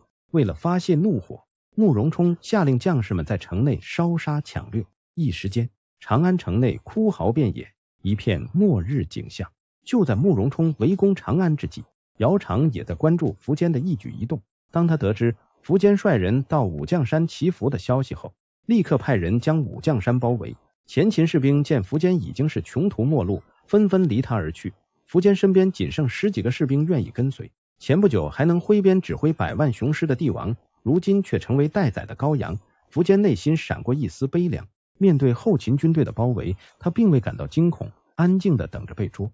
后来，苻坚被绑送到新平郡，姚苌将其打入大牢，并命人严加看管。太子苻弘听到苻坚被俘的消息后，转而南下投奔晋室。到了江东后，司马曜命人将苻弘一行人安置在江州。姚苌抓到苻坚后，亲自前去向他讨要传国玉玺，结果被苻坚骂得狗血淋头。姚苌自知理亏，派右司马严伟前去劝说苻坚，希望他能禅位于姚苌。苻坚表示，禅让是圣贤之间的事情。姚苌只是个叛贼，不配谈禅让之事。不过，苻坚与严伟交谈的时候，发现他是一个大才，堪比王猛。但此前严伟在前秦只是一个八品官员。苻坚得知此事后，自责不已。他说自己居然昏庸到没有发现严伟这样的人才。国家灭亡是早晚的事情。苻坚过去一直对手下大臣们非常厚待，对姚苌更是宠爱有加。如今姚苌如此忘恩负义，让苻坚十分生气。为了不让自己的女儿遭受凌辱，他忍痛杀死了自己的两个女儿。公元三百八十五年八月，姚苌把苻坚带到一座寺庙中，将其缢死，时年四十八岁。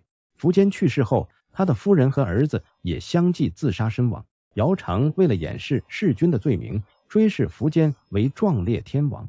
淝水之战是华夏历史上非常有名的一次战役，也是决定历史走向的一战。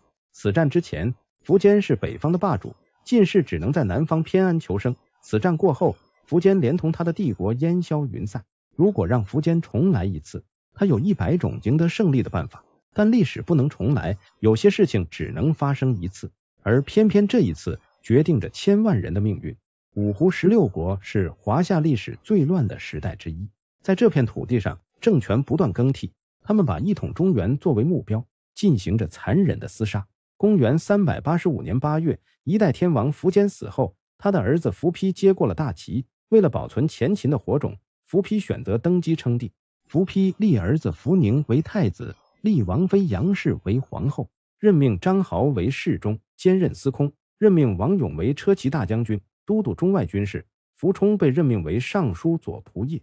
除此之外，其他追随苻丕的人都得到了任命。前秦作为曾经的北方霸主。苻坚在世时，各个部落都主动前来称臣，不敢怀有不轨之心。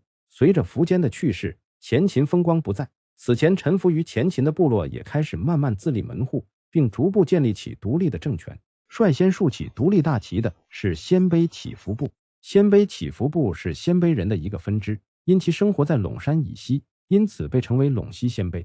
公元三百七十一年，苻坚曾派益州刺史王统进攻鲜卑乞伏部落。后者不敌，部落首领乞伏思凡向前秦投降。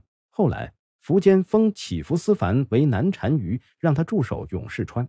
乞伏思凡去世后，他的儿子乞伏国人继位，继续镇守永世川。当初苻坚发起淝水之战时，征调乞伏国人为前锋前去作战。就在此时，乞伏国人的叔叔乞伏不颓在陇西反叛，苻坚便让乞伏国人回退平叛。实际上，这是他们叔侄俩演的一出戏。目的就是不为苻坚效命。苻坚在淝水之战中败北后，乞伏国人趁机将周边部落收服，聚集了十几万人，准备应对前秦的讨伐。但乞伏国人没有等来前秦军队，却等来了苻坚被姚苌杀害的消息。乞伏国人认为时机已到，便宣布自立。公元三百八十五年九月，乞伏国人自封为大都督、大将军、大单于。他任命自己的弟弟乞伏虔归为上将军。任命以詹同尼为左相，然后他将自己占领的地盘分为十二个郡，分别让自己的心腹亲信前去镇守。后来，乞伏国人改国号为秦，后世将这段政权称为西秦。西秦是五胡十六国当中第九个建立的国家。西秦建立后，北方另外一个政权也在迅速崛起。当初苻坚灭掉代国后，将代国一分为二，东部交给鲜卑人刘库仁治理，西部交给匈奴人刘卫辰管理。代国君主拓跋十翼前的孙子拓跋圭被送到刘库仁那里照看。代国一分为二后，刘库仁和刘卫辰并未和平相处，刘卫辰多次挑起事端，最终被刘库仁赶到了阴山之北。刘库仁和前秦的关系一直不错。当伏丕被困在邺城时，刘库仁在前去救援的路上，前燕旧将穆于文和穆于长杀死刘库人，然后带着将士投降了后燕。刘库人死后。他的弟弟刘头卷接管了军队。此后，刘头卷相继打败了贺兰、柔然等部落，带领族人所向披靡。就在刘头卷意气风发之时，刘库人的儿子刘显心生妒忌，不久后发动兵便杀死了刘头卷，重新接管了军队。刘显为人非常凶残，杀掉刘头卷之后，他准备杀掉年幼的拓跋圭。在他动手之前，消息遭到泄露，拓跋圭的母亲贺氏连同拓跋十亿前的旧部。连夜将拓跋圭转移走，最终拓跋圭躲过重重追击，逃到了自己舅舅贺讷所在的贺兰部落。拓跋圭逃到贺兰部落后，刘显内部发生了叛乱。之前忠诚于拓跋十亿前的旧部纷纷离开刘显，前往贺兰部落投奔拓跋圭。拓跋圭来到贺兰部落后，非常受拥戴。贺讷的弟弟贺冉干对此非常妒忌，并试图杀死他。最终，在拓跋圭母亲贺氏的苦苦哀求下，贺冉干才就此作罢。此时，鲜卑慕容、羌族姚氏以及乞伏氏都已经立国，在众人的推举下，拓跋圭被尊为部落首领。公元三百八十六年一月六日，十六岁的拓跋圭宣布继承代王位，正式宣布恢复代国，定都于襄郡的盛乐城。当年四月，拓跋圭改称为魏王，同时改国号为魏。这个政权就是华夏历史上非常有名的北魏。北魏并不在五胡十六国当中，而是属于南北朝。但此时东晋尚未结束，南北朝的格局还未形成。北魏对当前历史发展起到了重要的承上启下的作用。在前秦全盛时期，苻坚曾派十万步兵、五千骑兵前去讨伐西域。这支队伍的领袖是骁骑将军吕光。在吕光的率领下，西域各国都不战而降，唯有龟兹国不肯投降。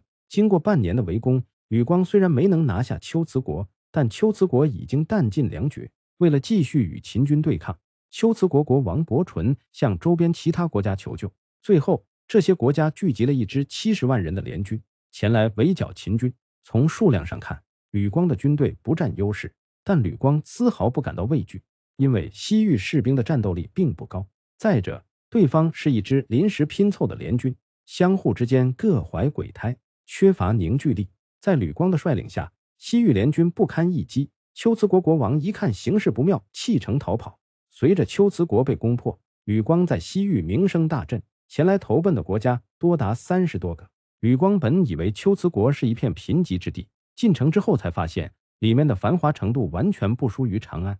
西域的繁华让吕光萌生在此称王之意。后来在西域高僧鸠摩罗什的劝说下，才决定东归。吕光将龟兹国内的财宝洗劫一空，带着上万头骏马和骆驼启程东返。在吕光征讨西域期间，长安城破。苻坚被杀，碍于信息传播不发达，吕光并不知晓这些事情。在他东归的途中，高昌太守杨汉拒绝开城门放行，吕光大怒，准备集结大军攻城。杨汉自知不是对手，最终出城投降。眼见杨汉投降，周边的城池也纷纷缴械投降。后来，吕光又击败了凉州刺史梁熙，占据了凉州。此时，吕光听说苻坚被杀的消息。他大哭三天，命全体将士为苻坚穿孝衣哀悼。苻坚死后，吕光也没了心理包袱，准备登基自立。公元三百八十六年十月，吕光宣布自立为王，改国号为梁，后世将这段政权称为后梁。后梁是五胡十六国中第十个建立的国家。让我们把目光转向鲜卑慕容。慕容冲破掉长安后，派尚书令高盖率军前去攻打后秦，高盖不敌对手。率领的五万大军折损大半，为了避免回去后遭到清算，高盖选择了向后秦投降。此次失利后，慕容冲暂时停止了扩张的脚步，继续留在长安。慕容冲本想到关东和慕容垂兵合一处，继续光大鲜卑慕容，但假如两者合二为一，谁来当皇帝是一个难题。以慕容垂的资历和名望，肯定不会允许慕容冲做皇帝。想到此处，慕容冲决定留在长安，准备将长安定为西燕的都城。城市生活虽好，不过鲜卑士兵并不想留在长安，他们想回故乡跟家人团聚。眼见慕容冲没有搬离长安的意思，左将军韩延顺密谋杀死了慕容冲，拥立段绥为王。段绥没在王位上待多久，左仆射慕容桓和尚书慕容永又联合杀死了段绥。拥立慕容桓的儿子慕容继为帝，随后率领大军离开长安。慕容桓的弟弟慕容涛对慕容继继位一事非常不满，他趁机将慕容继骗到临晋，并将其杀死。慕容桓并未因为慕容继的死而与慕容涛决裂，两人仅仅是分道扬镳。慕容永认为慕容涛是弑君之举，遂率兵前去攻打慕容涛，后者不敌。为了自保，慕容涛又去投奔了慕容桓。为了控制军队。慕容桓拥立慕容冲的儿子慕容瑶为帝，但大家都不赞同这个决定。慕容桓的一意孤行让他众叛亲离，大臣们都转投慕容永门下。随后，慕容永发动政变，杀死了慕容瑶，并拥立慕容宏的儿子慕容忠为帝。但慕容忠为人懦弱，大臣们害怕他不能撑起这个摊子，便萌生了废掉慕容忠的想法。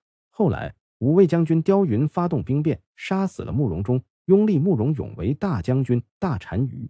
慕容永对此并未进行推辞。随着慕容忠被杀，慕容永成为西燕的实际控制人。慕容永掌权后，派人向慕容垂建立的后燕称臣，然后在闻喜县修建燕西城，并在这里定居。站稳脚跟后，慕容永准备讨伐伏丕，双方在襄陵发生了大战。伏丕惨败，率兵逃到了东原，准备攻打洛阳作为根据地。在攻打洛阳的过程中，伏丕兵败，被晋军斩杀。太子福宁等人被晋军俘虏后被绑送至建康，不过司马曜并未杀他们，而是将他们交给此前向晋士投降的伏弘。东海王伏转侥幸逃脱，他带领三千嫡系部队逃到了杏城。伏丕被杀后，慕容永霸占了前秦的地盘，并试图霸占伏丕的妻子杨皇后，但杨皇后宁死不从，结果被慕容永当场处死。公元三百八十六年正月，慕容垂在中山正式称帝。中山也成为后燕的都城。慕容垂称帝后，封慕容德为尚书令，慕容凯为左仆射，其他跟随慕容垂南征北战的人均得到封赏。当年十月，慕容永进驻长子县，宣布登基为帝。此时，慕容垂的儿子慕容俊、慕容柔、孙子慕容盛、慕容慧等人还在慕容永阵中。慕容慧见慕容永称帝，知道自身会大难临头，便提议东归，回到慕容垂身边。但慕容俊不相信慕容永会对同胞挥刀相向，拒绝东归。后来，慕容柔等人顺利逃离了西燕。未来得及逃跑的慕容俊，连同慕容垂其他子孙后代都被慕容永诛杀。慕容柔等人逃回前燕后，慕容垂非常高兴，宣布大赦天下，同时对慕容永诛杀他子孙后代的行为十分愤怒。但慕容垂并未决定发兵前去讨伐，因为他当前有更重要的事情要做。慕容垂登基后。先平定了冀州、幽州、和平州的前秦势力，然后又南下渡过黄河，拿下了兖州、历城、青州、徐州等诸多要地。公元三百八十七年五月，慕容垂亲自率军前去攻打丁零部落，部落首领翟辽自知不是慕容垂的对手，最终弃城投降。慕容垂任命翟辽为徐州牧，不过翟辽并未因为慕容垂的后代而感恩戴德。五个月之后，翟辽起兵叛变。并在清河郡一带烧杀抢掠，慕容垂为此大怒，派兵前去讨伐。翟辽见不是对手，派人向慕容垂道歉，祈求再次归降。慕容垂受够了翟辽的反复无常，坚持派兵讨伐。翟辽求和无果后，干脆登基自立。公元三百八十八年二月，翟辽封自己为魏天王，后世将这段政权称为翟魏。不过，翟魏并不属于五胡十六国之一。翟辽登基后。打退了后燕前来讨伐的大军，并多次骚扰后燕边境，给后燕带来了一定的困扰。不过，翟辽仅在位三年便去世。翟辽死后，他的儿子翟昭继位。公元三百九十二年三月，不堪其扰的慕容垂决定亲自征讨翟魏。翟昭自知不敌，于是派人向西燕求救。西燕皇帝慕容永收到求救信后，询问大臣们应对之策。中书侍郎张腾一针见血地指出。此番慕容垂亲自出马前去讨伐翟魏，肯定不是对手。一旦让慕容垂拿下翟魏，下一个目标就会是西燕。张腾建议应该及时派兵相助，但尚书郎鲍尊却表示，慕容垂已经不复当年之勇，西燕应该做关龙虎斗，等他们两败俱伤之际再出来坐收渔利。最终，慕容永采纳了鲍尊的建议。慕容垂得知西燕未派兵救援，便开始组织整体进攻。在慕容垂的率领下，翟昭很快被打得溃败。兵败之后，翟昭带着妻儿躲进了白鹿山。慕容垂派慕容农前去捉拿。由于白鹿山地形比较险要，易守难攻，慕容农采取了为师必缺的策略。他派人切断了白鹿山的粮草运输，同时留出一条通道让翟昭逃跑。经过一段时间的包围，翟昭粮草不济。于是率人突围，翟昭在部众的保护下突围成功，跑到了慕容永那里寻求庇护。其他人则悉数被俘，存世仅仅四年的翟魏也宣告灭亡。翟昭投奔慕容永后，受到了厚待。慕容永任命他为车骑大将军，兼任兖州牧。但翟昭和他的父亲翟辽一样，都是反复无常的小人。翟昭投降后没多久，便密谋反叛，结果计划败露，被慕容永当场斩杀。灭掉翟魏后。慕容垂并未直接对西燕发起进攻，而是率军班师回朝。公元三百九十三年十月，慕容垂召集文武百官前来开会，讨论该不该讨伐西燕。对此，朝堂大臣们分成了两派。慕容家族的大臣坚决支持讨伐西燕，而其他大臣则表示，连年征战让将士们疲惫不堪，不宜再发起战争。通过大臣们的不同态度，也能看出，只有慕容家族对讨伐西燕有动力。其他大臣只想做个太平臣子。慕容垂听完讨论后，最终决定讨伐西燕。他说：“不能把这个麻烦留给子孙后代。”当年十一月，慕容垂在京师调集了七万兵马，然后又调集了各州精锐部队，他自己亲自率领一路大军，另外两路大军分别由慕容凯和慕容农带队，兵分三路，同时进攻西燕。此次征讨西燕可谓是出动了全国之力。得知慕容垂前来讨伐的消息后，慕容永也积极做出应对，他料定慕容垂会率领大军从太行行前来，因为太行行是进取西燕的必经之路。于是，在此布下重兵等候。但慕容垂并未攻打太行行，而是反其道而行之，绕道攻打西燕的后勤重地台壁，并成功将其包围。驻守台壁的西燕尚书令刁云和车骑将军慕容忠认为慕容永时日无多，直接向后燕投降。慕容垂以极小的代价拿下了台壁。台壁失守后，慕容永为了挽回局面，把大军从太行行调集到台壁，他亲自率军出战。但慕容永在慕容垂面前显然不是一个优秀的将领，双方裂开阵势，准备决一死战。慕容垂假装败走，慕容永气血上头，亲自率军追击，结果中了埋伏，当场被杀死一万多人。慕容永在乱军中杀出重围，独自逃回了京城。随后。慕容垂将慕容永大败的消息广为散播，诸多西燕将领弃城而逃。慕容垂率领大军长驱直入，包围了西燕的都城。慕容永本打算弃城而逃，向后秦投降。在侍中蓝英的鼓励下，他打算一边坚守城池，一边向晋士和北魏搬救兵。收到求救信息后，晋士和北魏都同意派兵相助，但援军尚未到达。西燕大将慕容义斗归主动打开城门迎接慕容垂入城。慕容垂进城后，将慕容永就地斩首，就连主动投降的慕容义斗归、刁云等人也被视作叛徒斩首。随着慕容永被杀，立国十一年的西燕宣布灭亡，西燕的地盘也被纳入后燕版图。灭掉西燕后，慕容垂趁军队士气正旺，派慕容农东渡黄河，攻打晋士的青州、兖州等地区。慕容农一路攻城拔寨，打到了东海郡。公元三百九十四年十一月。慕容农大败东晋幽州刺史史浑，将后燕的势力范围不断扩大。慕容垂对慕容农的表现十分满意，对他加以重赏，随后将他召回京城休整。此时的后燕已经成为北方最大的一股势力，风头一时无两。可就在此时，北魏皇帝拓跋圭想挑战一下慕容垂的权威，他派兵前去侵犯后燕的边境。慕容垂想给拓跋圭一个教训，他派太子慕容宝。慕容农和慕容林率领八万大军前去迎敌，眼见后燕大军来讨，拓跋圭主动示弱，他一边下令让军队转移，一边向后秦班救兵，准备把后秦也牵扯进来。公元三百九十五年八月，后燕和北魏隔着黄河对峙，慕容宝率领战船打算强渡黄河，结果遇上大风渡河计划失败，此次慕容宝出征之时，年近七十的慕容垂已经卧病在床。如今大军在外几个月，慕容宝不清楚父亲的病情。为了切断慕容垂与慕容宝之间的联系，拓跋圭派人守在双方送信的必经之路上，抓住送信的使者进行威逼利诱，让其在燕军阵中散播慕容垂去世的假消息。尽管慕容宝对于这个消息持怀疑态度，但谣言持续的太久，总有人会信以为真。后来，一些燕军将领确信慕容垂已死，就连慕容宝也变得有些焦躁。此时，慕容宝的谋士劝他应该及时撤军，以免军中生变。慕容宝没有采纳谋士的建议，继续与北魏大军隔河对峙。在此期间，大将慕余松确信慕容垂已死，并试图杀死慕容宝，拥立慕容林为帝，结果因为走漏消息被杀。此事也使得慕容林与慕容宝之间出现了裂痕。公元三百九十五年十一月。正值北方隆冬时节，慕容宝见河面上开始结冰，便命人烧掉战船，准备撤军。拓跋圭见河面结冰，在夜色的掩护下，成功渡河，准备偷袭燕军。当燕军撤退至参河碑时，慕容宝让慕容林率领三万人殿后，随时报告魏军的动向。慕容林本就对慕容宝心生不满，此次让他殿后掩护大军撤退，更是让他心生怨恨。慕容林把这次任务当作耳旁风。他认为拓跋圭没有胆子主动追击，便没有派人探查魏军动向。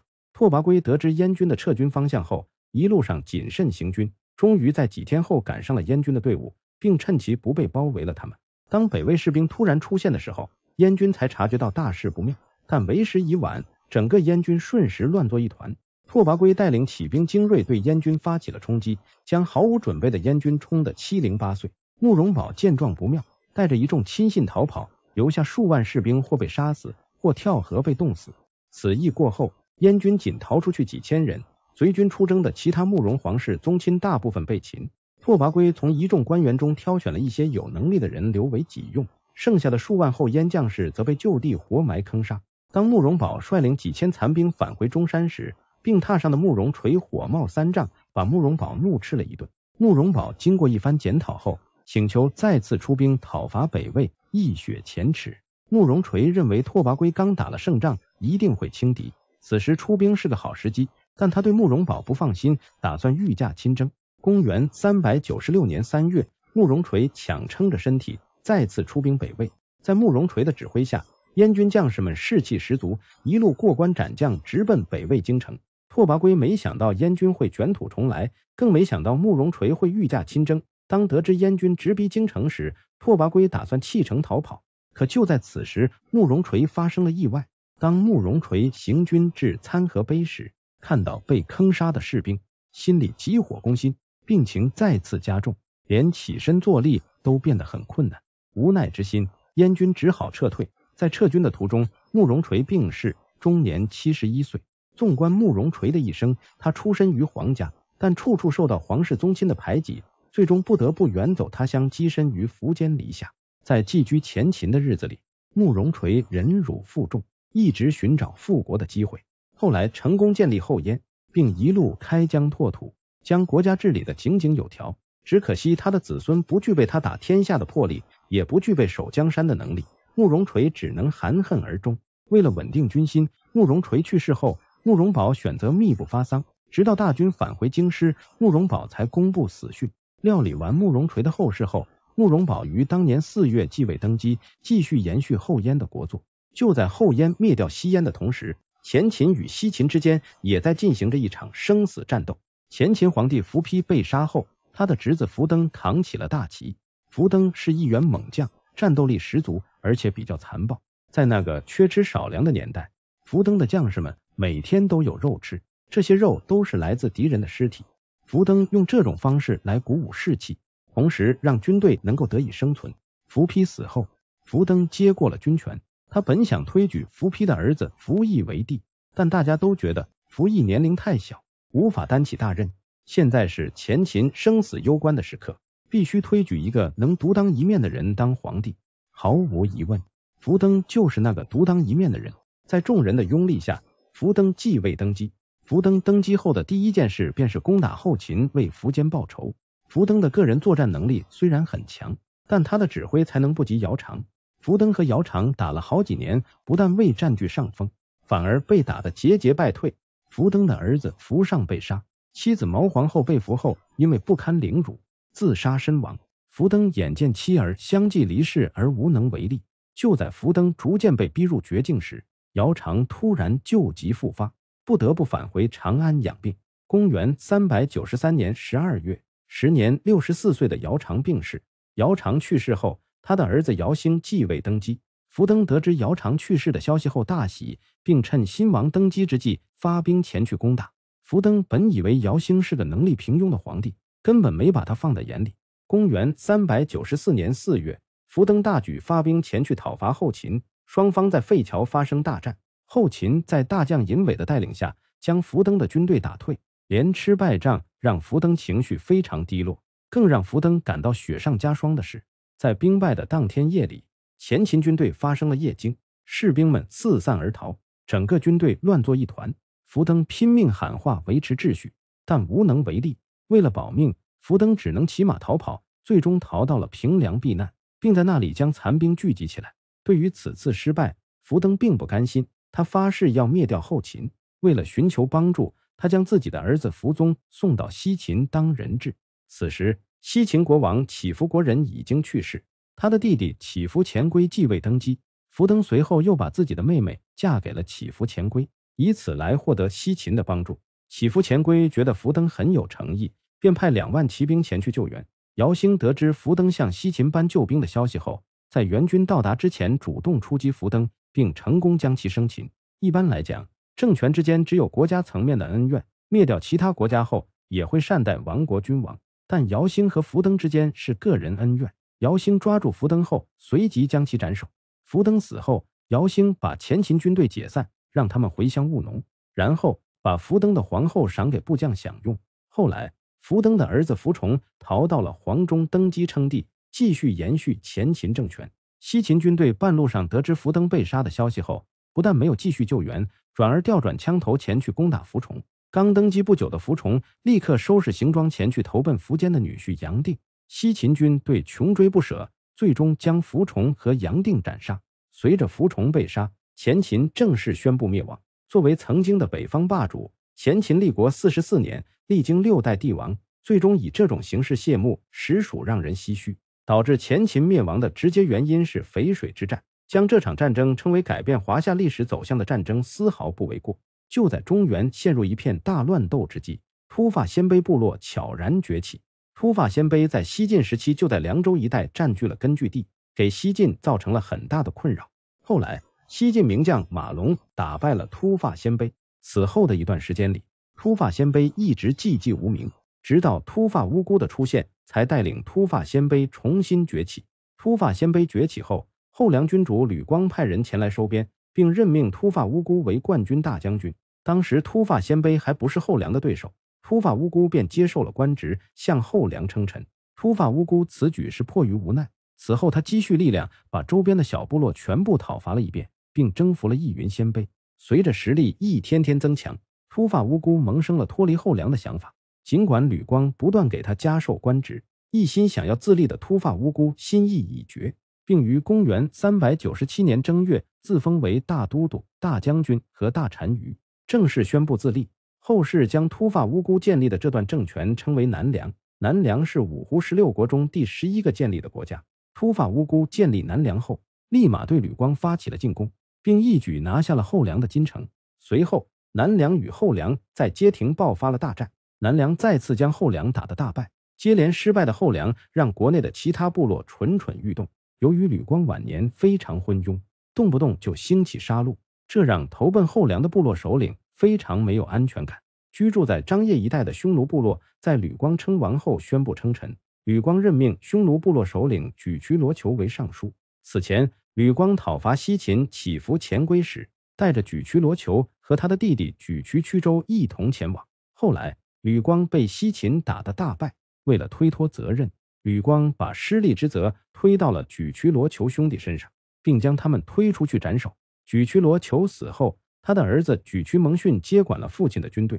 吕光的做法引起了匈奴部落的严重不满。在沮渠罗求的葬礼上，沮渠蒙逊振臂高呼要起兵反对吕光，此举得到了部落的支持。公元三百九十七年四月，沮渠蒙逊带兵攻克了林松郡。后来，沮渠蒙逊与堂兄沮渠南城兵合一处，准备进攻建康郡。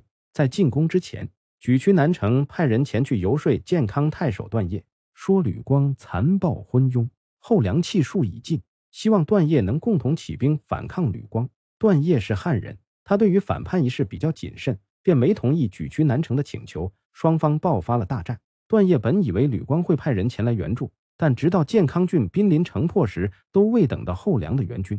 段业见大势已去，便答应了沮渠南的请求。公元三百九十七年五月，沮渠南城推举段业为大都督，尊他为首领。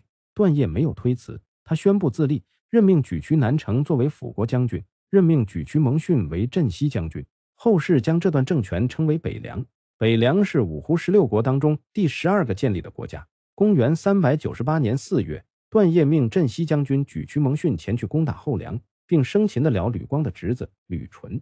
听闻吕纯被俘后，后梁敦煌郡太守孟敏选择了投降。段业任命孟敏为沙州刺史，兼任敦煌太守，驻地在敦煌。任命李浩为孝谷县县令。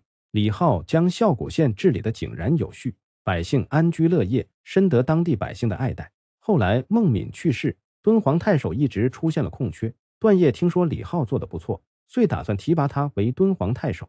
李浩的好友索四知道段业的决定后，心生妒忌。他告诉段业说，李浩在敦煌一带的号召力很强，如果让他担任太守，将来会成为心腹大患。听完索四的建议后，段业改变了主意，转而任命索四为敦煌太守。索四得到任命后大喜，当即动身奔赴敦煌上任。当他到达距离敦煌二十里时，派人通知李浩前来迎接。李浩对与敦煌太守失之交臂一事非常不满，在部将的建议下，他决定杀掉索嗣，在敦煌自立。于是派心腹宋友以迎接的名义前去诛杀索嗣。索嗣在侍从的保护下逃回了张掖。后来，李浩得知索嗣在任命敦煌太守一事上作梗，便上书段业要求诛杀索嗣。恰好辅国将军沮渠南城也非常讨厌索嗣。段业不敢得罪沮渠南城，便将索嗣诛杀，然后提拔李浩为镇西将军，都督西北军事。公元四百年十一月，北凉晋昌郡太守唐尧宣布起兵反叛段业。唐尧起兵后，向其他六郡发布倡议，推举李浩为冠军大将军。其他郡守均表示同意。在众人的推举下，李浩宣布自立为王。后人将李浩建立的政权称为西凉。西凉是五胡十六国中第十四个建立的政权。当初后燕在参合碑被北魏打得大败，功勋皇帝慕容垂在复仇的途中身亡。得知慕容垂去世的消息后，北魏皇帝拓跋圭大喜。也正是在此时，拓跋圭有了一统中原的志向。公元三百九十六年八月，这一年滨州出现大旱，庄稼颗粒无收。拓跋圭见时机已到，派出四十万大军攻打滨州。驻守滨州的慕容农被打得大败。他的妻女老小都被俘虏，慕容农通过拼杀逃出重围，带着三个骑兵狼狈地回到了中山。慕容农回到中山后，发现后燕内部也在暗流涌动。当初慕容垂临死前特别交代慕容宝立慕容会为太子，但慕容宝更喜欢另外一个儿子慕容策，遂没有遵从慕容垂的嘱托，立慕容策为太子。此事引起了慕容会的严重不满，只是碍于大敌当前，慕容会便没有争执此事。面对北魏军团大举来犯，慕容宝准备坚壁清野，和对方打持久战。此举让拓跋圭非常意外。拓跋圭见燕军没有主动出来迎战，便指挥大军直奔后燕都城中山。当魏军攻克常山郡之后，后燕其他郡县纷纷投降，最终只剩下中山、邺城和信都三座孤城苦苦支撑。为了一举拿下后燕，拓跋圭兵分三路，他让东平公拓跋仪前去攻打邺城。冠军将军王建和左将军李立进攻信都，拓跋圭本人率军攻打中山。在生死存亡面前，燕军选择了死守。北魏三路大军遭到了激烈的抵抗。由于这三座城池城防坚固，加之北魏内部出现了矛盾，三路大军同时遭遇失败。燕军凭借顽强的意志守住了城池。公元三百九十七年正月二十二，拓跋圭率领大军前往信都。三路大军兵合一处，对信都发起攻击。驻守信都的慕容凤坚守失败，他带着亲信逃离。拓跋圭成功拿下信都。随后，北魏大军又剑指中山，慕容宝为了激励将士，把宫中的金银珠宝和宫女嫔妃都拿出来犒劳将士，让他们誓死守城。就在北魏大军围攻中山时，隶属于北魏的独孤部落酋长莫根，因为与拓跋圭不和，趁机向后燕投降。梅根的侄子丑提担任北魏兵州监军。当他得知叔叔莫根投降后，担心自己受到惩罚，也果断起兵造反，并趁机偷袭北魏的首都。拓跋圭得知大本营被偷袭后，一边率兵回援，一边派人向后燕讲和，并承诺把弟弟送过去当人质。但慕容宝没答应求和。他召集了燕国全部的十五万军队，在滹沱河北岸阻截拓跋圭，准备一举将其歼灭。二月初九夜，慕容宝派出一万敢死队强行渡河偷袭北魏大营，结果失败而归。偷袭失败的消息传回燕军大营后，燕军一片慌乱。此前，拓跋圭坑杀燕军俘虏的事情给对方留下了阴影。当拓跋圭派军前去追击时，燕军纷纷溃逃。当时正值隆冬时节。燕军一路上死伤无数，最终狼狈的逃回了中山。当初中山被围时，慕容宝让慕容慧前来支援，慕容慧故意拖延行军速速，直到三月份才到达蓟城。在中山被围困的日子里，与慕容宝有矛盾的慕容林派人前去刺杀慕容宝。计划失败后，慕容林逃到附近山中躲避。此时中山城内人人自危，慕容宝也知道大势已去，便率领众人前去蓟城投奔儿子慕容慧。开封公慕容祥未跟随前往，而是继续守城。慕容宝虽然是皇帝，但此时的他不得不屈居于儿子慕容慧之下。慕容慧趁机发动政变，以平叛的名义准备诛杀慕容龙和慕容农。这两人都是慕容宝的得力助手。慕容龙当场被杀，慕容农则杀出重围，逃进了深山躲避。几天后，慕容农主动来大营请罪，慕容宝召集众人前来审判慕容农。席间，慕容宝会议魏将军慕余腾刺杀慕容慧，慕容慧侥幸躲过一劫，逃出了大营。慕容慧回到军队后，立刻调兵前来攻打慕容宝。慕容宝不敌，率军狂奔到二百里之外的龙城。当年四月，慕容慧率军前去攻打龙城，慕容宝站在城墙上，和城下的慕容慧相互指责谩骂。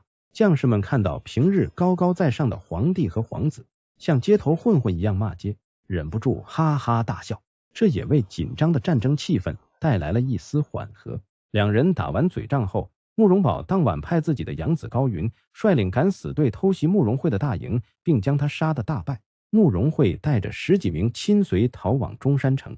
慕容慧刚进城就被驻守在此的慕容祥斩杀。随后，慕容宝杀死了慕容慧的母亲以及他三个儿子。高云因为立下大功，被慕容宝封为建威将军。皇家没有亲情，都是斗争。尤其身处乱世，父子兄弟之间都不能信任，在自身利益面前，亲人都是可以被出卖的对象。经过一段时间的围攻后，北魏仍未拿下中山，加之长途作战，北魏军队出现粮食短缺。公元三百九十七年五月，拓跋圭下令撤军，中山之围宣告解除。得知北魏退兵后，慕容宝派人前去接手中山。慕容祥认为北魏退兵都是他一个人的功劳。他不想和慕容宝分享胜利果实，便杀掉了来使，自己登基称帝。驻守邺城的慕容德得知慕容祥称帝的消息后，也打算称帝自立。后来得知慕容宝尚未去世，便打消了念头。慕容祥称帝后，完全暴露了凶残的本性。他不仅骄奢淫逸，还动不动就杀人，甚至连心腹大臣都不放过。短短几个月内，被他诛杀的大臣就多达五百多人。慕容祥的做法引起了民怨沸腾。当时恰逢城内缺粮，慕容祥担心北魏前来偷袭，遂紧闭城门，不允许百姓出城寻找粮食。一时间，城内饿殍遍野。为了解决粮食短缺问题，慕容祥派辅国将军张襄率领五千人到常山郡纳粮。此前逃入山中躲避的慕容林，趁机率领丁零部落的人袭击张襄，并成功控制了对方军队。随后，慕容林带人攻打中山，城内士兵主动打开城门迎接。慕容林顺利入城，并抓住了慕容祥，将其斩首。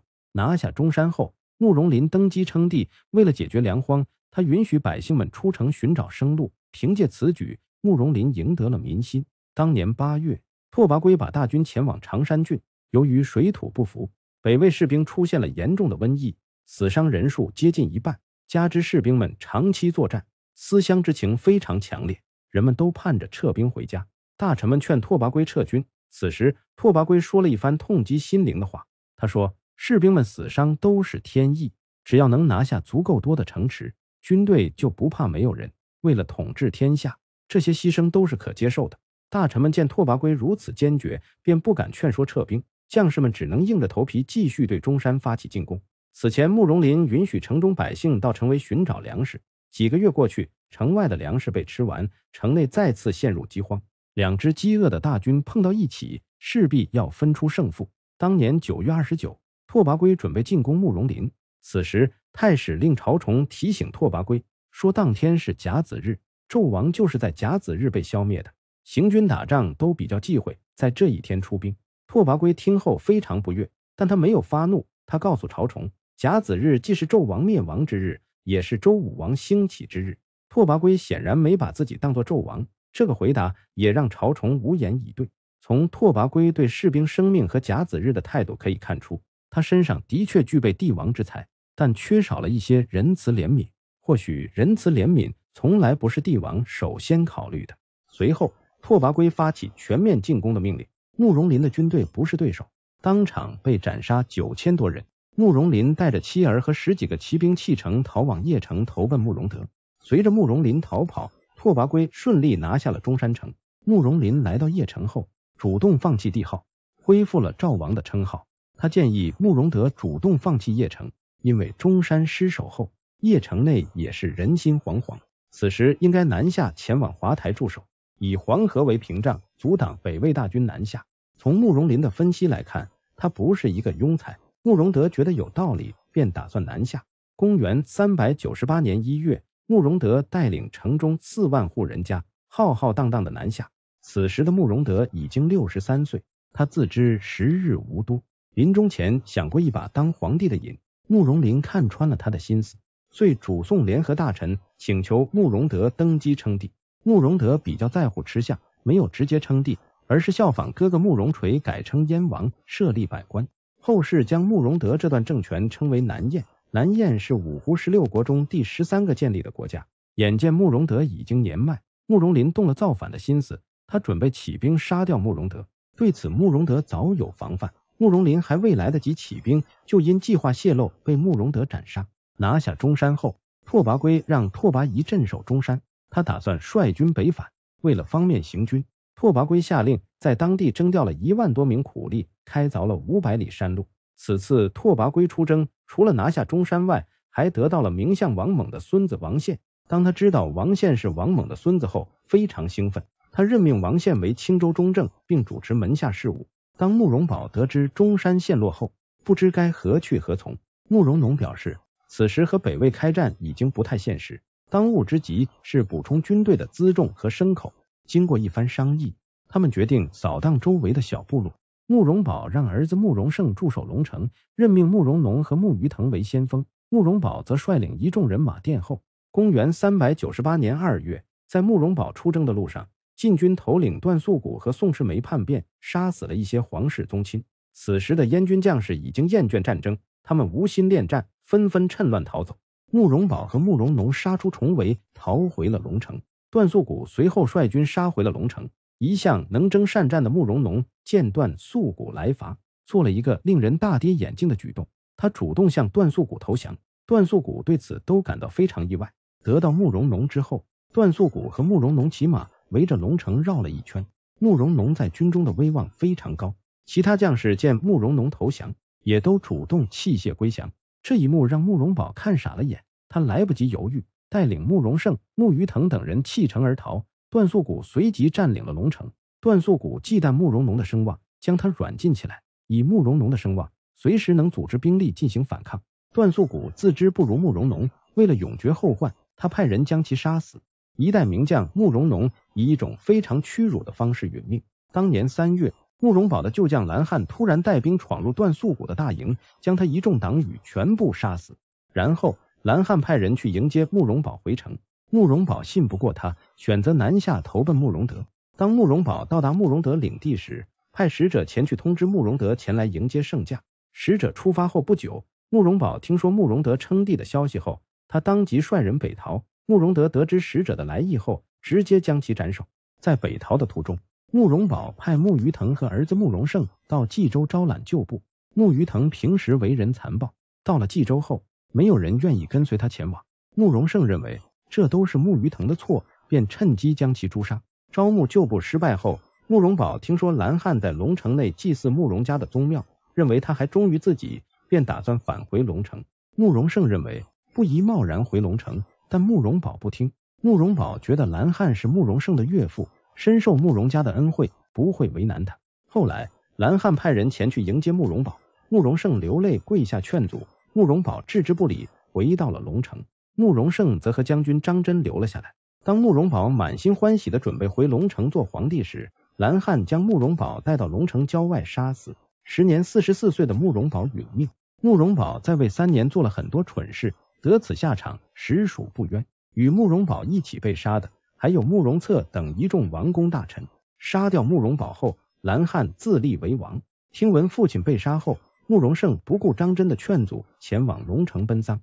到了龙城后，蓝汉的妻子和女儿为慕容盛下跪求情，蓝汉念及翁婿之情，便没有杀慕容盛，还任命他做侍中。蓝汉的哥哥蓝堤和弟弟蓝迦南多次要求杀掉慕容盛，均被蓝汉拒绝。慕容盛并没有因为蓝汉不杀之恩而心生感激。他私下里与蓝汉的外孙慕容恪的孙子慕容齐合谋，准备里应外合，光复大燕祖业。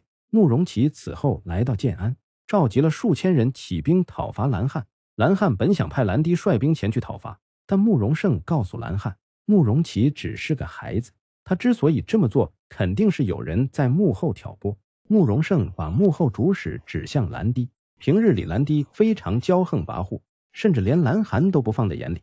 慕容盛正是利用蓝汉的多疑和兰迪的骄横跋扈来挑拨他们之间的矛盾。对于慕容盛的挑拨，蓝汉中计了。他不但罢免了兰迪的军权，还派与兰迪不和的将军尼木前去讨伐慕容奇。时值七月，龙城遭遇了几十年一遇的大旱。在那个崇尚迷信的年代，蓝汉认为是慕容宝的冤魂萦绕在龙城上空，才导致城中大旱。为了给自己洗刷罪行，蓝汉在慕容宝灵前祭拜的时候。把罪责都推到蓝堤和蓝迦南身上，指责是他们煽动自己犯下大错。蓝堤和蓝迦南得知此事后异常愤怒，聚集了几千人发起兵变。蓝汉派太子蓝木前去讨伐，将二人打得溃败。蓝木得胜归来后，蓝汉设宴犒劳将士。当晚，蓝汉与蓝木都喝得酩酊大醉。慕容盛趁机带人闯入宫中，杀死了蓝汉与蓝木。随后。慕容盛又在城中搜到蓝堤和蓝迦南的藏身之所，并将他们斩杀。蓝汉身边的将士大多数都是慕容家的旧将，他们见蓝汉已死，便重新效忠慕容盛。随着蓝汉等人被杀，龙城又重新回到慕容家族手中。公元三百九十八年七月二十一，众人推举慕容盛称帝，但慕容盛自封为长乐王，以王爷的身份总理朝政。慕容奇听闻慕容盛自立的消息后，认为自己被耍。便率兵前来讨伐，只可惜慕容奇在慕容盛面前只是个孩子，完全不是慕容盛的对手。慕容奇兵败后被生擒，随后被慕容盛赐死。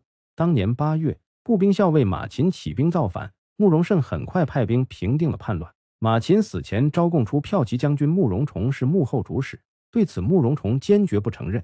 但慕容崇的辩解已经不重要。随后，慕容盛下令赐死了慕容崇和他的弟弟慕容成。经过一些连的评判，反对慕容盛的人都被剪除。此时，群臣集体劝谏慕容盛登基称帝。慕容盛没有再推辞。当年十月十七日，慕容盛正式登基称帝，继续延续后燕的国祚。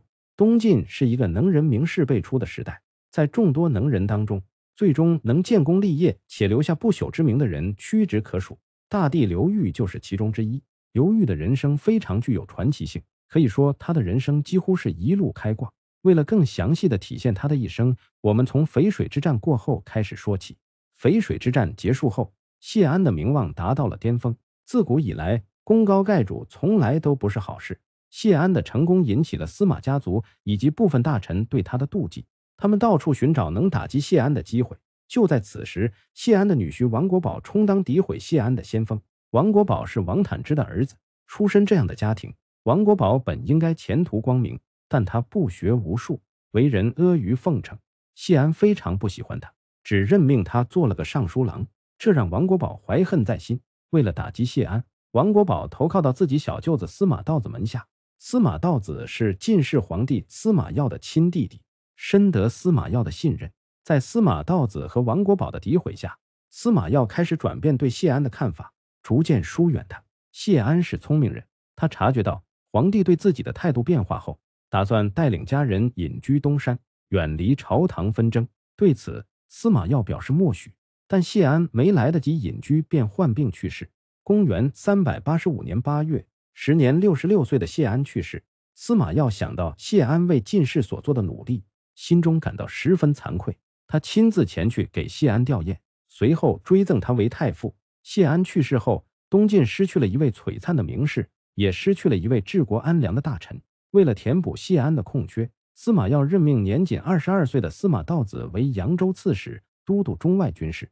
淝水之战过后，司马曜认为晋士可以高枕无忧，遂把朝政大事全部交给司马道子处理。他整日泡在后宫，与美女们饮酒合欢。司马道子为了进一步架空司马曜，大肆投其所好，为司马曜广泛搜集美女，攻其淫乱，他则专心玩弄权术。后来，司马道子和王国宝的所作所为引起了群臣们的不满，他们纷纷上书请求罢免司马道子和王国宝。司马曜也意识到司马道子的行为的确不合适，但此时的司马道子根基已深。为了制衡司马道子，司马曜提拔中书令王公都督五州军事，兼任兖州、青州刺史，任命王国宝为中书令。调整完朝堂人事后，司马曜继续沉迷于后宫酒色。当时司马曜非常宠幸张贵人，因为张贵人不仅生得漂亮，而且酒量非常大。司马曜每次喝酒都会让张贵人作陪。但国色天香也逃不开时间的规律。公元三百九十六年九月，已经三十出头的张贵人陪着司马曜在后宫喝酒。当晚，司马道子又送来了一批非常年轻的小姑娘作陪。司马曜酒过三巡后，对张贵人开玩笑说：“他已经三十多岁，应该退居二线，给小姑娘让路了。”这本是一句酒后戏言，但对于女人来讲，无异于一颗重磅炸弹。宴会结束后，司马曜被抬至张贵人的寝宫过夜。张贵人想起司马曜在宴席上说的话之后，心里萌生出一个大胆的想法。他不想等到失宠后被罢黜，于是决定趁醉杀死司马曜。此时的司马曜已经酩酊大醉，不省人事。张贵人用被子活活将其闷死。司马曜死时年仅三十五岁。事后，张贵人用重金打电身边的宦官婢女，声称司马曜是喝酒过量致死。司马道子无心追究司马曜的死因，便接受了这个结果。后来，张贵人并未受到惩罚。司马曜死后，他的长子司马德宗继位，这就是历史上著名的痴呆皇帝。痴呆程度比晋惠帝司马衷还要严重，他不能分辨春夏秋冬，甚至连吃喝拉撒都不能自主。司马德宗上位后，任命司马道子为太傅。此后，东晋朝廷成了司马道子的一言堂，这也预示着东晋朝廷的末日不久后会到来。司马道子和王国宝等人的行为引起了众怒，这其中就包括王公。他出身于太原王家，是当世名士。此时的王公身兼兖州、青州二州刺史，他多次对司马道子表达了不满。司马道子觉得王公手里手握重兵，于是想拉拢他，但王公坚决表示不与司马道子为伍。司马道子拉拢不成，便萌生了除掉王公的想法。与此同时，王公也在计划进京诛杀王国宝等人。为了能扳倒王国宝等人，王公想拉拢一个有实力的人与自己为伍。为此，他派人前去联络荆州刺史殷仲堪，并直接表达了他想诛杀王国宝的想法。收到王公的书信后，殷仲堪拿不定主意，于是向南郡公桓玄请教对策。此时的桓玄正郁郁不得志，如果他想在朝堂上有一番作为，就必须把国家搞乱。他力劝殷仲堪应该和王公一起出兵入京清君侧。殷仲堪在桓玄的劝说下，决定与王公一起清君侧。他们先联合上书，痛斥王国宝的种种恶行。司马道子收到诏书后十分害怕，为了平息王公等人的怒火，他将所有的罪行都推到王国宝身上，最终让他自杀谢罪。王国宝死后，司马道子为了进一步安抚王公，单独写信向其道歉。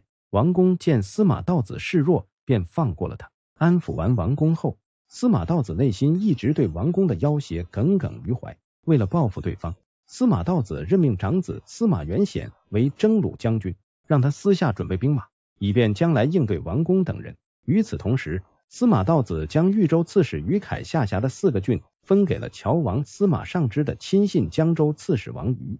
此事让于凯非常不满，他写信给王公，说现在司马尚之的势力已经超过了王国宝，他建议王公应该先下手为强，除掉司马尚之，以免将来被打压。王公将此事告知殷仲堪和桓玄，殷仲堪和桓玄同意联合起兵前去讨伐司马尚之，并推举王公为盟主，准备对京师发起进攻。殷仲堪手下有一员大将，名叫杨全期，他出身于名门世家，只是因为南渡时间较晚，在朝堂上的地位不高。此次得到攻打京师的机会后，他和自己的兄弟率军出征，大败江州刺史王瑜，并将其生擒。与此同时，桓玄也大败朝廷军队，与杨全期一起势不可挡。司马道子眼见对方来势汹汹，便让儿子司马元显驻守石头城，采取防守策略。王公为人一向比较自负，如今取得胜利后，更加目中无人。实际上，王公的军事才能非常有限，之所以能带兵打仗，完全靠猛将刘牢之出谋划策。但王公非常不尊重刘牢之，经常对他呼来喝去。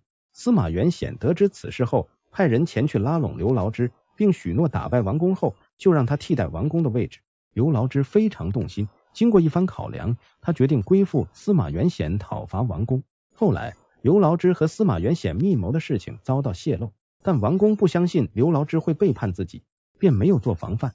刘牢之瞅准机会对王公发起进攻，将其打得大败。王公兵败被抓，后来被押往建康斩首。王公死后，司马元显兑现了承诺。刘牢之被任命为兖州、青州刺史，都督七州军事。为了拿下殷仲堪，司马道子决定用官职来打动桓玄和杨全期。但桓玄和杨全期认为，只有和殷仲堪紧密抱团才能立足。他们相互把自己的儿子、兄弟送到对方那里做人质，然后起誓结盟，准备对抗朝廷。桓氏家族在荆州根基非常深厚，桓玄被推举为盟主。桓玄三人结盟后，司马道子感到害怕。遂主动示弱，答应桓玄等人的请求，进京讨伐一事才暂时作罢。此时的东晋已经是风雨飘摇，外有强敌环伺，内有诸侯斗争。除了大臣们相互争斗外，民间也诞生了一股反对朝廷的力量。这股力量的发起者是五斗米教的信徒。五斗米教是东汉末年兴起的，在钱塘人杜源的传播下，五斗米教在江东一带非常盛行。杜源有一个学生名叫孙泰。杜源死后，孙泰成为了教主。在崇尚迷信的年代，孙泰声称会延年益寿的法术，在上流社会混得风生水起，很多朝堂大员都是孙泰的信徒。后来，孙泰被介绍给皇帝司马曜，司马曜信以为真，后来任命他为新安郡太守。孙泰是一个很有野心的人，他见进士示威，便有了改朝换代的野心。他利用信徒捐赠的大量金银，打着讨伐王公的名义，私自组建了一支武装力量。后来此事被朝廷获悉，司马道子以加官进爵的名义把孙泰骗到京师，将其斩杀。一同被斩杀的还有孙泰的六个儿子。孙泰的侄子孙恩侥幸躲过一劫，事后他逃至海岛上避难。孙恩对信徒们宣称，孙泰并没有死，而是羽化成仙。后来信徒们把对孙泰的信奉转移到孙恩身上，并向孙恩宣誓誓死追随。躲在海岛的孙恩并未打算善罢甘休。他秘密纠集了一批信众，准备杀回东晋。不久之后，孙恩带着信众偷偷从海岛上岸，杀死了上虞县令，随后对会稽郡发起攻击。会稽郡内史名叫王凝之，他是大书法家王羲之的次子。王凝之是一个非常平庸的人，不过他的妻子谢道韫却是华夏历史上有名的才女。谢道韫是谢安的侄女，是名将谢玄的姐姐。谢道韫和王凝之是政治联姻，尽管谢道韫对此十分不满。但在那个讲究门当户对的年代，他没有更好的选择。王凝之信奉天师道，面对孙恩率领的大批暴徒，他没有组织兵力进行反抗，而是在道观里请求天兵天将的帮助。公元三百九十九年十一月，孙恩率人攻破了会稽郡首府，王凝之和他的儿子都被杀。但孙恩久仰谢道韫的名气，便没有杀他和他的外孙。此后，谢道韫一直在会稽郡内终老。孙恩攻破会稽郡的消息传开后，周边八个郡都发生了叛乱，郡守或被杀或弃城而逃。短短十天之内，三吴地区起兵反抗朝廷的人多达十几万。孙恩占领会稽郡以后，自封为征东将军。为了让当地官员听从命令，他将不听话的官员剁碎烹煮，然后分给他们的妻儿分食。从孙恩的残暴程度可以看出来，孙恩治下的五斗米教也是个标准的邪教。孙恩向皇帝司马德宗上书，罗列了司马道子和司马元显父子的罪行。他声称，只要将他们二人斩首，就会罢兵。司马德宗是一个傀儡皇帝，此时的司马道子也整日沉浸于酒色之中，朝堂大权掌握在司马元显手中。眼见孙恩叛乱势力越做越大，其他地方大员趁机扩张势力。司马元显上书司马德宗，任命自己为中将军，把朝廷大军都归于自己，然后会同刘牢之前去讨伐孙恩。在刘牢之大军出马后，一路所向披靡，将义兴郡、吴兴郡等地的贼寇杀得溃败。孙恩看形势不妙，最终又逃到了海岛上躲避。刘牢之因为立下大功，被封为前将军。刘牢之之所以能取得一连串的胜利，除了自身军事能力出色之外，也仰仗于他手下的一员猛将。这员猛将名叫刘裕，刘渊是东晋末年的主角，他的一生颇具传奇色彩。刘裕出生于彭城县，他是刘邦弟弟刘交的二十二世孙。有些人因为子孙后代而名声大振，如果没有刘备，中山靖王刘胜不会在历史上留下痕迹。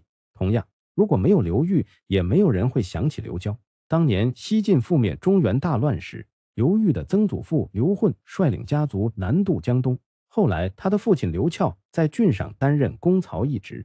由于收入微薄，刘翘一家人的日子过得非常拮据。刘裕出生时，他年仅二十一岁的母亲因为难产去世。刘翘因为请不起奶妈，打算将其扔掉。后来，刘裕的姨母不忍心，便主动收养刘裕。为了将刘裕养大，他的姨母甚至断掉自己孩子的奶水让刘裕吃。刘裕慢慢长大后，姨母将他送回了父亲身旁。此时，他的父亲已经娶了继母萧文寿为妻，并生下两个儿子刘道廉和刘道归。刘道归出生后不久，刘俏便去世，整个家庭的重担全都压到萧文寿一人身上。萧文寿是一位非常勤快的女性，他白天带着刘裕进山砍柴，到集市上换取柴米油盐。晚上编鞋织布，到大街上叫卖。可富贵在于术数，不在劳身。自古以来，勤劳致富都是统治者麻痹大众的谎言。勤劳只能解决温饱，很难致富。尽管肖文寿异常努力，刘裕一家的日子还是过得非常艰难。他从小没有读书的机会，长大后还沾染上了赌博的恶习，欠了赌房一大笔钱。由于还不起钱，刘玉被人捆在树上，打得皮开肉绽，生命奄奄一息。恰好此时，王导的孙子王密经过此处，出于善心，便替他还了钱。琅琊王家在历史上的名声非常不错，这也和王导传下的家风有关。王密救下刘玉后，出于鼓励，他告诉刘玉不要自甘堕落，要成就一番事业。这只是王密寻常的一番鼓励，但这番话在刘玉内心激起了惊涛骇浪。自此之后，他发誓要扬名立万，绝不能浑浑噩噩的度过一生。此时，东晋官场已经被士族垄断。在九品中正选官机制下，寒门要想做官难于登天，唯一的途径就是投军建功。为了在军中谋一个职位，他找到自己的发小何无忌。何无忌的舅舅便是北府兵首领刘牢之。刘牢之见刘裕身材高大，便让他担任孙吴中的司马。后来孙恩造反，刘牢之又把刘裕召到身边做参谋军事。客观来讲，刘裕的起点并不低，他也不算是白手起家。华夏历史上没有白手起家的成功案例。如果刘裕的起点是一个普通的大头兵，可能很快就沦为炮灰，不会在历史上留下浓墨重彩的一笔。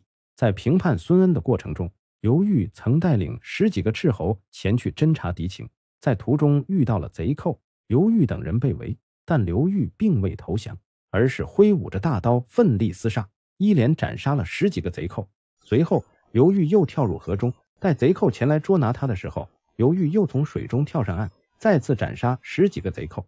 这些贼寇本来就无人率领，纪律松散，战斗力低下。他们见刘玉如此勇猛，谁都不想第一个上去送死。大家面面相觑，等着别人上去送死，但没人愿意主动上前。僵持了一会儿，贼寇们竟然自行散去。这一幕让刘玉看傻了眼，他都没想到自己能活着回去。紧接着。刘牢之的儿子刘敬轩率兵赶来，杀了一批跑得慢的贼寇，并俘虏了上千人。此役过后，刘裕扬名天下，刘牢之对刘裕更加看重，将他视作心腹，不再安排他去执行这种危险的任务。此番征讨孙恩成功后，司马元显将其视为自己的功劳，他安排部下为自己请功，最终进一步将朝政大权握在手中，朝臣纷纷前来归附，而他的父亲司马道子被彻底架空。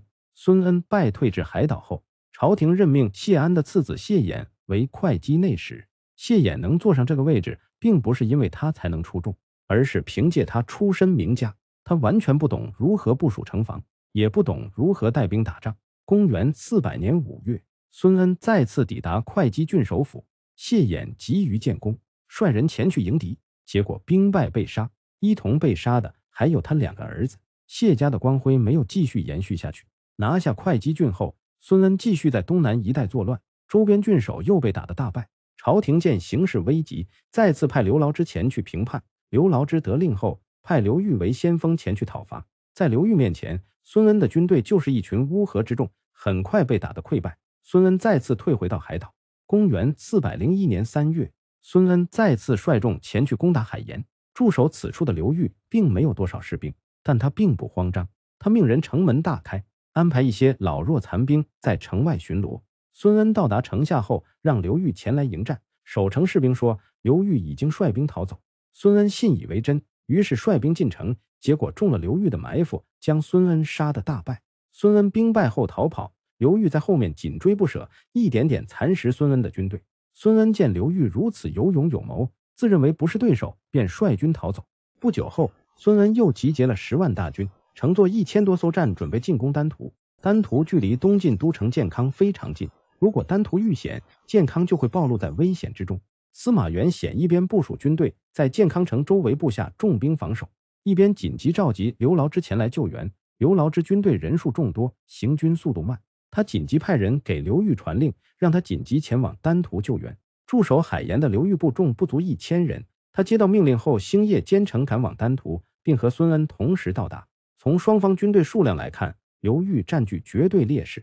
但在前几次交战的过程中，孙恩被刘裕玩得团团转，内心非常恐惧，再次与刘裕作战。此番刘裕前来已经是人困马乏，但他来不及休整，提着大刀就冲入对方阵中。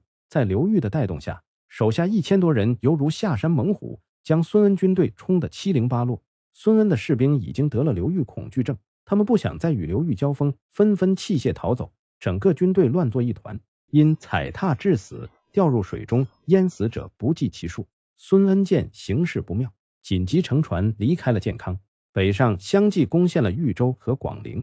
孙恩为了发泄怒火，攻陷城池后，纵容士兵们烧杀抢掠。刘裕因为保护建康有功，被提拔为下邳太守。随后让他率兵前去讨伐占据豫州等地的孙恩。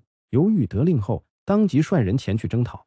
刘裕已经总结出一套对付孙恩的办法，在他的带领下。晋军很快拿下了豫州和广陵，孙恩随后南下逃至海盐，刘裕趁势追击，又在海盐一带斩杀孙恩部众上万人。孙恩失利后，再次逃回舟山群岛。孙恩的军队攻打其他晋军时，犹如砍瓜切菜，可在刘裕面前就变成了对方练手的活靶子。孙恩拿自己士兵的生命不断给刘裕积累军功，孙恩对此百思不得其解，他不信这个邪。经过一段时间的休整后，他决定卷土重来，再次率领大军前去攻击沿海的城池。结果这次还没遇到刘裕就被打退。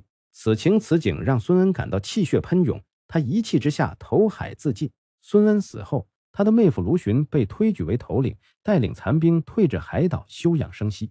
在孙恩作乱期间，杨全期和殷仲堪一直按兵不动，而桓玄则一直在扩大势力范围。此番平定孙恩叛乱，耗费了朝廷大量财力物力。此时的朝廷已经无力与桓玄抗衡，桓玄将朝廷已经不是威胁，便趁机攻打杨全期和殷仲堪，最终将两人杀死。随后，桓玄上书朝廷，要求接管杨全期和殷仲堪的地盘，朝廷不敢得罪他，便让他都督七个州的军事。桓玄趁机把自己的亲属安排到各个州郡担任刺史。一番操作过后，桓玄已经控制了东晋三分之二的地盘。得势后的桓玄更加不把朝廷放在眼里。司马元显见桓玄越做越大，便下诏起兵前去讨伐。司马元显任命刘牢之和司马尚之为前锋前去讨伐。桓玄见司马元显来讨，他先公布了司马元显种种罪名，然后召集军队顺长江而下，直奔建康。司马尚之军事能力一般，在桓玄面前完全没有招架之力，很快便被桓玄打败。此时左右胜利天平的关键在于刘牢之。刘牢之虽然听命于司马元显，但对司马元显专权一事非常反感。他担心消灭桓玄后，自己会被司马元显妒忌，所以对讨伐桓玄一事并不上心。刘裕看穿了刘牢之的心思。他主动劝谏前去攻打桓玄，刘牢之没有批准。后来，桓玄让刘牢之的舅舅何睦前去游说，希望能拉拢刘牢之。经过一番强烈的思想斗争后，刘牢之决定帮助桓玄。对此，刘裕、刘牢之的儿子刘敬轩和刘牢之的外甥何无忌非常不理解。他们苦劝刘牢之不要归顺桓玄，但没有让刘牢之回心转意。随后，刘牢之宣布向桓玄投降。得到刘牢之的支持后，桓玄信心大增，一路平推到建康城下。城中将士见大势已去，主动开门放桓玄进城。桓玄随即下令捉拿司马道子和司马元显父子。此时的司马道子由于长期喝酒，已经是全身麻痹。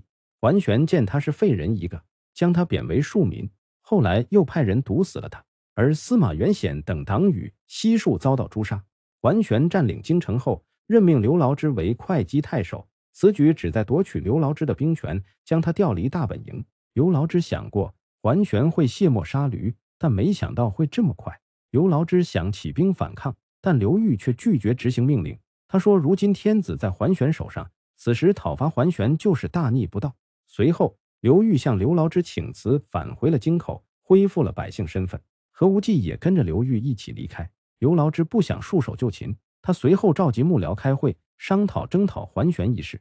参军刘袭在会上告诉刘牢之，当初他起兵反王公，后来又与桓玄一起讨伐司马元显，如今又要讨伐桓玄，他已经失去了信誉。刘袭说罢，便请辞离开了军营，其他将领也紧随其后离他而去。刘袭的话深深刺痛了刘牢之，他后悔当初向桓玄投降。此时的刘牢之无比压抑，为了保命，他率领几个亲随逃跑。走至半路，刘牢之内心想不开，自杀身亡。他的部属为他收敛尸身，将棺材送回了老家丹徒。桓玄得知刘牢之自杀后，命人将他的尸身斩首，将头颅扔到大街。刘牢之身为一代名将，一辈子东征西讨，立下赫赫战功，晚年却因为做决定不慎，导致身首异处，得此下场，令人唏嘘不已。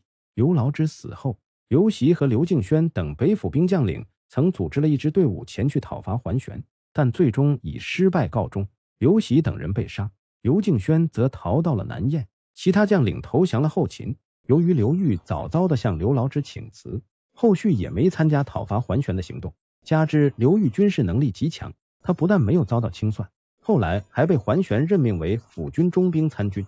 此时，孙恩的妹夫卢循再次纠集部众攻打东阳郡，桓玄立马祭出刘裕这张王牌。卢循延续了孙恩的光荣传统，再次被刘裕击败，退到永嘉郡休整。公元四百零三年二月，桓玄要求朝廷任命他为大司马。其他朝臣见桓玄有篡位之意，遂为他请加九锡之礼，并劝他早日登基。对于桓玄想篡位一事，桓玄派人询问刘裕的意见。刘裕想把桓玄往火坑里推，他告诉来使说：“桓玄登基是顺应天命，应该越快越好。”此时的桓玄认为没有人能阻拦他登基，便派人在民间制造了诸多祥瑞作为铺垫，为登基篡位做准备。当年十一月，司马德宗命人起草禅让诏书，同时把传国玉玺送给了桓玄，然后搬离了皇宫。十二月初一，桓玄正式登基称帝，改国号为楚，后世将这段政权称为桓楚。当初桓温通过北伐立下大功，临终前都未篡位成功，如今。桓玄凭借窝里斗完成了他父亲未完成的事。桓玄登基后，尊桓温为宣武皇帝。完成登基大典后，桓玄返回宫中，急不可耐地坐上龙椅。由于太激动，桓玄往下坐的时候太过用力，直接把龙椅坐得沉陷下去。面对窘境，大臣殷仲文出来解围，说桓玄的德行深厚，连大帝都承受不了这种厚重。桓玄听后，脸上露出了笑容。自古以来，溜须拍马之术是讨好领导的硬通货，几千年来未曾改变。桓玄登基后，对刘裕非常优待，他告诉众人，指望刘裕帮他平定中原。刘裕并未因为桓玄的优待而感恩戴德，而是密谋推翻桓玄。公元四百零四年二月，刘裕联合资义参军刘迈的弟弟刘毅、刘道规和吴忌、孟昶等十几个人约定十天后同时起兵。孟昶的妻子周氏出身于大户人家，为了支持孟昶起兵，她变卖所有家产支持丈夫。通过这个事情，也可以看出人们追随刘裕起兵的决心。十天之后，刘裕和何无忌准备对驻守丹徒的桓玄堂兄桓修下手。由于刘裕在桓玄面前表现得毕恭毕敬，桓修对刘裕没有防范。刘裕趁机将桓修斩首，将他的人头示众，正式宣布起兵。桓玄得知刘裕起兵后大怒，派人前去搜捕刘裕的党羽。那些来不及逃跑的部众被抓后，遭受了惨无人道的虐待。桓玄此举是为了震慑起兵反叛的人，但这种残暴的手段也彻底断了刘裕等人的后路，他们只能一条道走到黑，没有回旋的余地。后来，众人推举刘裕为盟主，让他总督徐州事务。刘裕任命孟昶为长史镇守京口，任命谭平之为司马，朱灵石为参军，全面开始反击桓玄。当年三月初一，刘裕与桓玄派来的大军发生了激战，为了鼓舞士气。刘裕提刀一马当先，连续斩杀了吴辅之和黄甫夫两员大军。这两人是桓玄的心腹猛将。刘裕也在此战中折损了大将谭平之。谭平之死后，刘裕将谭平之的军队交给他的弟弟谭之率领。桓玄得知两位心腹爱将被杀后，顿时心慌意乱，因为除了他们之外，他手下没有能堪当大任的将领。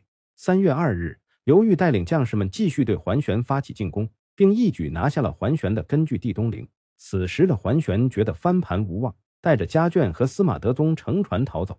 随后，刘裕顺利进入建康，成功接管朝堂，并对跟随自己的人一一重赏。桓玄逃走后，辗转来到江陵，这里是桓氏家族的大本营。桓玄用了短短几日就召集了数万人，他挟持司马德宗准备东征收复建康，但这些临时征调的士兵不具备作战能力。在刘道规的攻击下，桓玄再次落败。此时的桓玄已经是众叛亲离，为了逃命，他抛弃司马德宗，独自逃往巴蜀。桓玄的船只在去往巴蜀的路上被益州都护冯谦拦截，并成功将其斩杀。桓玄死时年仅三十六岁。从桓玄登基到身亡，前后过去不到一年。桓玄作为桓温的儿子，几乎将坏事做尽，得此下场实属不冤。冯谦杀掉桓玄后。将他的首级送到了建康。随后，桓玄的儿子以及残余势力全部被斩首示众。公元四百零五年三月，刘毅将司马德宗护送到长安，重新扶持他为晋室正统皇帝。随后，朝廷下诏任命司马德文为大司马，任命刘裕为侍中、车骑将军，兼任徐州、兖州刺史，都督中外军事。后来，在刘裕的要求下，他返回了京口驻军。平定完桓玄之乱后。刘裕掌握东晋大部分兵马，在乱世背景下，谁掌握了兵力，就相当于掌握了话语权。但此时的刘裕还仍然无法在朝堂上称霸，因为他的出身过于卑微，在政治上根本无法与传统的士族相抗衡。士族虽然没有兵权，但政治号召力非常强，可以通过多种手段来打压刘裕。此前，刘牢之被迫自杀，就是因为无法调动士族。刘裕的聪明之处在于。他没有用武力强行压迫士族，而是用政治资源和他们进行交换。在东晋，扬州刺史历来是京城健康五倍的最高长官，这个职位一般由朝廷最放心的士族担当。刘裕本可以打破这个惯例，但他依然推荐与他私交不错的王密担任此职位。刘裕这样做能够给士族一个台阶下，同时也驱除了士族对他的敌意。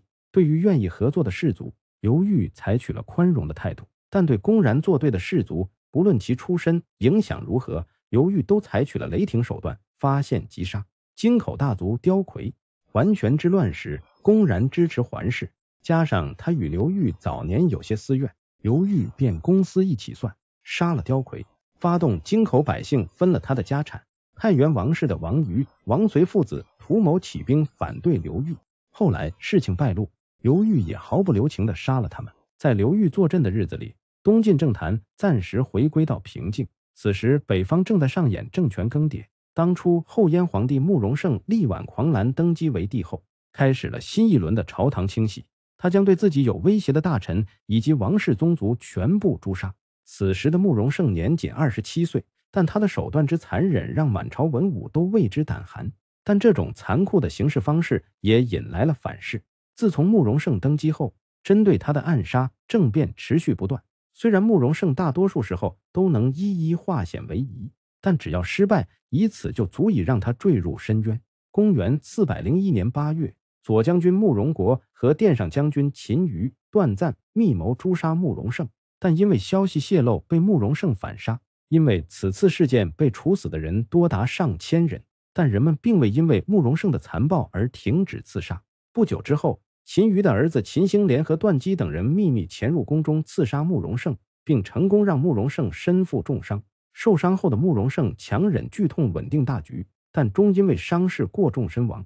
慕容胜死时年仅二十九岁，在位三年。慕容胜生前曾册立慕容定为太子，大臣们觉得慕容定过于年幼，不能支撑起大局。希望慕容胜的丁皇后能够拥立年长的宗亲为帝，大臣们一致推举慕容胜的弟弟慕容元为帝。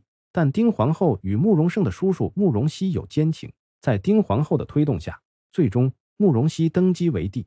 为了永绝后患，事后慕容熙派人杀死了慕容元和慕容定。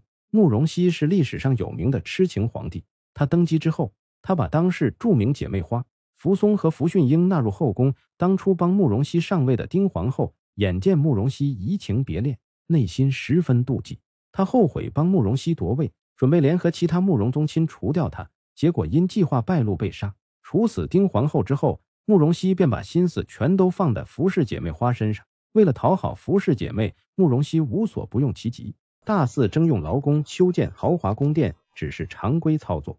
为了在服侍姐妹面前展示男性雄风，慕容熙经常不顾士兵们的死活。在极端严寒出门打猎期间，每次都得冻死上千士兵。公元四百零五年一月，高句丽侵犯后燕的边境，慕容熙想在服侍姐妹面前表现一番，他亲自率兵前去征讨。起初，燕军攻打高句丽非常顺利，将对方城墙破掉一个大的缺口，士兵们马上就可以杀进城。但慕容熙为了讨服侍姐妹开心，要求士兵们把高句丽的城墙铲平，他要和服侍姐妹坐着辇车进城。如此一来，准备杀进城的燕军不得不退回来重新攻城。高句丽趁机修复城墙，加强防御。此时正值北方隆冬时节，天降大雪，士兵们带的辎重不够，加之攻城遇到阻碍，冻死者不计其数。慕容熙在众人的劝说下班师回朝。此番攻打高句丽失败，让慕容熙在服氏姐妹面前丢了面子。为了证明自己，他带上皇后福训英去攻打契丹部落。此时的契丹部落兵强马壮。慕容熙眼见对方是块硬骨头，准备撤军，但福训英要求必须打一仗才肯回去。气氛烘托到这个地步，慕容熙只好硬着头皮打一仗，讨福训英欢心。为了能打胜仗，慕容熙决定再次去拿捏高句丽这个软柿子，于是下令军队掉头，长途奔袭三千里前去攻打高句丽。士兵们在天寒地冻中行军，还未到达高句丽就折损了大半。等到达高句丽的目的城。士兵们已经疲惫不堪，根本无力攻城。慕容熙强行下达攻城命令，最终以惨败收场。在此次攻城中，慕容熙的心腹重臣西阳公慕容云身负重伤。他觉得慕容熙如此折腾会出大问题，便主动请辞回家休息，不再主动接近慕容熙。服侍姐妹恃宠而骄，经常故意为难他人。慕容熙为了讨好他们，时常滥杀无辜。公元四百零七年。福训英病亡，慕容熙接受不了这种结果，悲伤的捶胸顿足。他想到今后都见不到福训英，便做了一个大胆的决定：他在福训英的棺材里与其发生了关系。这种行为放在世界历史上都是非常惊世骇俗的。福训英死后，慕容熙以各种理由大杀四方，让朝臣们为他陪葬，一时间造成了举国上下民怨沸腾。中卫将军冯拔和弟弟冯素福也在陪葬之列。他们为了活命，打算奋起反抗。冯拔兄弟趁慕容熙为福训英下葬时疏于防范，率兵拿下了京城的武器库，并攻陷监狱，将罪犯们组织起来反抗。事后，冯氏兄弟推举西阳公慕容云为盟主，带领他们起事。慕容云本是高句丽皇族，后来被慕容皇室赐姓慕容。公元四百零七年七月，慕容云在冯氏兄弟的推举下自称天王，改姓为高。后世将这段政权称为北燕。北燕是五胡十六国中最后一个建立的政权，在高云的带领下，很快破掉了慕容熙的防御。七月二十九，慕容熙被抓，高云将慕容熙的罪状公布于天下，然后将其斩首，此时年仅二十三岁。随着慕容熙被杀，立国二十四年的后燕正式宣布灭亡。高云并没有因为灭掉后燕高兴太久，因为在冯氏兄弟眼里，他只是个傀儡。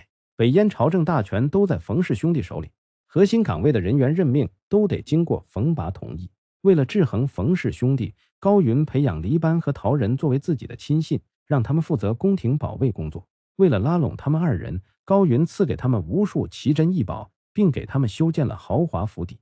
但他们二人只是看在钱的面子上，暂时效忠高云。一旦有人出更高的价码，他们就会背叛。冯拔当初扶持高云上位，只是权宜之计。他一心想要除掉高云，自立为王。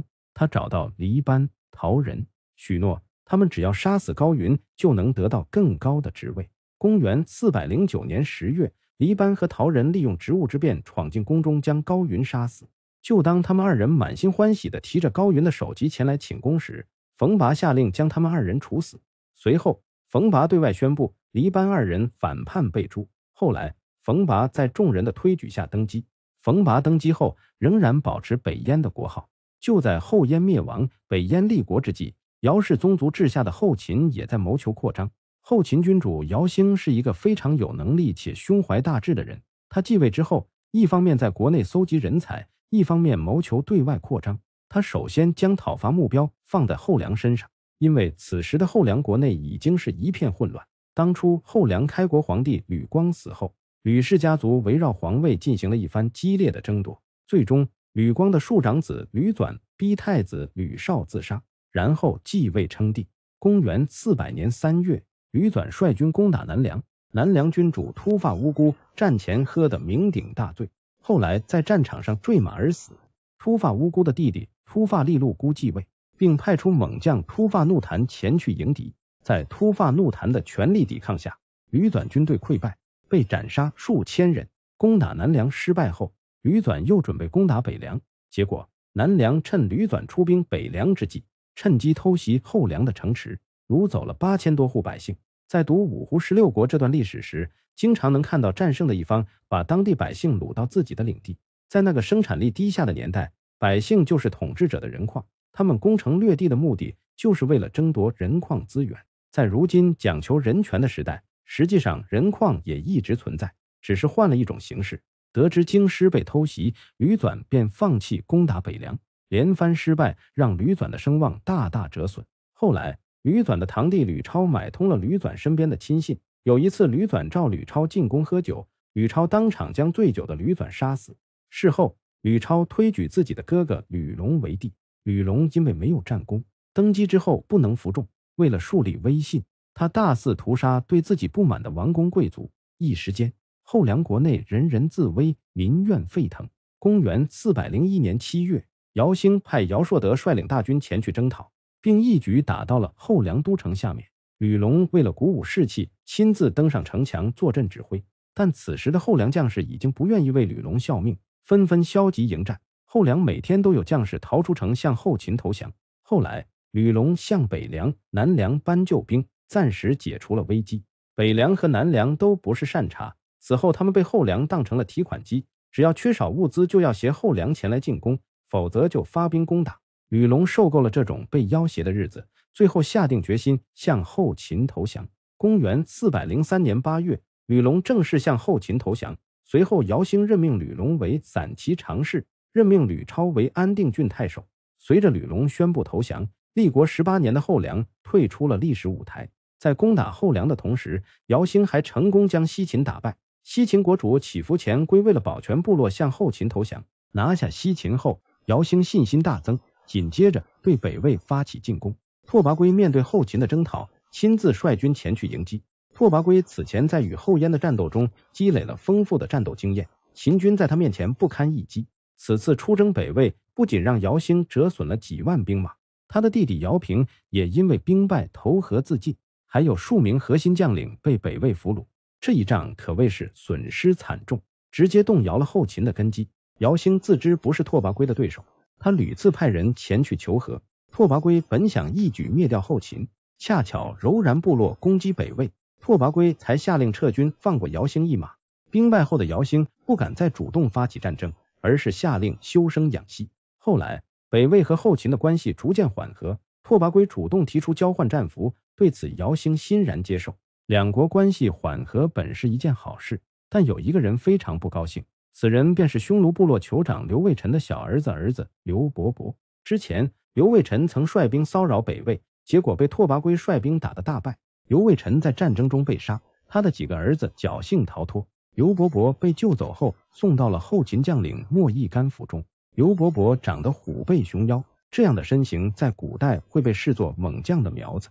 在莫义干的培养下，刘伯伯文武双全。莫义干还将女儿嫁给了他。后来，莫义干将刘伯伯推荐给了姚兴，姚兴被刘伯伯的外表和才能折服。准备重用他，姚兴任命刘伯伯为安北将军，镇守朔方，派给他两万户鲜卑人让他管理。刘伯伯对姚兴的信任非常感激，并十分卖力的为姚兴镇守边境。但后秦和北魏之间的缓和改变了刘伯伯的命运。刘伯伯的父亲死于北魏之手，他一直将这段仇恨放在心里，并打算伺机报复。如今两国关系缓和，让他的复仇计划化为泡影。除此之外，刘伯伯还担心自己成为后秦与北魏之间交易的筹码，内心非常缺乏安全感。他觉得姚兴没有考虑他的感受。经过一番思考后，决定起兵反秦。当时柔然部落向后秦进贡了一批战马，恰好经过刘伯伯驻地。刘伯伯将这些马匹扣留，为起兵做准备。他担心自己的岳父莫义干会阻止他起兵，便趁其不备杀害了自己的岳父。莫义干临死之前都不会想到自己会死在最疼爱的女婿手里。公元四百零七年六月，刘伯伯自称是夏朝的后代，便自封为大夏天王。后世将刘伯伯建立的这段政权称为胡夏。胡夏政权是五胡十六国中第十五个建立的国家。后来，刘伯伯改姓为赫连，他便是有名的赫连勃勃。赫连勃勃自立为王之后，对后秦发起了猛攻，并将后秦打得大败，斩杀秦军一万多人，并生擒了后秦大将齐难。不过，赫连勃勃只是想出一口恶气，他告诉部下，姚兴是个明君，在关中一带深得民心。现在不是攻取关中的时候，等姚兴死后再进取关中也不迟。为了在乱世中生存，赫连勃勃想和南梁结盟，于是向南梁国主突发怒檀提亲。突发怒檀不喜欢赫连勃勃，便拒绝了请求。赫连勃勃恼羞成怒，亲自率兵攻打南梁，并接连将南梁军队打得大败。斩杀对方数万人，突发怒檀差点在战斗中被生擒。为了震慑周围部落，赫连勃勃将南梁士兵的尸体堆在一起，用泥土垒在一起，将其命名为骷髅台，以此来显示自己的残暴。赫连勃勃凭借自身武力，短期内迅速崛起，周边的部落纷纷前来归附。一时间，胡夏的版图不断扩大，赫连勃勃成为一支非常强大的力量。就在赫连勃勃建功立业之时，北魏国内发生了政权更替。在后秦与北魏的蜜月期，拓跋圭曾派人向姚兴求亲，希望能迎娶姚兴的女儿，两国之间亲上加亲。对于拓跋圭的求亲，姚兴非常高兴。但当姚兴得知拓跋圭已经立慕容氏为皇后时，勃然大怒。因为后秦一直与慕容氏关系不好，姚兴不允许自己的女儿屈居于慕容氏之下。姚兴认为。拓跋圭此举是故意羞辱他，便扣留了使者，两国关系随之破裂。拓跋圭是一位明主，他非常重视教育，严格法度，在国内设立太学，为北魏的发展殚精竭虑。但拓跋圭并不是圣人，或者说人类之中就不存在圣人。凡是标榜圣人的人，要么是江湖骗子，要么是邪教领袖。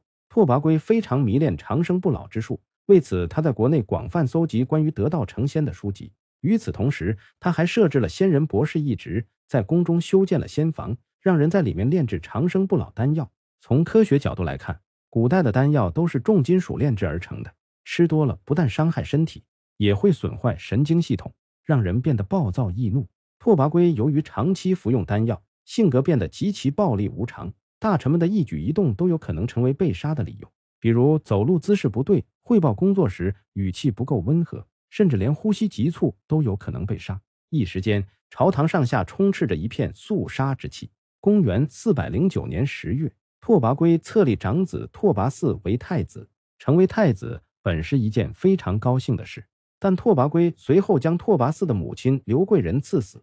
拓跋圭认为，王朝衰落很大一个原因是后宫和外戚专权，杀死太子的母亲就能避免这种事情发生。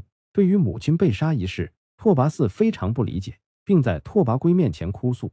拓跋圭认为哭哭啼啼的男人难成大事，便当面训斥了拓跋嗣，让他不许哭哭啼啼。拓跋嗣强忍着情绪回到东宫后，又连续哭了几天。拓跋圭得知此事后大怒，宣拓跋嗣进宫。拓跋嗣害怕会遭遇不测，便逃出宫进行躲避。此举不但没有打消拓跋圭的怒气，反而让他萌生了废掉太子的想法。贺夫人得知此事后，认为有机可乘，便来劝说拓跋圭。贺夫人是拓跋圭母亲的亲妹妹，按照辈分，拓跋圭应该叫她姨母。当时年少的拓跋圭第一次见到贺夫人时，被她深深吸引，便萌生了迎娶她的想法。当时贺夫人已经嫁作人妇，拓跋圭派人杀死了贺夫人的夫君，然后强行将他娶进宫。后来贺夫人生下一子，名叫拓跋绍。也许是近期繁殖的缘故，拓跋绍从小就性情暴戾，经常以杀人为乐。为了纠正儿子的言行，拓跋圭曾多次对他进行毒打，有一次还将他打得奄奄一息，但最终没能纠正他的行为，反而让拓跋绍对父亲心生怨念。拓跋圭虽然有废立太子的想法，但从未考虑过立拓跋绍为太子。贺夫人不死心，苦苦劝说拓跋圭，为此拓跋圭火冒三丈，将其打入大牢，择日处死。拓跋绍得知母亲被关押后，内心十分焦急。他询问身边人该如何营救母亲。他的幕僚表示，只有杀死拓跋圭才能救出贺夫人。此时的拓跋绍已经年满十六，拥有一身武力。他采纳了幕僚的建议，先利用皇子的身份进入宫中，然后提剑直奔拓跋圭的住处，对着拓跋圭就是一阵猛砍。此时拓跋圭的身体已经非常虚弱，他反抗了几下，最终被拓跋绍当场杀死。此时年仅三十九岁，一代雄主最终以这种方式离世。着实让人大跌眼镜。第二天一早，拓跋绍当着文武百官的面宣布拓跋圭驾崩。面对拓跋圭的死讯，大臣们已经猜出了大概，纷纷以各种理由离开朝堂。一时间，皇城内暗流涌动。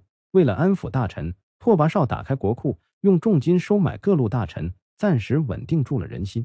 此时，拓跋绍最担心的人就是出逃在外的拓跋嗣。为了捉拿拓跋嗣，他开出了重金悬赏。由于拓跋绍为人过于嚣张跋扈，真正支持他的人少之又少，大部分人都暗中支持拓跋嗣。拓跋嗣知道父亲去世后，也暗中与朝中大臣联络，准备夺回皇位。在大臣们的里应外合下，最终拓跋嗣顺利进入京城。拓跋绍和他的母亲贺夫人随即被逮捕。拓跋绍没有接受审判，就被当场剁成肉泥。为了泄愤，文武百官将剁碎的尸体分而食之。公元四百零九年十月十七，拓跋嗣登基为帝，结束了这场动荡。让我们把目光转向南燕。南燕皇帝慕容德立国之后，过了几年太平日子。慕容德为人比较清醒，对于手下大臣溜须拍马之事比较反感，但这种事情屡禁不止。在一次宴请群臣的宴会上，慕容德问在座的大臣，他能与过去哪位帝王相媲美？青州刺史居仲表示，他能与光武帝刘秀相比。慕容德听后面露笑容，当即下令赏赐一千匹绸缎给居仲。居仲假装推辞，直言赏赐太重。慕容德大笑说：“既然你能哄我开心，我也能哄你开心。”居仲听完，老脸一红，连忙坐下不说话。自此之后，朝堂上溜须拍马之风减轻了很多。从这件事也可以看出，慕容德对自我的认知还是比较清晰的。公元四百零三年四月。慕容德得知留在长安的母亲公孙氏和哥哥慕容纳去世后，悲痛不已。已经七十岁的他气血攻心，重病在床。由于慕容德没有子嗣，在册立接班人问题上遇到了难题。幸运的是，慕容纳的妻子段氏在后秦积压期间生下一个儿子，名叫慕容超。慕容超从小生得非常魁梧，为了不引姚氏家族的注意，慕容超从小就装疯卖傻。慕容德得知此事后。派人到后秦，成功将慕容超营救出来。公元四百零五年九月，慕容德立慕容超为太子。立完遗嘱后不久便去世，享年七十岁。慕容超继位后，尊慕容德的段皇后为太后，然后提拔了一批朝堂大臣。由于慕容超从小在苦难中长大，导致他对人非常不信任。当时慕容超从长安逃回来时，公孙五楼一直陪在他身边，因此慕容超将他视作心腹亲信。随着慕容超在朝堂上站稳脚跟，公孙五楼被任命为五位将军，逐渐把持了朝政。慕容超过惯了苦日子，登基之后不久，他就开始沉溺于酒色之中。对此，朝堂大臣们颇为不满，并上书力谏。太尉封福直接当着慕容超的面说他堪比夏桀、商纣。慕容超听后大怒，考虑到封福在朝堂上的威望很高，慕容超便忍气吞声，没有杀他。但对其他人，慕容超则露出了獠牙。由于公孙五楼把持朝政，引起了很多朝堂大臣们的不满，慕容超则毫不留情地对他们一一清算。在慕容超和公孙五楼的折腾下，大臣们要么回到自己的封地割据自立，要么逃到周边其他国家投降。慕容超将这种自断双臂的行为称之为胜利。沉迷于声色犬马的慕容超，突然有一天想起自己的母亲和妻子还被扣押在后秦。为了迎回他们，慕容超派人出使长安，主动向后秦称臣，希望能以此作为条件换回母亲和妻子。姚兴在此基础上提出一个条件，他说：当时苻坚培养的宫廷乐师在前秦沦陷时，都被慕容家族带到了关东。姚兴让慕容超把这些宫廷乐师送回来，如果不愿意拿宫廷乐师交换，就去捉拿一千个晋人送来。面对这道难度不大的选择题，起初慕容超打算对晋士用兵，用俘获的晋人来满足姚兴的要求。后来尚书张华极力劝阻，说此举会为南燕树立强敌。慕容超无奈之下才答应前一种方案。他派人把一百二十多名宫廷乐师送到了后秦，成功换回了母亲和妻子。这本是一个皆大欢喜的局面，但不久之后，慕容超再出昏招。公元四百零九年大年初一当天，慕容超在宫中设宴招待群臣。席间，慕容超让乐师们奏乐助兴，但慕容超对乐师们的演奏十分不满意，觉得他们的水平和之前那批乐师相差甚远，内心十分不悦。此时，有人告诉慕容超说，晋人在乐理方面非常有天赋，如果能到东晋抓一批晋人进行训练。就能获得世间最优秀的乐师。慕容超听完之后，犹如打了鸡血一般，当即决定要出兵攻打晋士。一些理智的大臣力劝慕容超不要和晋士结仇，以免引火烧身。但慕容超心意已决，不听任何劝阻，执意要攻打东晋。当年二月，慕容超就派骑兵精锐进攻东晋的粟裕，城破之后，燕军在里面大肆烧杀抢掠，然后又掳走大量人口，返回京师。慕容超对这个结果非常满意，随后从这些俘虏当中挑选出两千多名年轻男女，派人对他们进行乐理训练。刘裕得知此事后，又惊又喜。惊的是南燕敢在这个时候招惹晋朝，喜的是终于找到了建功立业的机会。平定桓玄之乱后，刘裕一直寻求北伐的时机。此前，刘裕提出北伐，均遭大臣们反对，而慕容超的这个举动给他送来了助攻。公元四百零九年三月。刘裕上书朝廷，再次请求北伐南燕。尽管仍有大臣们反对北伐，但此时的刘裕有充足的理由驳斥反对声音。下定决心后，刘裕让孟昶主持将军府上的事务，他亲自率人前去讨伐南燕。在刘裕北伐之前，他经人推荐得到了一个人才，名叫王镇恶。王镇恶是名相王猛的孙子。由于王镇恶出生的日子不吉利，他的父母打算将其送人，但王猛不但不允许将其送人。还给他取名镇恶，希望他能成就一番事业。当初前秦被灭后，王镇恶辗转来到了东晋。刘裕经过和他交谈后，发现他的确是一个不可多得的人才，便任命他为中军参军，跟随自己一起北伐。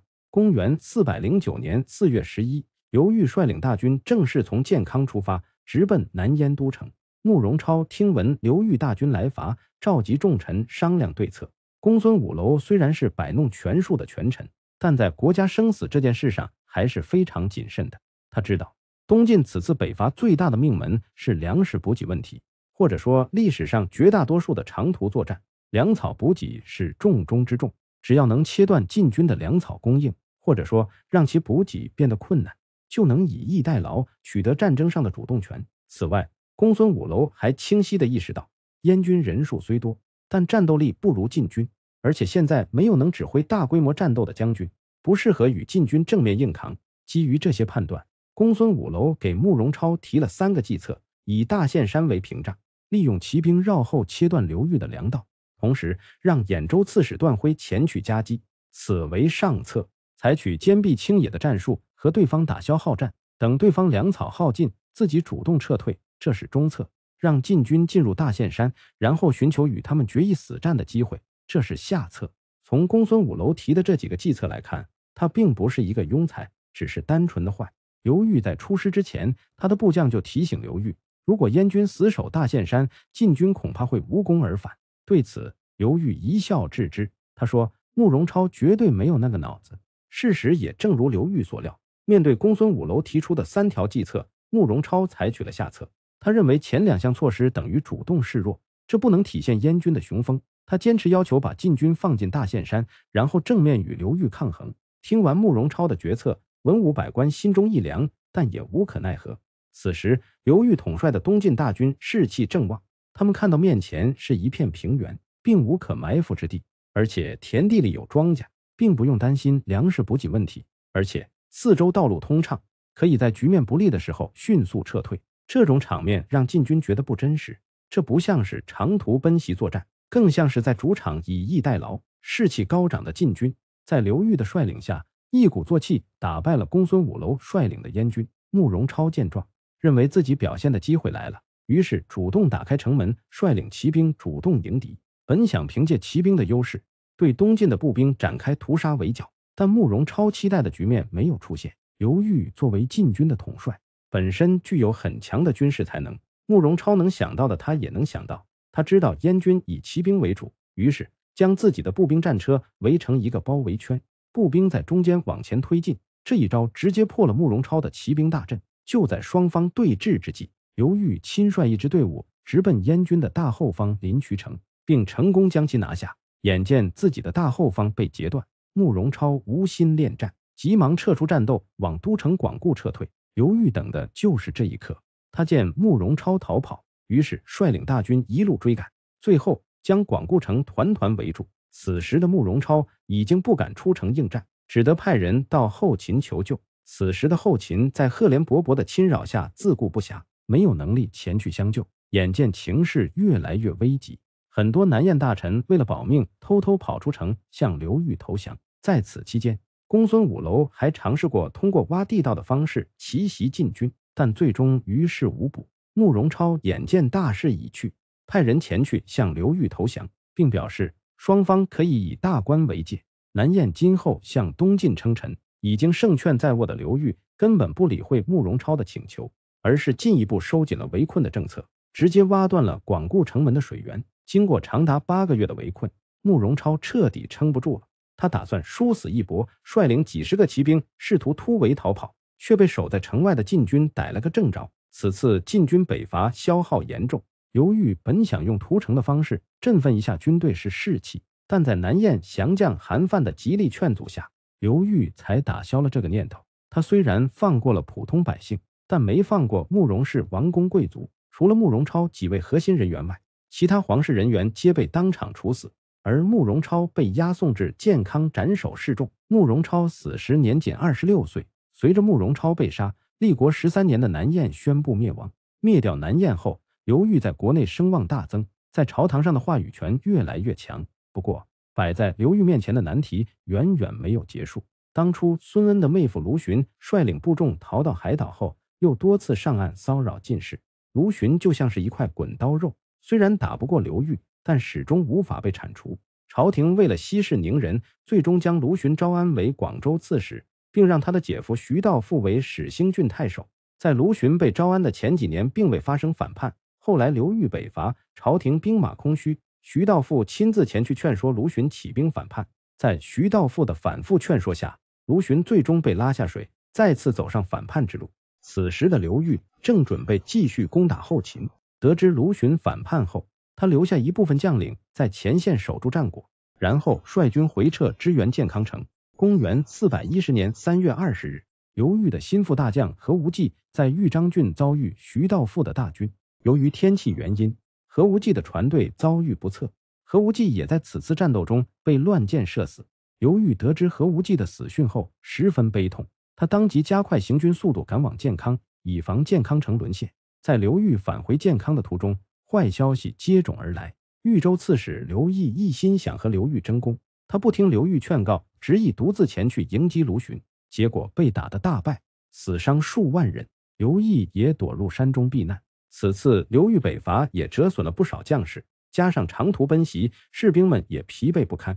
面对种种不利的局面，刘裕的亲信孟昶建议他放弃建康，带着皇帝司马德文北上躲避。对此，刘裕坚决不同意。当初刘裕北伐时，孟昶坚决拥护刘裕。孟昶觉得进士遭此劫难和自己有关，遂服毒自杀。此时的刘裕已经被逼入绝境，不过他的性格非常刚毅，坚决不和叛军妥协。刘裕一边加固石头城，一边积极招募士兵作战。叛军接连取得大捷后，徐道富提议一鼓作气，趁势攻打建康，而卢循则想求稳，一点点朝建康逼近。卢循的决策给了刘裕喘息之机。对于刘裕这样的战神来讲，能得到一丝喘息之机就足以翻盘。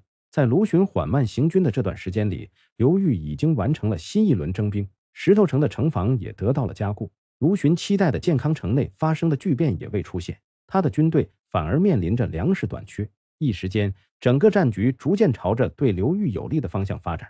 后来，卢循和徐道富在出兵仪式上产生了分歧，两人各自为战。刘裕认为时机已到。便组织兵力进行全面反击，将叛军打退至南部一带。当年十二月，卢循和徐道富又集结了数万兵马，直奔建康而来。此次卢循可谓是毕其功于一役。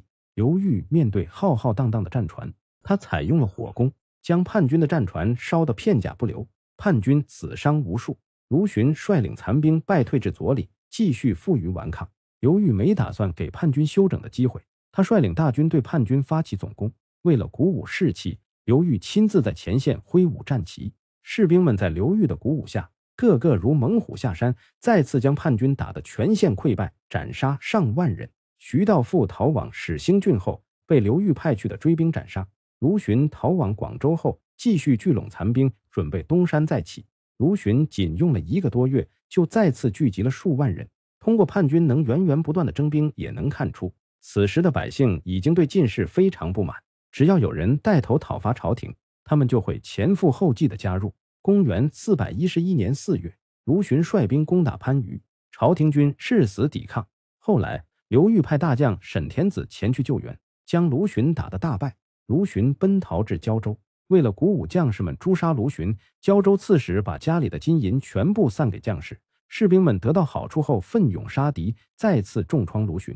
此时的卢循已经是光杆司令，绝望之下。他投河自尽，卢循并未因为自杀而保留全尸。随后，他的尸体被打捞上来斩首，首级被送往建康，他的家眷被就地全部诛杀。至此，卢循、徐道富叛乱宣告结束。这场叛乱给民众造成了极大的灾难。正所谓一将功成万骨枯，这些人的牺牲也把刘裕抬到了更高的位置。叛乱结束后，刘裕在朝堂上的地位无人出其右，刘裕的成功也引来了妒忌。而妒忌他的人，正是曾经并肩起兵反抗桓玄的刘毅。公元四百一十二年十月，刘裕的弟弟刘道规身染重病，他请求辞官回乡。荆州刺史一直出现了空缺，随后朝廷任命刘毅接替刘道规的位置，并都督四州军事。一直以来，刘毅就和刘裕暗中较劲。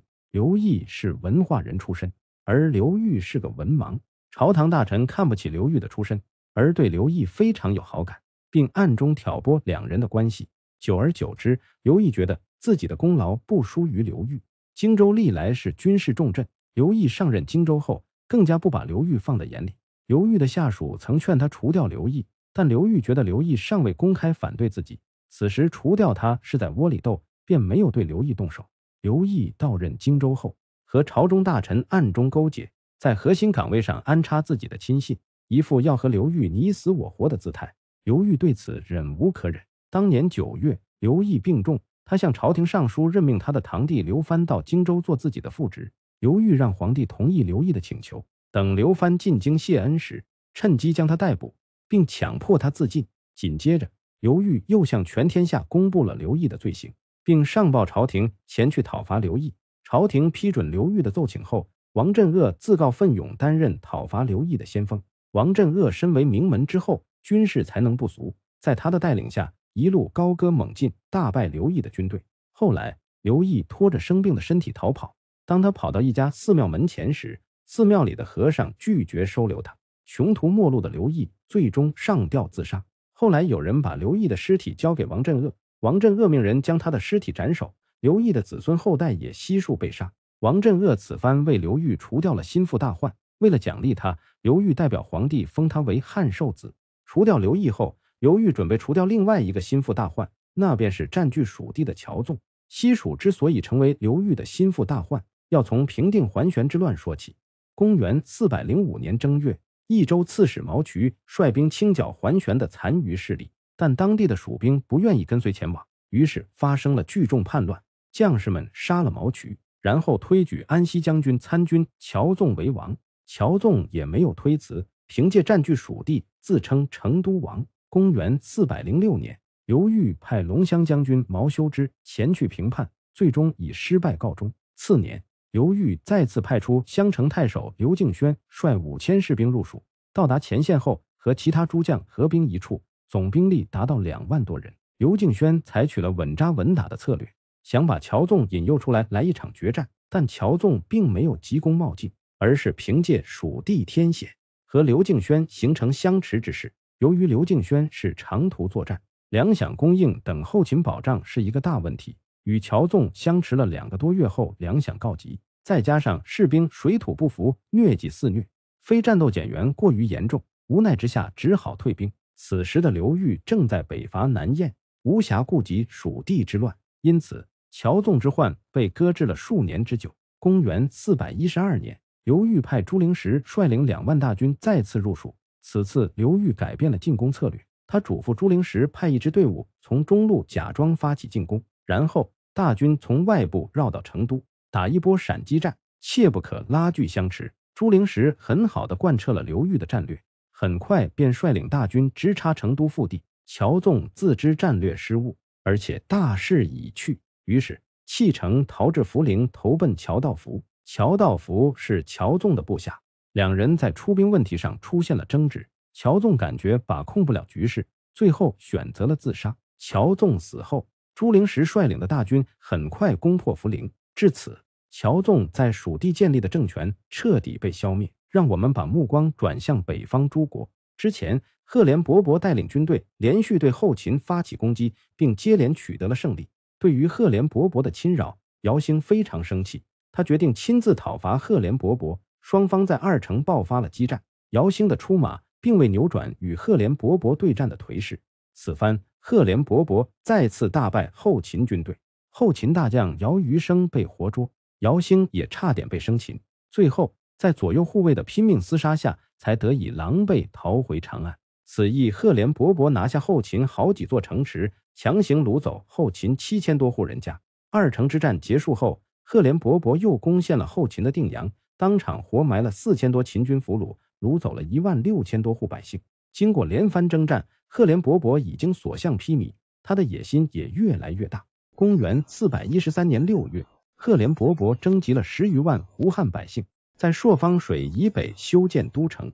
为了体现一统天下、君临万邦的雄心，赫连勃勃将都城命名为统万城，继续延续胡夏的辉煌。在赫连勃勃蒸蒸日上的同时，周边其他国家正在上演着吞并与被吞并。当初向后秦投降的西秦国主乞伏前归复国成功。乞伏前归之所以能再度复国，是因为后秦讨伐南梁失败，折损了多名大将和上万名士兵。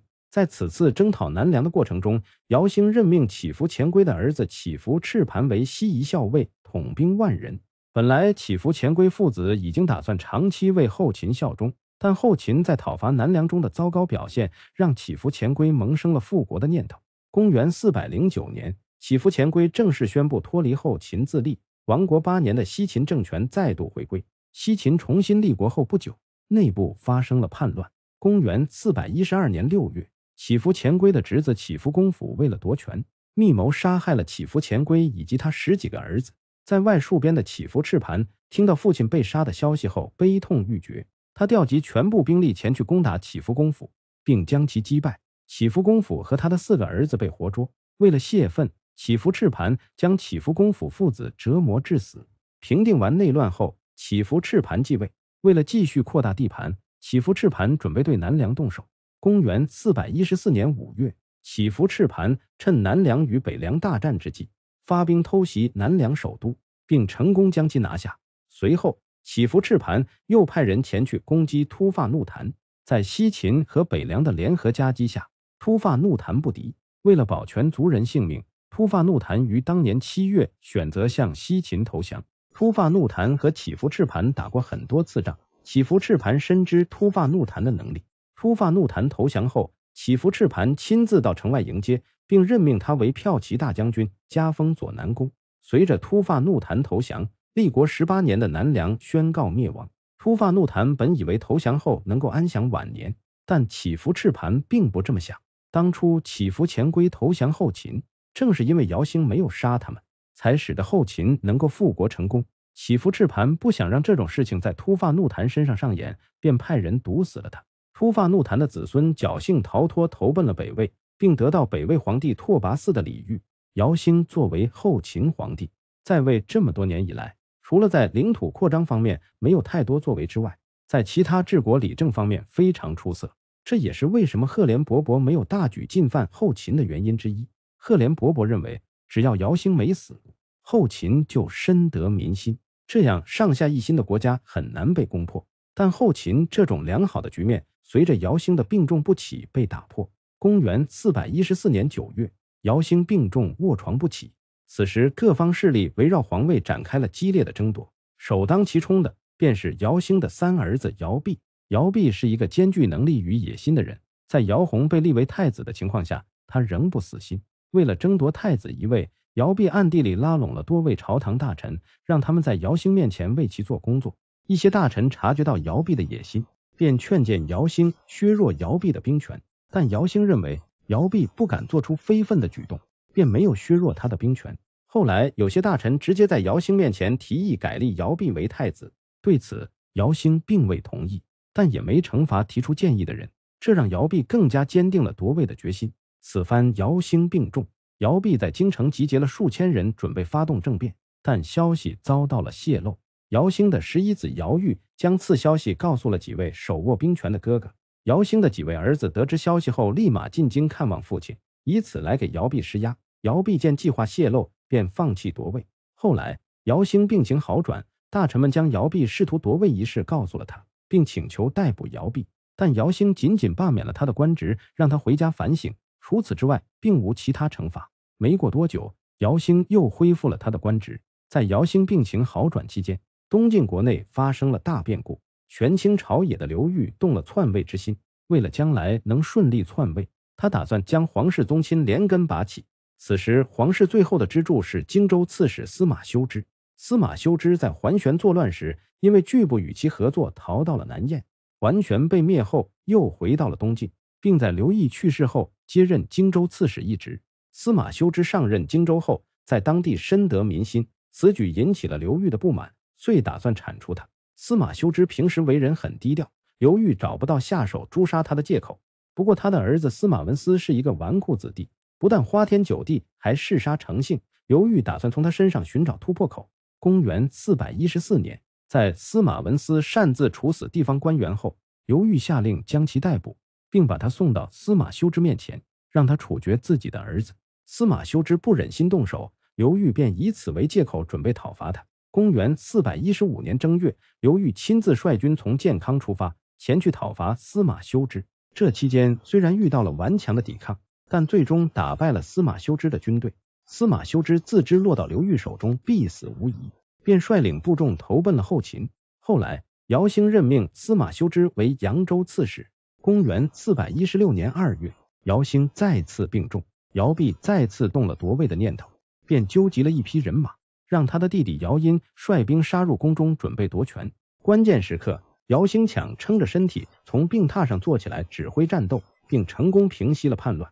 兵变失败后，姚兴不再对姚弼心软，下令让他自杀。处理完此次叛乱，姚兴已经油尽灯枯、奄奄一息之际，他召集心腹大臣前来，命人当众宣读诏书，让他们辅佐姚泓登基。宣读完诏书，第二天，姚兴便去世。享年五十一岁。随后姚洪登基，后秦有惊无险地完成了权力更替。姚兴的去世传到刘裕耳朵里后，他兴奋不已。他认为当前是讨伐后秦的好时机，便上表朝廷请求北伐。刘裕上表皇帝只是走个形式，因为赶走司马修之以后，他已经是东晋实际控制人，享受剑履上殿、入朝不屈、战败不明的待遇。公元四百一十六年八月十二，刘裕率领大军从建康启程，北伐之旅正式开始。为了能够一举成功，刘裕制定了五路大军同时推进的计划。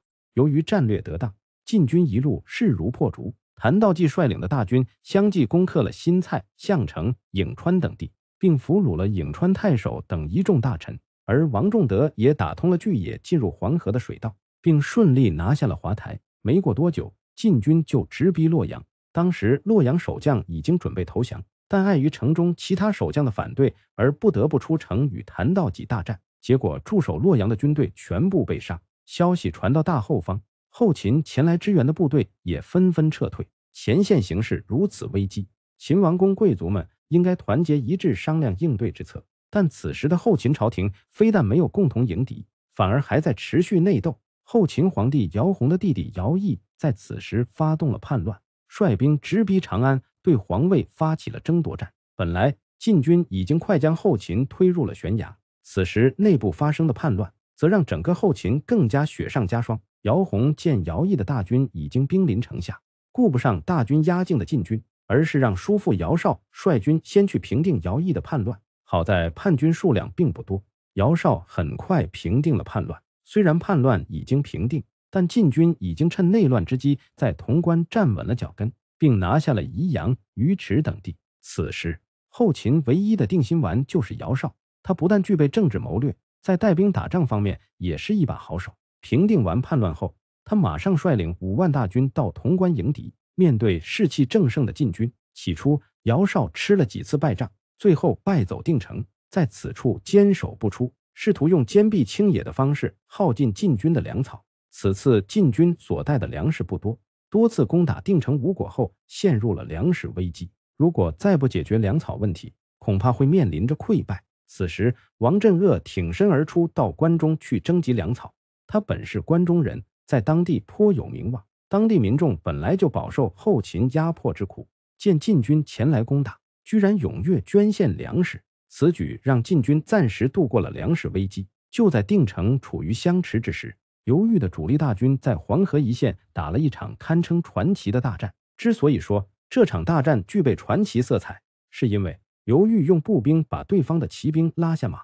刘裕大军在沿河西上之时，出于礼节，遣使向北魏借道伐秦。北魏君臣动起了心思。此前东晋伐后秦，已在北魏中央掀起一场争论。有的人认为应该联合后秦抵抗东晋，有的人认为。不能招惹新兴的刘裕集团。最终，在崔浩等大臣的建议下，北魏明元帝拓跋嗣决定坐山观虎斗。此时，刘裕下书借道，再次引发了魏帝敏感的神经。虽然截至目前，东晋并未表露出北攻的趋势，但其大军就在国门之外，难保其不会趁势北攻。出于这样的考虑，明元帝派大将长孙嵩率骑兵三万沿河备御，双方在黄河沿岸泮城附近发生摩擦。刘裕的水军沿河而行，拉纤的士兵中被河水冲到对岸的都被魏军所杀。刘裕气不过，便派兵上岸攻击。但是北魏军一击即走，不击复来，晋军不胜其扰。刘裕望着黄河北岸狼一样的鲜卑骑兵，终于忍不住杀气，祭出了千古一见的战法——雀跃阵。刘裕先派人率七百士兵上岸，将百余辆战车沿河布设，车阵两头抱河。队形弯成弧形，因为形似新月，故称雀跃阵。每辆战车安排七名战士。北魏骑兵不知晋军是何用意，暂时按兵不动。刘裕又派猛将朱超时率两千人，每车增加二十人和一张大弩，车外竖起盾牌。北魏骑兵此刻方才明白，原来晋军这是在结阵，于是进攻。朱超时先命令力气小的单兵引弓弩射击。北魏骑兵见晋军兵少箭弱。便放心大胆的加速进攻。此时迫近的北魏骑兵已达三万多。朱超时遂令朱车用大弩发箭，魏骑纷纷中箭。但此时北魏骑兵已经离战车很近，而且人数越来越多。大弩近距离的杀伤效果已经不能遏制魏军的进攻。朱超时急中生智，遂命将士把手中的千余张长槊结成三四尺的短槊，以锤锤之，一矛盾折动贯三四鲁，鲁众不能当，一时崩溃。魏军死伤惨重，大将阿伯干当场被晋军斩杀。魏军退回叛城，刘裕派朱超时、吴蕃追击，再败北魏军。自此，北魏不敢再袭击晋军。刘裕得以顺利沿河西上，却岳阵之所以名垂千古，是在于此阵并非事先演练完成的，而是临时起义，因地制宜，凭借少量的步兵斩杀数倍于自己的骑兵。这种阵型不能模仿，此后再无成功案例。却岳阵不仅为晋军取得了一次大胜，也充分体现了刘裕在作战方面的灵活性。也正是靠着合理的战前规划和优秀的临时应变，才让刘裕一次次取得大胜。解决完北魏这个大麻烦后，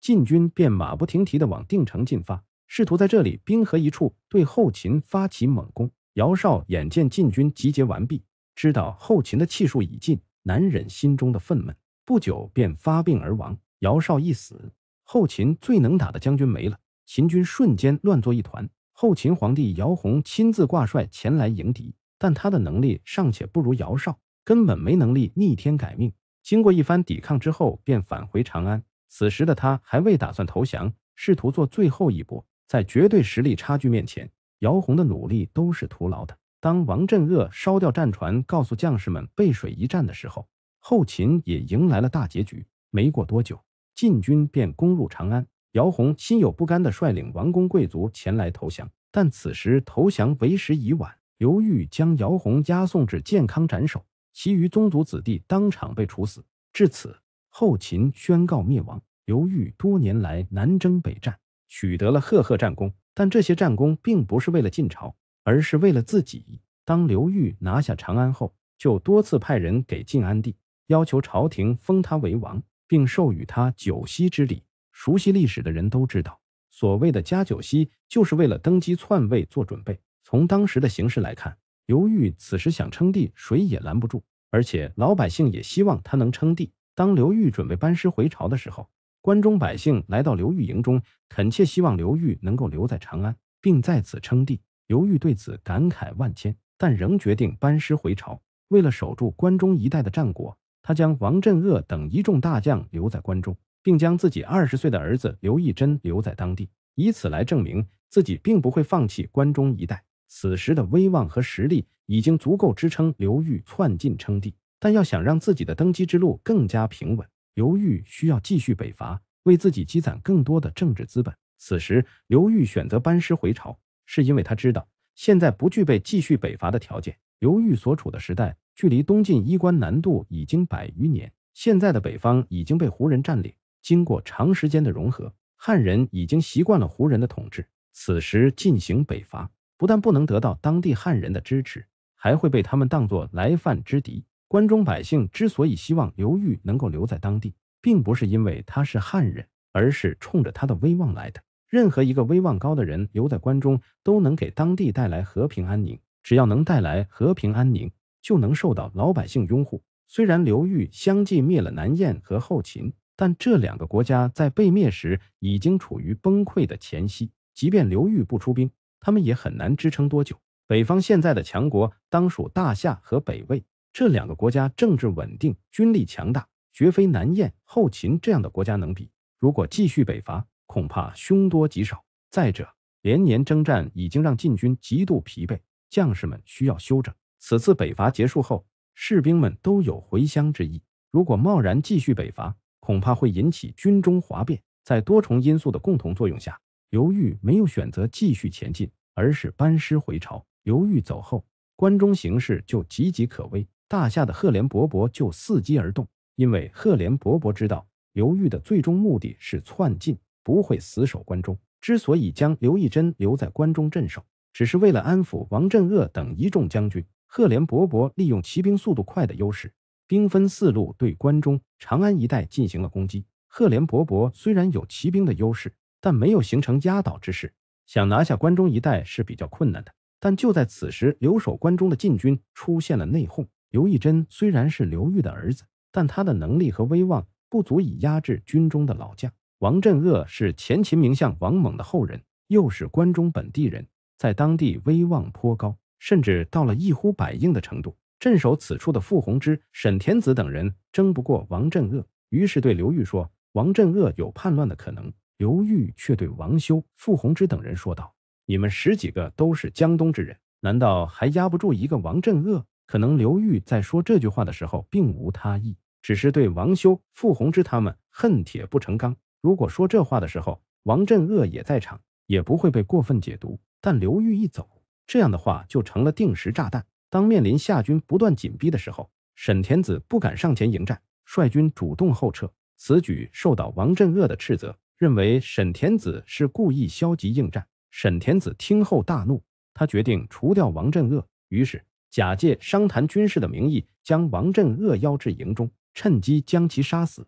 事后，沈田子谎称受刘裕之命斩杀王镇恶。刘义珍和王修知道沈田子此举是为了报私仇。于是遵照军法将其处死。不得不说，刘义珍此事处理得非常草率。即便沈田子故意杀害王镇恶，在夏军步步紧逼的情况下将其杀死，是非常不利于军心稳定的。短期内两员大将被杀，夏军把握时机对晋军发起了猛攻。幸好傅弘之拼死抵御，才守住了攻势。晋军此时最应该做的是全力防守，等待救援。但刘义珍又连续犯错。当初。刘裕留下一众大臣帮助刘义珍驻守关中，就是为了辅佐他快速成长。但刘义珍觉得王修对自己的约束太多，居然将其处死。王修的死成为压垮晋军身上的最后一根稻草。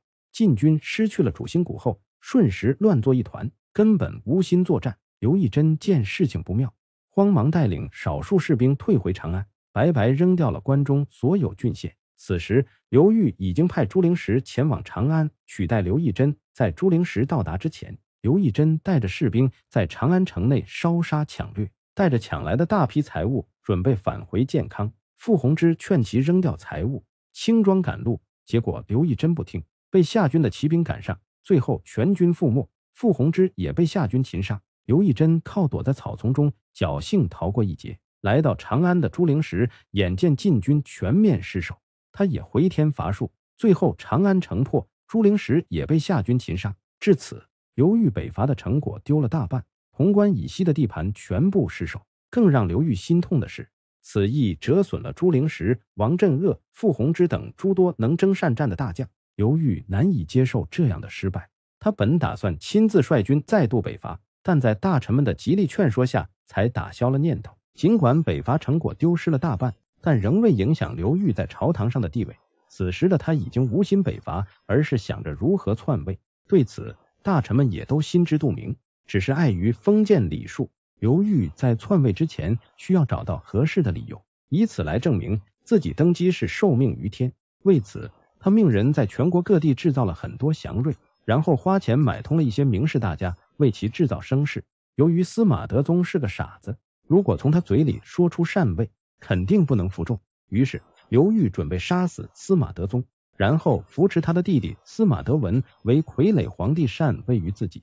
公元四百一十八年十二月，刘裕派中书侍郎王韶之带着毒药前去准备毒死司马德宗。司马德文不忍心哥哥被杀，便整日与司马德宗同吃同住。王韶之等来很久都没找到机会。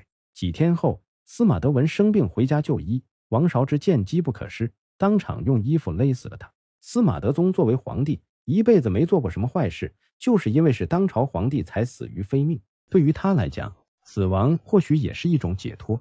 司马德宗死后，刘裕立即宣读司马德宗的遗诏，立司马德文为帝。公元四百一十九年正月初一，司马德文下诏封刘裕为宋王，并邀请他入朝主政。后来，司马德文又下令刘裕可以用天子礼仪出行，一步步为禅让做铺垫。这种铺垫持续进行了一年多。公元四百二十年六月，刘裕实在等不及了，在他的授意下，中书令傅亮带着禅位诏书来到皇宫找司马德文，让他把诏书抄一遍。